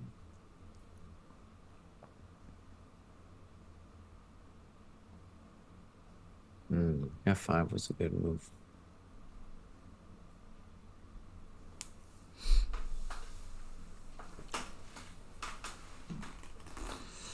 So white's move here. It's the last move of time control, by the way, folks. One more move for both players to get more time. 94 has been suggested by Jake Loans, and it looks perfectly acceptable to me. Knight goes to a decent light square. You know, knight f6 to g4 must be prevented probably. And it prepares the move a4. Hard to find a different move. Wait, the 94? Wait, so what happens if white just starts with a4? A uh, bishop d2. Bishop d2 we don't like. Okay. I don't know if we don't like it, but the idea is, you know, to to go after the knight that's on the dark square here, right? It's got some little issues. Gotcha. That And makes sense. Jesse was doing the same thing, even deeper against rook c6. He's going to c1, right, and then coming at us from a3. Maybe then you could transfer the knight to a6, Jesse. Oh, I got one, Mr. Bruce. Look at this. Rook c6, bishop c1, Mhm. knight d3, bishop a3, rook c3. Welcome to the dojo. Knight Yeah. d3, bishop a3, rook c3. Yeah. Dem critters crisped. I would want if, if if I saw that, then I would definitely want rook c6 because rook c6 is like the that's the one. You know, Mhm. that's the one. I want to start pushing my stuff. You sure you win this after bishop b4, knight b4? All I know is I'm I'm happy there. You're happy. Do I win it? I I don't know, but I'm just a just a happy camper. Mm-hmm. I think I'm gonna think say yes. I think there's a Frogs fair for chance. Black holds it. He, He, went, for up, knight d7. Yeah, knight e4, knight d7, similar moves. My thought, Jesse, on rook c6, my updated thought was rook c6, bishop c1, a4, bishop a3, and then knight a6. Very simple, right? We put the knight on the square that we wanted it on with the rook trade. Mm. Their bishop is now god awful for stopping our pawns, right? And the b pawn's got basically a full red carpet laid out. Yeah. Oh, okay. I think okay. I'm trying to diagnose this move. Yeah. Now, maybe the idea is simply that I control the queening square. Knight d7, you mean? Right. next play, Sure. Now it's a little weird. I'm anticipating king g7, Yeah. and then I don't really like rook d5 is then coming, and then what's the knight gonna do? hmm Mm, Mm, I, that- I think it's going to go to f6, actually, again. Okay, so we could imagine maybe the intention is like king g7, a4, and if rook d5, then knight f6. That makes sense. Looks pretty good. The pawns are, are in motion. No, that's a pretty good move. If that, I don't see anything wrong with it. We've been getting some endgame lessons this tournament, man. Yeah. so- Also, some like endgame blunders. Yesterday saw two massive blunders. Oh, and like hour six of play, dude. You know, exhausted people making blunders. All right, guys. I think I gotta run. Get ready for the recap. I'm I'm Okay. smelling the end of the round. You know, coming soon. Just feeling like. So, Ghosty, let me just ask you. Let me ask you two questions before you go, boss. Yeah. So, um, so you have to do the recap, but you kind of have to wait for all the games to finish before you do it, right? Yeah, like yesterday I was waiting for a bit, but um, you know, what I do is I analyze the games and so I know what I'm gonna say about them. And then uh, to me it was pretty clear that Gukesh was gonna win that queen end game. So I just proceeded, you know, as if he was gonna win. Okay. Ah, Okay, one more question. So Yes. tomorrow you're going to do this special thing in St. Louis with like a live audience, right? That's right. And what time do you start? So tomorrow I think I'm gonna start at the the normal time, probably around one uh, or 2:40 Eastern. And then are you going to be doing it on the St. Louis stream and our stream, or how does it going to go? Um, no, it'll just be on Dojo stream, uh, as Okay. usual, but I'll just be streaming from the the club. Okay, cool, man. Um, Okay, I cool. should be joined by uh, Nizhnik, so Okay, nice. that should be fun. Um, but it won't be the whole time. So they start their broadcast at 5 p.m. Eastern. So I'll basically go until they start their show, and then uh, I'm assuming you guys will be around to, to take over and keep the the dojo show going. you got that right. All right. And I I will be doing the the the graduate show before that, but it's not too heavy, so you probably don't need to call me. you probably don't need to call me on the phone. Be like, right, get off, get off. Dude, that was I was just thinking about that, but that was so crazy. I mean, call Jesse. I'm like, Jesse, the candidates are starting. He's like, well, who cares about the candidates? You Yeah. got the graduate Finish show, the man. grad Come show. 97 is really growing on me. That's really growing on me. Okay. Alrighty. I'll see you All right, guys. bye. All right. See you coast to coast.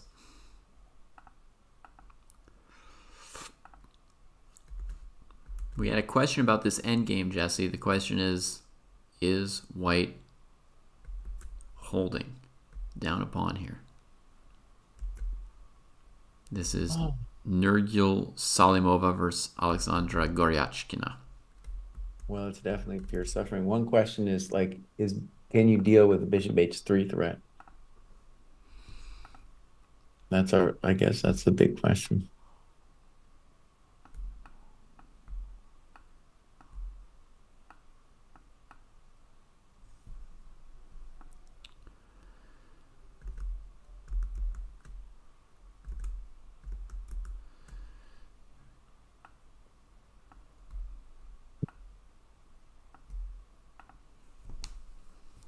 All right. So bishop h3 threat, which is to win the f7 pawn. So the knight of Knightovich has got to move. Actually, we got to also say it it might not actually be that big of a deal. Let's say, let's say it's white's move, bishop h3, king d6, rook f7. We do have knight e4 then. So even that's not so pleasant for white. Mm, yeah, yeah, breaking, breaking down. Uh, very unpleasant for white. Knight e4 looks playable for black. Are we giving anything up by playing? I wouldn't want to do it unless I really had to, though, right? Okay. Okay, king g7 was played in our famous game, Okay. and we were anticipating a4 for white. Mm -hmm. Yeah. Simple and strong. Mm-hmm. And does is Naka doing anything against? No. Official draw. Naka Gukesh. hmm All right. All right. Solid. Solid. Oops. Sorry. Okay. King G7 played. Over here. Yeah, A4 looks clear. Pragg might try to calculate to the end of the game or something. I don't know how he does it.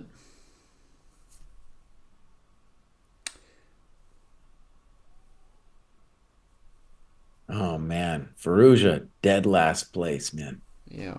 Phew.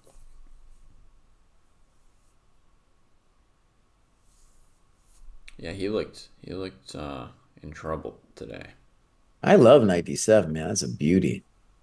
It didn't cross my mind at all. That's a that's just like poetry because you're waiting for the rook to move, and you're just like, well, while you're trying to figure like your life out, I'm gonna play moves like a4, buddy. And whenever it moves, then you go to f6 after all, huh? And I was trying to play for black with ideas like g3, fg, bishop e3 to try to get some counterplay. Hmm. But I was looking at that and I was like, well, nah, just play g4, you know, and then Yeah. it's kind of hard for you to win that pawn. Yes, black you would need time to play g3, fg, bishop e3, and g4 at once, right? To nail that pawn on g3, boxing Yeah, the well, king with a light. If square I- pawn. If I could do that, then I have a draw with rook f2 and stuff. Mm-hmm. It still might be his best chance. And I assume that's what Pragg is like thinking about. He's like, all right, I want to play a4, and then black will do something. What is it? Can I figure it out? Whereas a chump GM would just be like, well, a4 looks correct. Yeah. You know? Yeah. All right, we've got a suggestion from chat of rook to a5. And I assume they think that after rook a5, ba5, the bishop on f4 can't get to a7 in time. Which seems correct. it's- he played it, dude. He which played it, and King correct G6 window. was played immediately. Yeah, I was going to say, so the only real question would be King G6, you know, bringing the king towards the situation. Now, if white wants, they could still trade on f5 and start pushing the a pawn, right? Because But that's a hectic situation because Yeah. then the knight uh, is going to get touched with King E6. Right. You go here, king e6, and you can't get there faster than black gets bishop b8 in that case, right? So in that case, you know, after king here, you're going to have to make a knight move, and the king's going to get all the way over. Doesn't seem doesn't seem winning to me. Now, here's a funny thing. If white wants, he just plays rook A6 and says, welcome to the dojo. says like nice, you found it. Nope. No. yeah. It might not be super clear because maybe you could play F6 and King mm-hmm. F7. I don't know. Oh, this move looks killer, Jesse. A4 in this position, a waiting move. Black's completely Funny. frozen. But wait, he's not frozen. He can play Bishop D2. Bishop d2. Rook takes f5. King takes. A pawn. Oh, That's the tempo we need. I see what you're doing. Look at that knight stopping bishop c5, bishop b8. Mhm. Oh, it's just. Good lord. That a4 move, Jesse, that is. Well, A4 is a good looking move. He's got that available right here in this position. It's the and knight. It's so good looking. He's just played it, Jesse. He's just played it. That is a stone cold. Oh man, it reminds me of you know the famous thing with like the pawns where the king's stuck on f6 with his own f7 pawn and white's got like the pawns on f5 and h6 Okay. Yeah. and I you're just like frozen, right? It feels like that. Black is so frozen here. The knight on D7 has been doing so much work. Okay. So now he goes for it with G3. So that's to get the e3 square for the bishop. Let's just calculate rook F5. Does it win Right. on the spot? Right. Rook f5 and a5 should win on the spot, whereas fe3 might be hectic. I, fg3 is probably also winning, but much longer. So rook f5. No, we- but we don't want FG3 because then the bishop can go to E3. I know, So then, like FG3, bishop D2, and he would live. Well, I think yeah, I think white would still win eventually because they've got two connected passives and black just sacked a pawn. But this would be the Fair direct win. Right. A5. Black's got no way to bother us with the G pawn. We, I was We're, gonna say we we're literally embracing. don't care We're about that embracing pawn. his pawns, dude. We're embracing them. Just going. Even once he takes on f2, we don't have to take him, right? Wait, when he takes on f2, if we keep pushing, then he's got bishop e3. No, we've got knight C5. Okay, so we just keep ignoring. Oh, it's so cold, dude. The bishop. knight dominates the bishop house. Ah, yeah, yeah. there he goes, A5. And the king just sits here embracing. He doesn't even take the thing. He's just He's comfortable. embracing. Yeah, we're just embracing. Just, just spoons the pawn.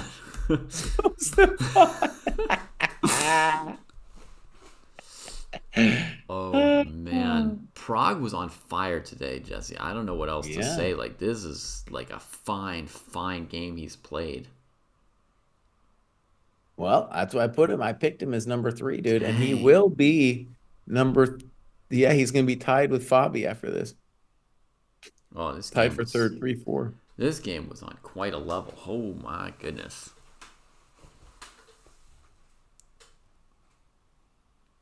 So let's see here. Isn't Pragg going to be on plus one after this game?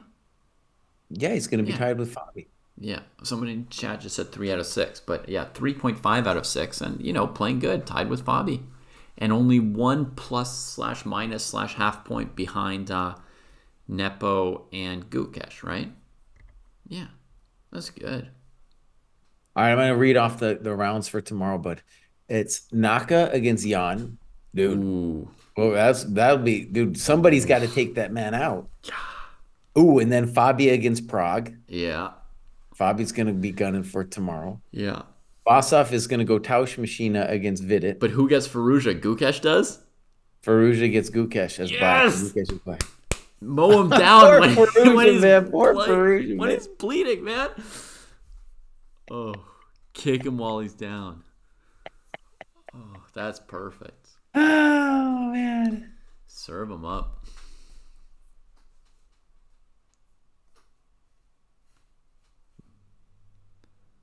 Dangerous game for Gukesh. No, no, no, no, no. The Indians are doing good, man. Yeah, The Indians are doing great. yeah, yeah. I mean, they're they're showing the power. They're showing the power. Claude Tausch is to trade in German. Tausch machine is a trading machine. That's, Yeah. that's what Jesse's calling anybody who seems to be trying to get draws via straightforward Liquidation. liquidation. and there what it is. do I look like? I look like a merchant to you? A6. Draw merchants, dude. Yeah. Draw merchants. Oh, I got to tell you my Spanish joke. Dude, you ready? Yeah, I hope so. Uh, I hope I'm ready. Um, okay, so if you're at a at a tournament in a Spanish speaking country Mm-hmm. and you want to make a uh, draw, Yeah. you know, then you either make a reference to um, Jesus Christ or to carpentry. Okay. So, because in Spain, a draw is tablas, hmm tables, tables. And of course, Jesus was a carpenter. So you you you say you feeling feeling like Jesus, you know, you feeling like making some tablas. mm-hmm. Go, bud. I, I know you appreciate that because you hate the draw so much, Did. Jesus make a lot of tables in his career? Yeah, the guy was a carpenter, man. okay. That's cool. You say, you say, are you a carpintero? Yeah.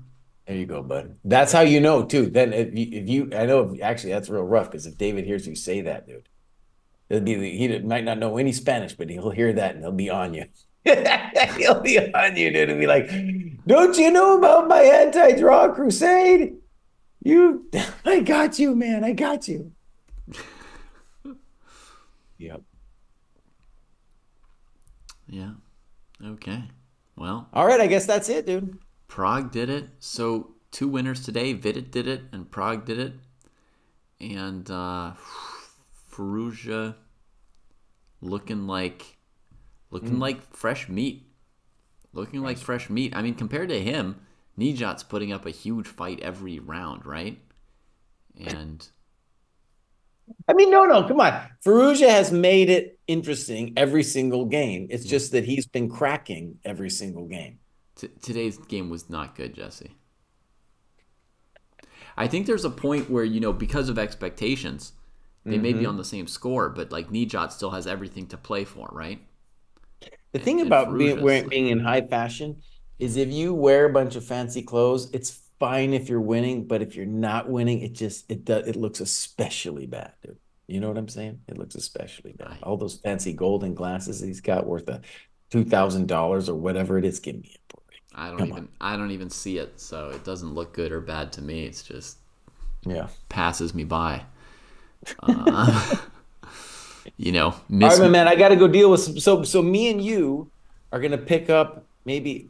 I I might not be there right away, but around five Eastern is when he's gonna be done. yeah, and you just come in when when when you want. I'll be there. Nice, dude. All right, my man. All right, Bye. see ya.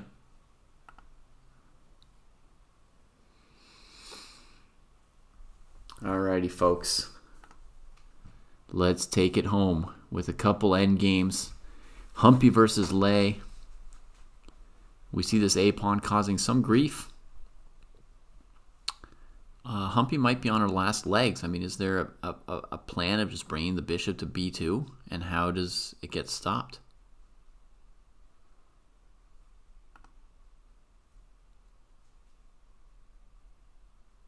Yeah.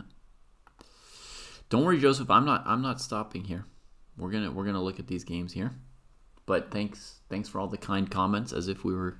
As if we were done. Appreciate the. Uh, appreciate the friendliness, everybody. This looks like resigns for Humpy, says Patrick Daly and N1C5. Agreeing.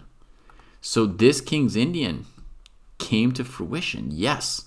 This is what Lei needed a win. That's what each player needs, right? no engine isn't like a, an idea, though. You know what I mean? Like, no engine is just how it always used to be done and how we've always done it. We didn't like start using engines and then get this idea like, what if we stopped, right? This is just what we've always done. Um, but I'm super glad that you're enjoying watching classical. It's always been fun to me to watch classical, so I'm happy to share that with you. Um, Clorgy predicted every single game today. Incredible. So we may back up a little bit and see how Humpy lost what was a pretty good position, yeah? I had a feeling that Humpy might be shaky today because you know, the this this game I saw her play against Salimova two days ago.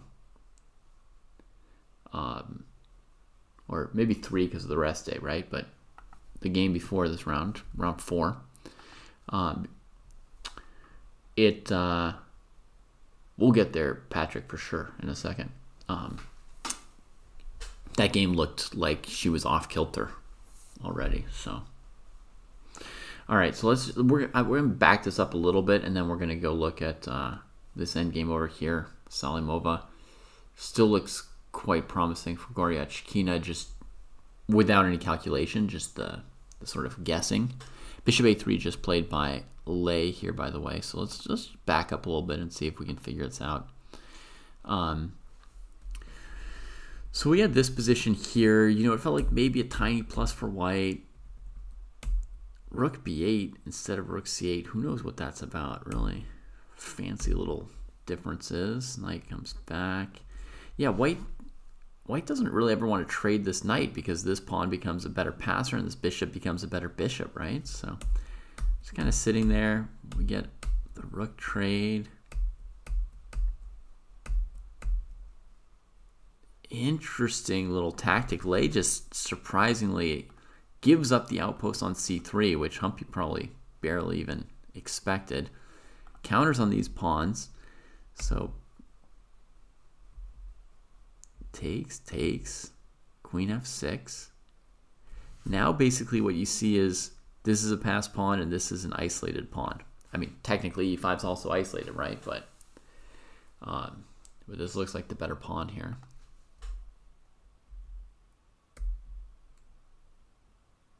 Oh, and now the white king is weak on dark squares. The black king's weak on light squares. So it's complicated here. White gets the trade. Wow, I don't know if I would consider this that strongly. So white needs to bring the king in a hurry. Tries to solve the problem by trading knights. Absolutely never happening. Oh god. So this feels like a big mistake here blocking the bishop. This looks like a horrible move. Maybe I mean I'm going kind of superficially because I also want to get to the live position. But it looks like this knight move blocks the bishop and chases black's knight into aggressive action, right? And in theory, what the position kind of wants you to do is to bring your king towards your c pawn. To hold things together. I mean, the position should be close to equal if white's king were centralized. Abdul also calls king g1 like a normal position, like a normal person move, right? So here, here, here. And then we're dropping the a-pawn. I mean, yeah, we spent two to three moves inviting black to take the a-pawn. Wait, and now she's moving this knight. Can the king not get over in time? Well, obviously, we, we've already identified where white got in trouble, right?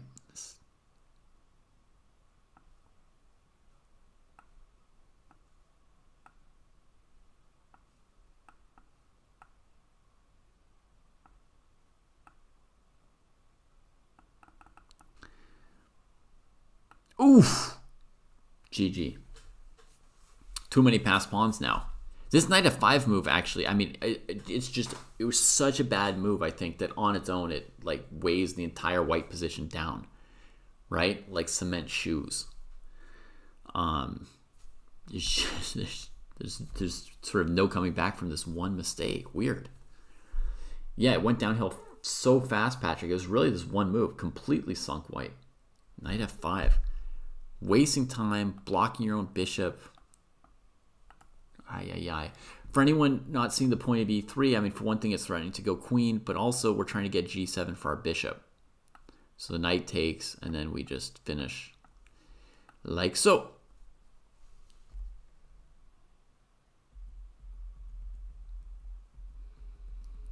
Oh man, so at this point she realizes she can't even get to the A pawn with the king.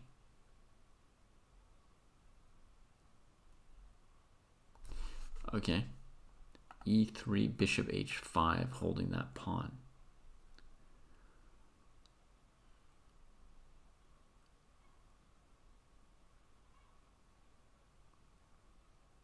Yeah, fair enough. Honestly, one thing black could do here, it's not very stylish, Stan. We could go bishop g7, just threatening a2. There's nothing stylish about this, I'm afraid. And now this king just has to sit here since I left the pawn on a3, it can't attack anything. It just sits here defending these squares. And then we just bring our king.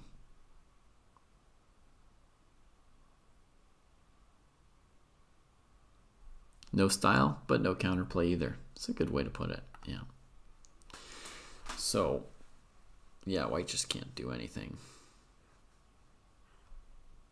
And there might be better because this knight is just sitting here trying to stop bishop g7. It can't do anything else. But our king is stuck inside right now, so we might need to do it to get out. I don't know if there's another win or not. But it's a sufficient one, I guess. So, yeah, the pawn went. Still playing. c5? Can't black just take that and the knight can't take because of queening? Is there a trick here?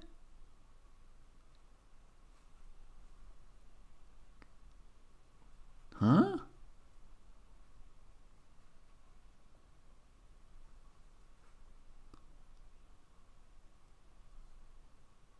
b takes c5 played. King d3. So the idea is to go king here and try and trade this pawn. After a1, knight takes, bishop takes. The bishop here, well, I'll just put the moves on the board. This bishop stops the knight from coming back to defend this pawn. So white's reducing the number of pawns on the board. Yeah.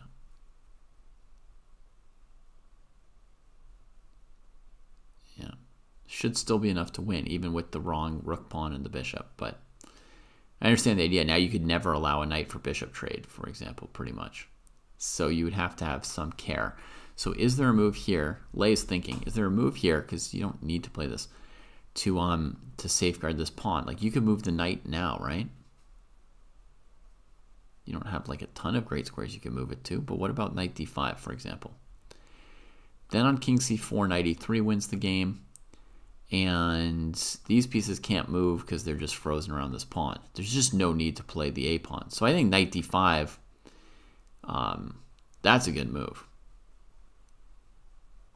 You know, and your knight's got pretty good squares coming up. You're also threatening knight b4 uh, to push the king and, and bishop backwards. Um, yeah, so that'll be it. I think knight d5 will be played, and then it's really high time to resign. Knight b5 instead. There's a somewhat similar idea, king c4, knight a3.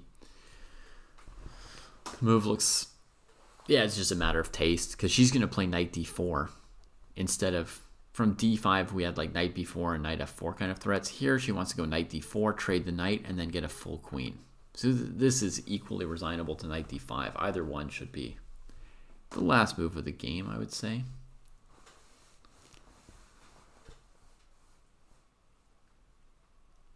Yeah, Gukesh obviously belongs in this tournament, and he played a normal tournament, which Gary was even invited to, I think.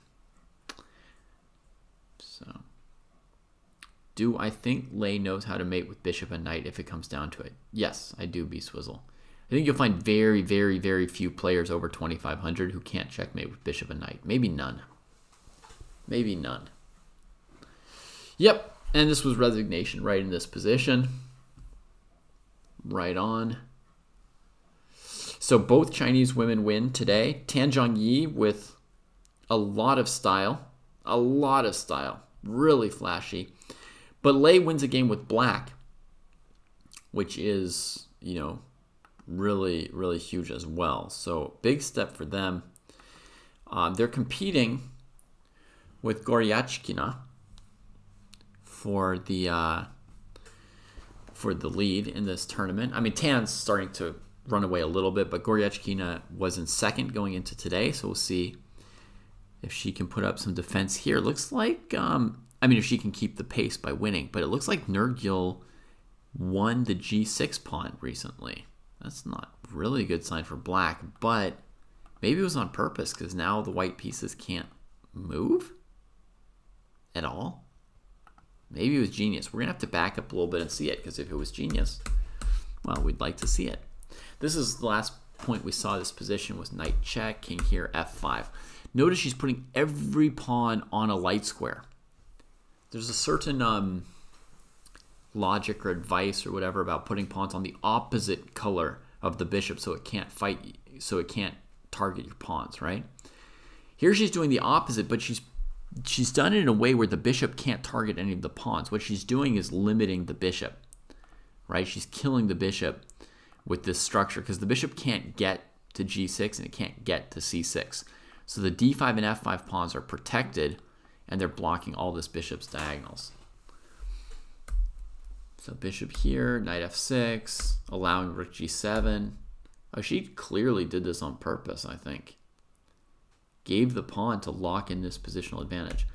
What else could she do here to get that knight back in the game? If she didn't want to go knight f6 to e4, she could have maybe just started pushing the c pawn here, right? Not only did did did uh, Alireza get cooked on Gone stand, but he uh, he boiled a pot of water and then jumped in. And uh, Vidit added some salt to taste and did some stirring and stuff, but he did put in a lot of the work towards uh, serving himself up there. c5, rook check on the sixth rank, king f7. Okay, as soon as we do this, we start getting harassed. Uh, we could go this way or we could go this way, give up the pawn and push, but the bishop gets back in the game too fast. So here, here, here, here, here. And the king can go hide. Although, there's this trick I learned where you do this, and even when the king's hiding, you get this bishop f5 threat. So that would force the knight here. Maybe this move. Black's not having an easy time of it, yeah. Yeah, not having an easy time. So I don't know if she had a really good alternative to what she did, but I kind of like this approach. That's my first instinct is to like it, even though it gives up this pawn. Um, so this piece, these pieces, right? I mean, so amazing, completely locked down. Rook h2, c5, bishop f1, maybe c4.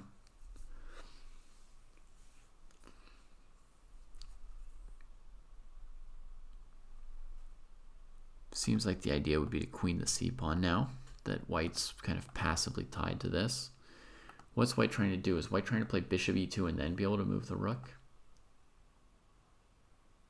For now, rook h6 check, it would just be king g7 and you'd have to just go straight back to f2 because rook f2 is checkmate.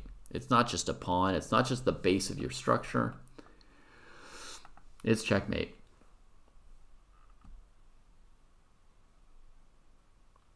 Okay. Abdul says maybe bishop d3 is the plan.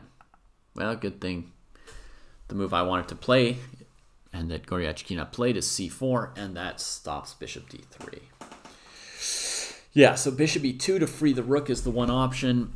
Before black pushes c3, if they've got a lot of time here, they can play a move like rook d2 that stops bishop d3 and then gets out of the way of the pawn as well. So if white just sits here going rook g2, rook h2, then I think rook d2 and c3, etc. is a really simple winning plan. So I guess the question is bishop e2 and then getting the rook back into the game.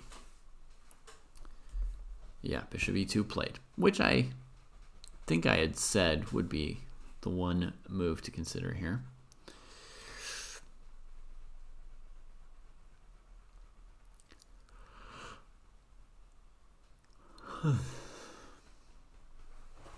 so if the rook moves, freeing the way for the c pawn, white has rook h6 check and rook c6. That's white's defensive concept. Sorry, the arrows are not showing properly.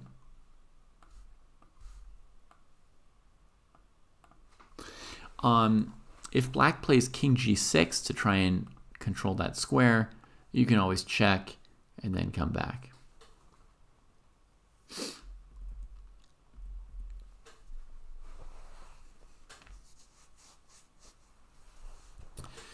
So something like this. Rook check, king here, rook here. King d7. Patrick's concept, just take away all the squares from the rook.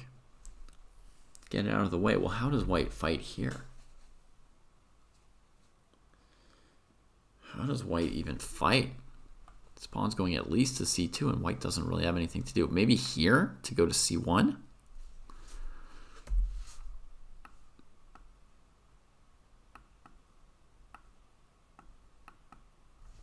Like this?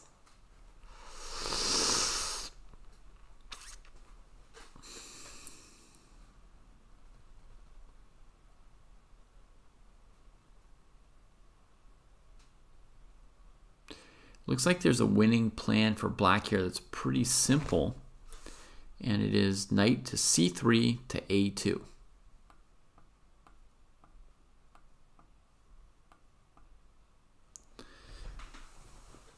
Attacking the rook, taking control of c1.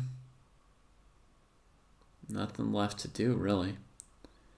Plus, Patrick says this position might be Zugzwang, like white can't move anything. You can't even do this bishop d3 move, Abdul, because black ignores the bishop, right? This is a real, a real trap white's in. Man, this game of Tan Zhongyi's, did everybody see this thing? This was outrageously brutal. E6 finally opening up this bishop.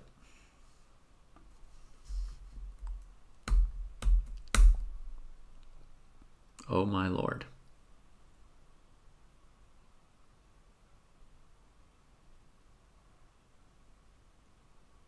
Oh my lord.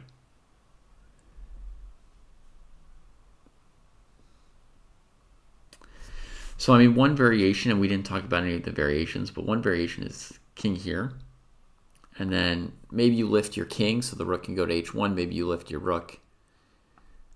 But it's the same idea. You're going here and here with checkmate. And if the king goes here, then you play knight c6 attacking the queen.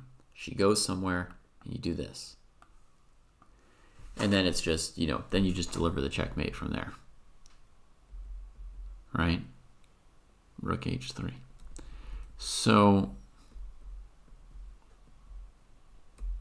So king h6, rook f3. It looks like the end, I think. So king h8 was played. And she played knight c6 anyway and took the pawn on g5, threatening checkmate. That's what knight c6 does.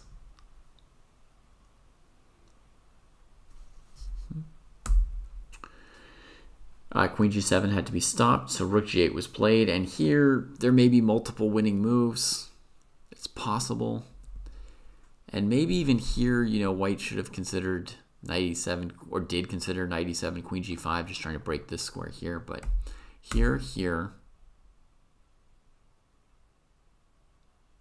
rook f6. Hang on, let me just think something. Sorry, I when I see a queen sack, I have to calculate a second because it's too fun. Nah. This looks right. Here. So if here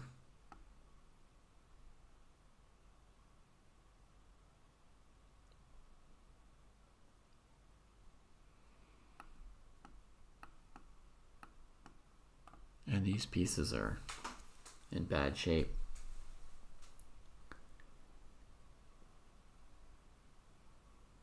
But Black's up a piece in the end game. Of course, they're going to lose it back, but is it lost then? Yeah, I guess it's lost.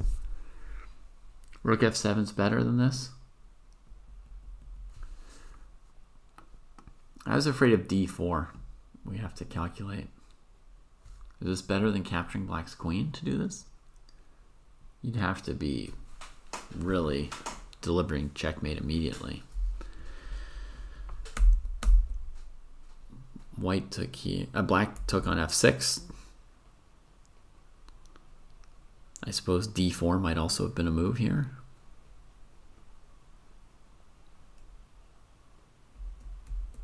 Anyway, this happened, this happened.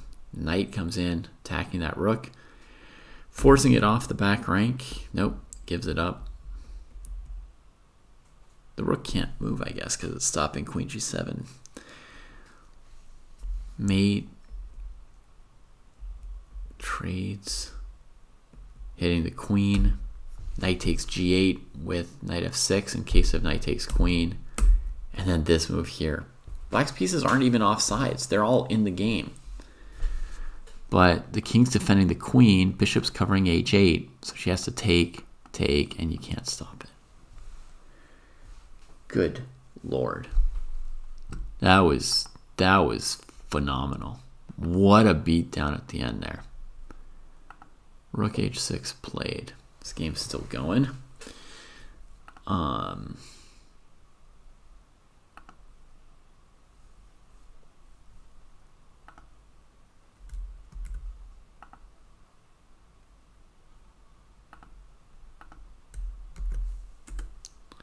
Let's keep that game going. Let's just look. Right, the other game's done here. Oh, it's a bloody day. Every game decisive. So Lei beat Humpy, Tan beat Muzychuk, and Lagno beat Vaishali. Fairly quickly. E4, E5 game.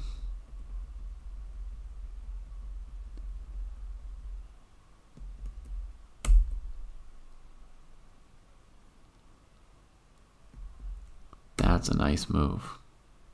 Knights are landing on d3, f3 and g2 are attacked.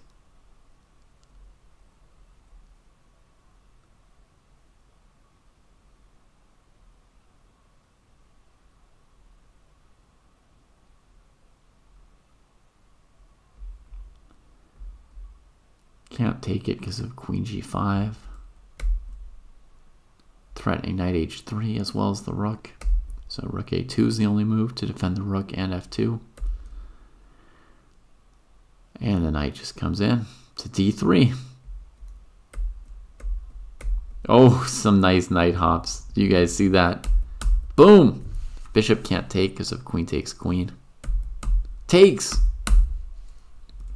Right? Because white pins the knight, so to speak. Can't take the queen because you take the queen. No, it can. And hops onto these two. Brutal. And black's up. A rook against a knight in an endgame with nothing to do. Oh. Crunch. All right, I think I'm going to get to bed and call this one as a win for black. Salimova's got a minute on the clock. King d6 has been played by Goryachkina. Taking some squares. White's maybe going to give a check a check, a check, I get back here. That queen, king shouldn't go to b5. Anyway, the king should go somewhere, and the pawn should push. Uh, it's just time to go to bed one way or another. I'm sorry, folks. Goryachkina probably deserves better, but uh, you have to remember that not only am I streaming till 1, 2, or yesterday 3 a.m., but then after I stop the stream, I have a baby here in the house who screams and cries all night. So, uh, hasta mañana. Tomorrow's round seven. It'll be the halfway point. Um, I guess the, the standings are probably shaking up a bit on the on the women's side, but Tan, since she won, will still be out ahead of the field. By a full point ahead of Lagno and Goryachkina after they win. Yeah. Um, and there's a big matchup tomorrow, right? Which is Naka versus Nepo. Big one. So, yeah. So we'll see, we'll see you guys tomorrow for that. And uh, yeah, take care and be well, everybody.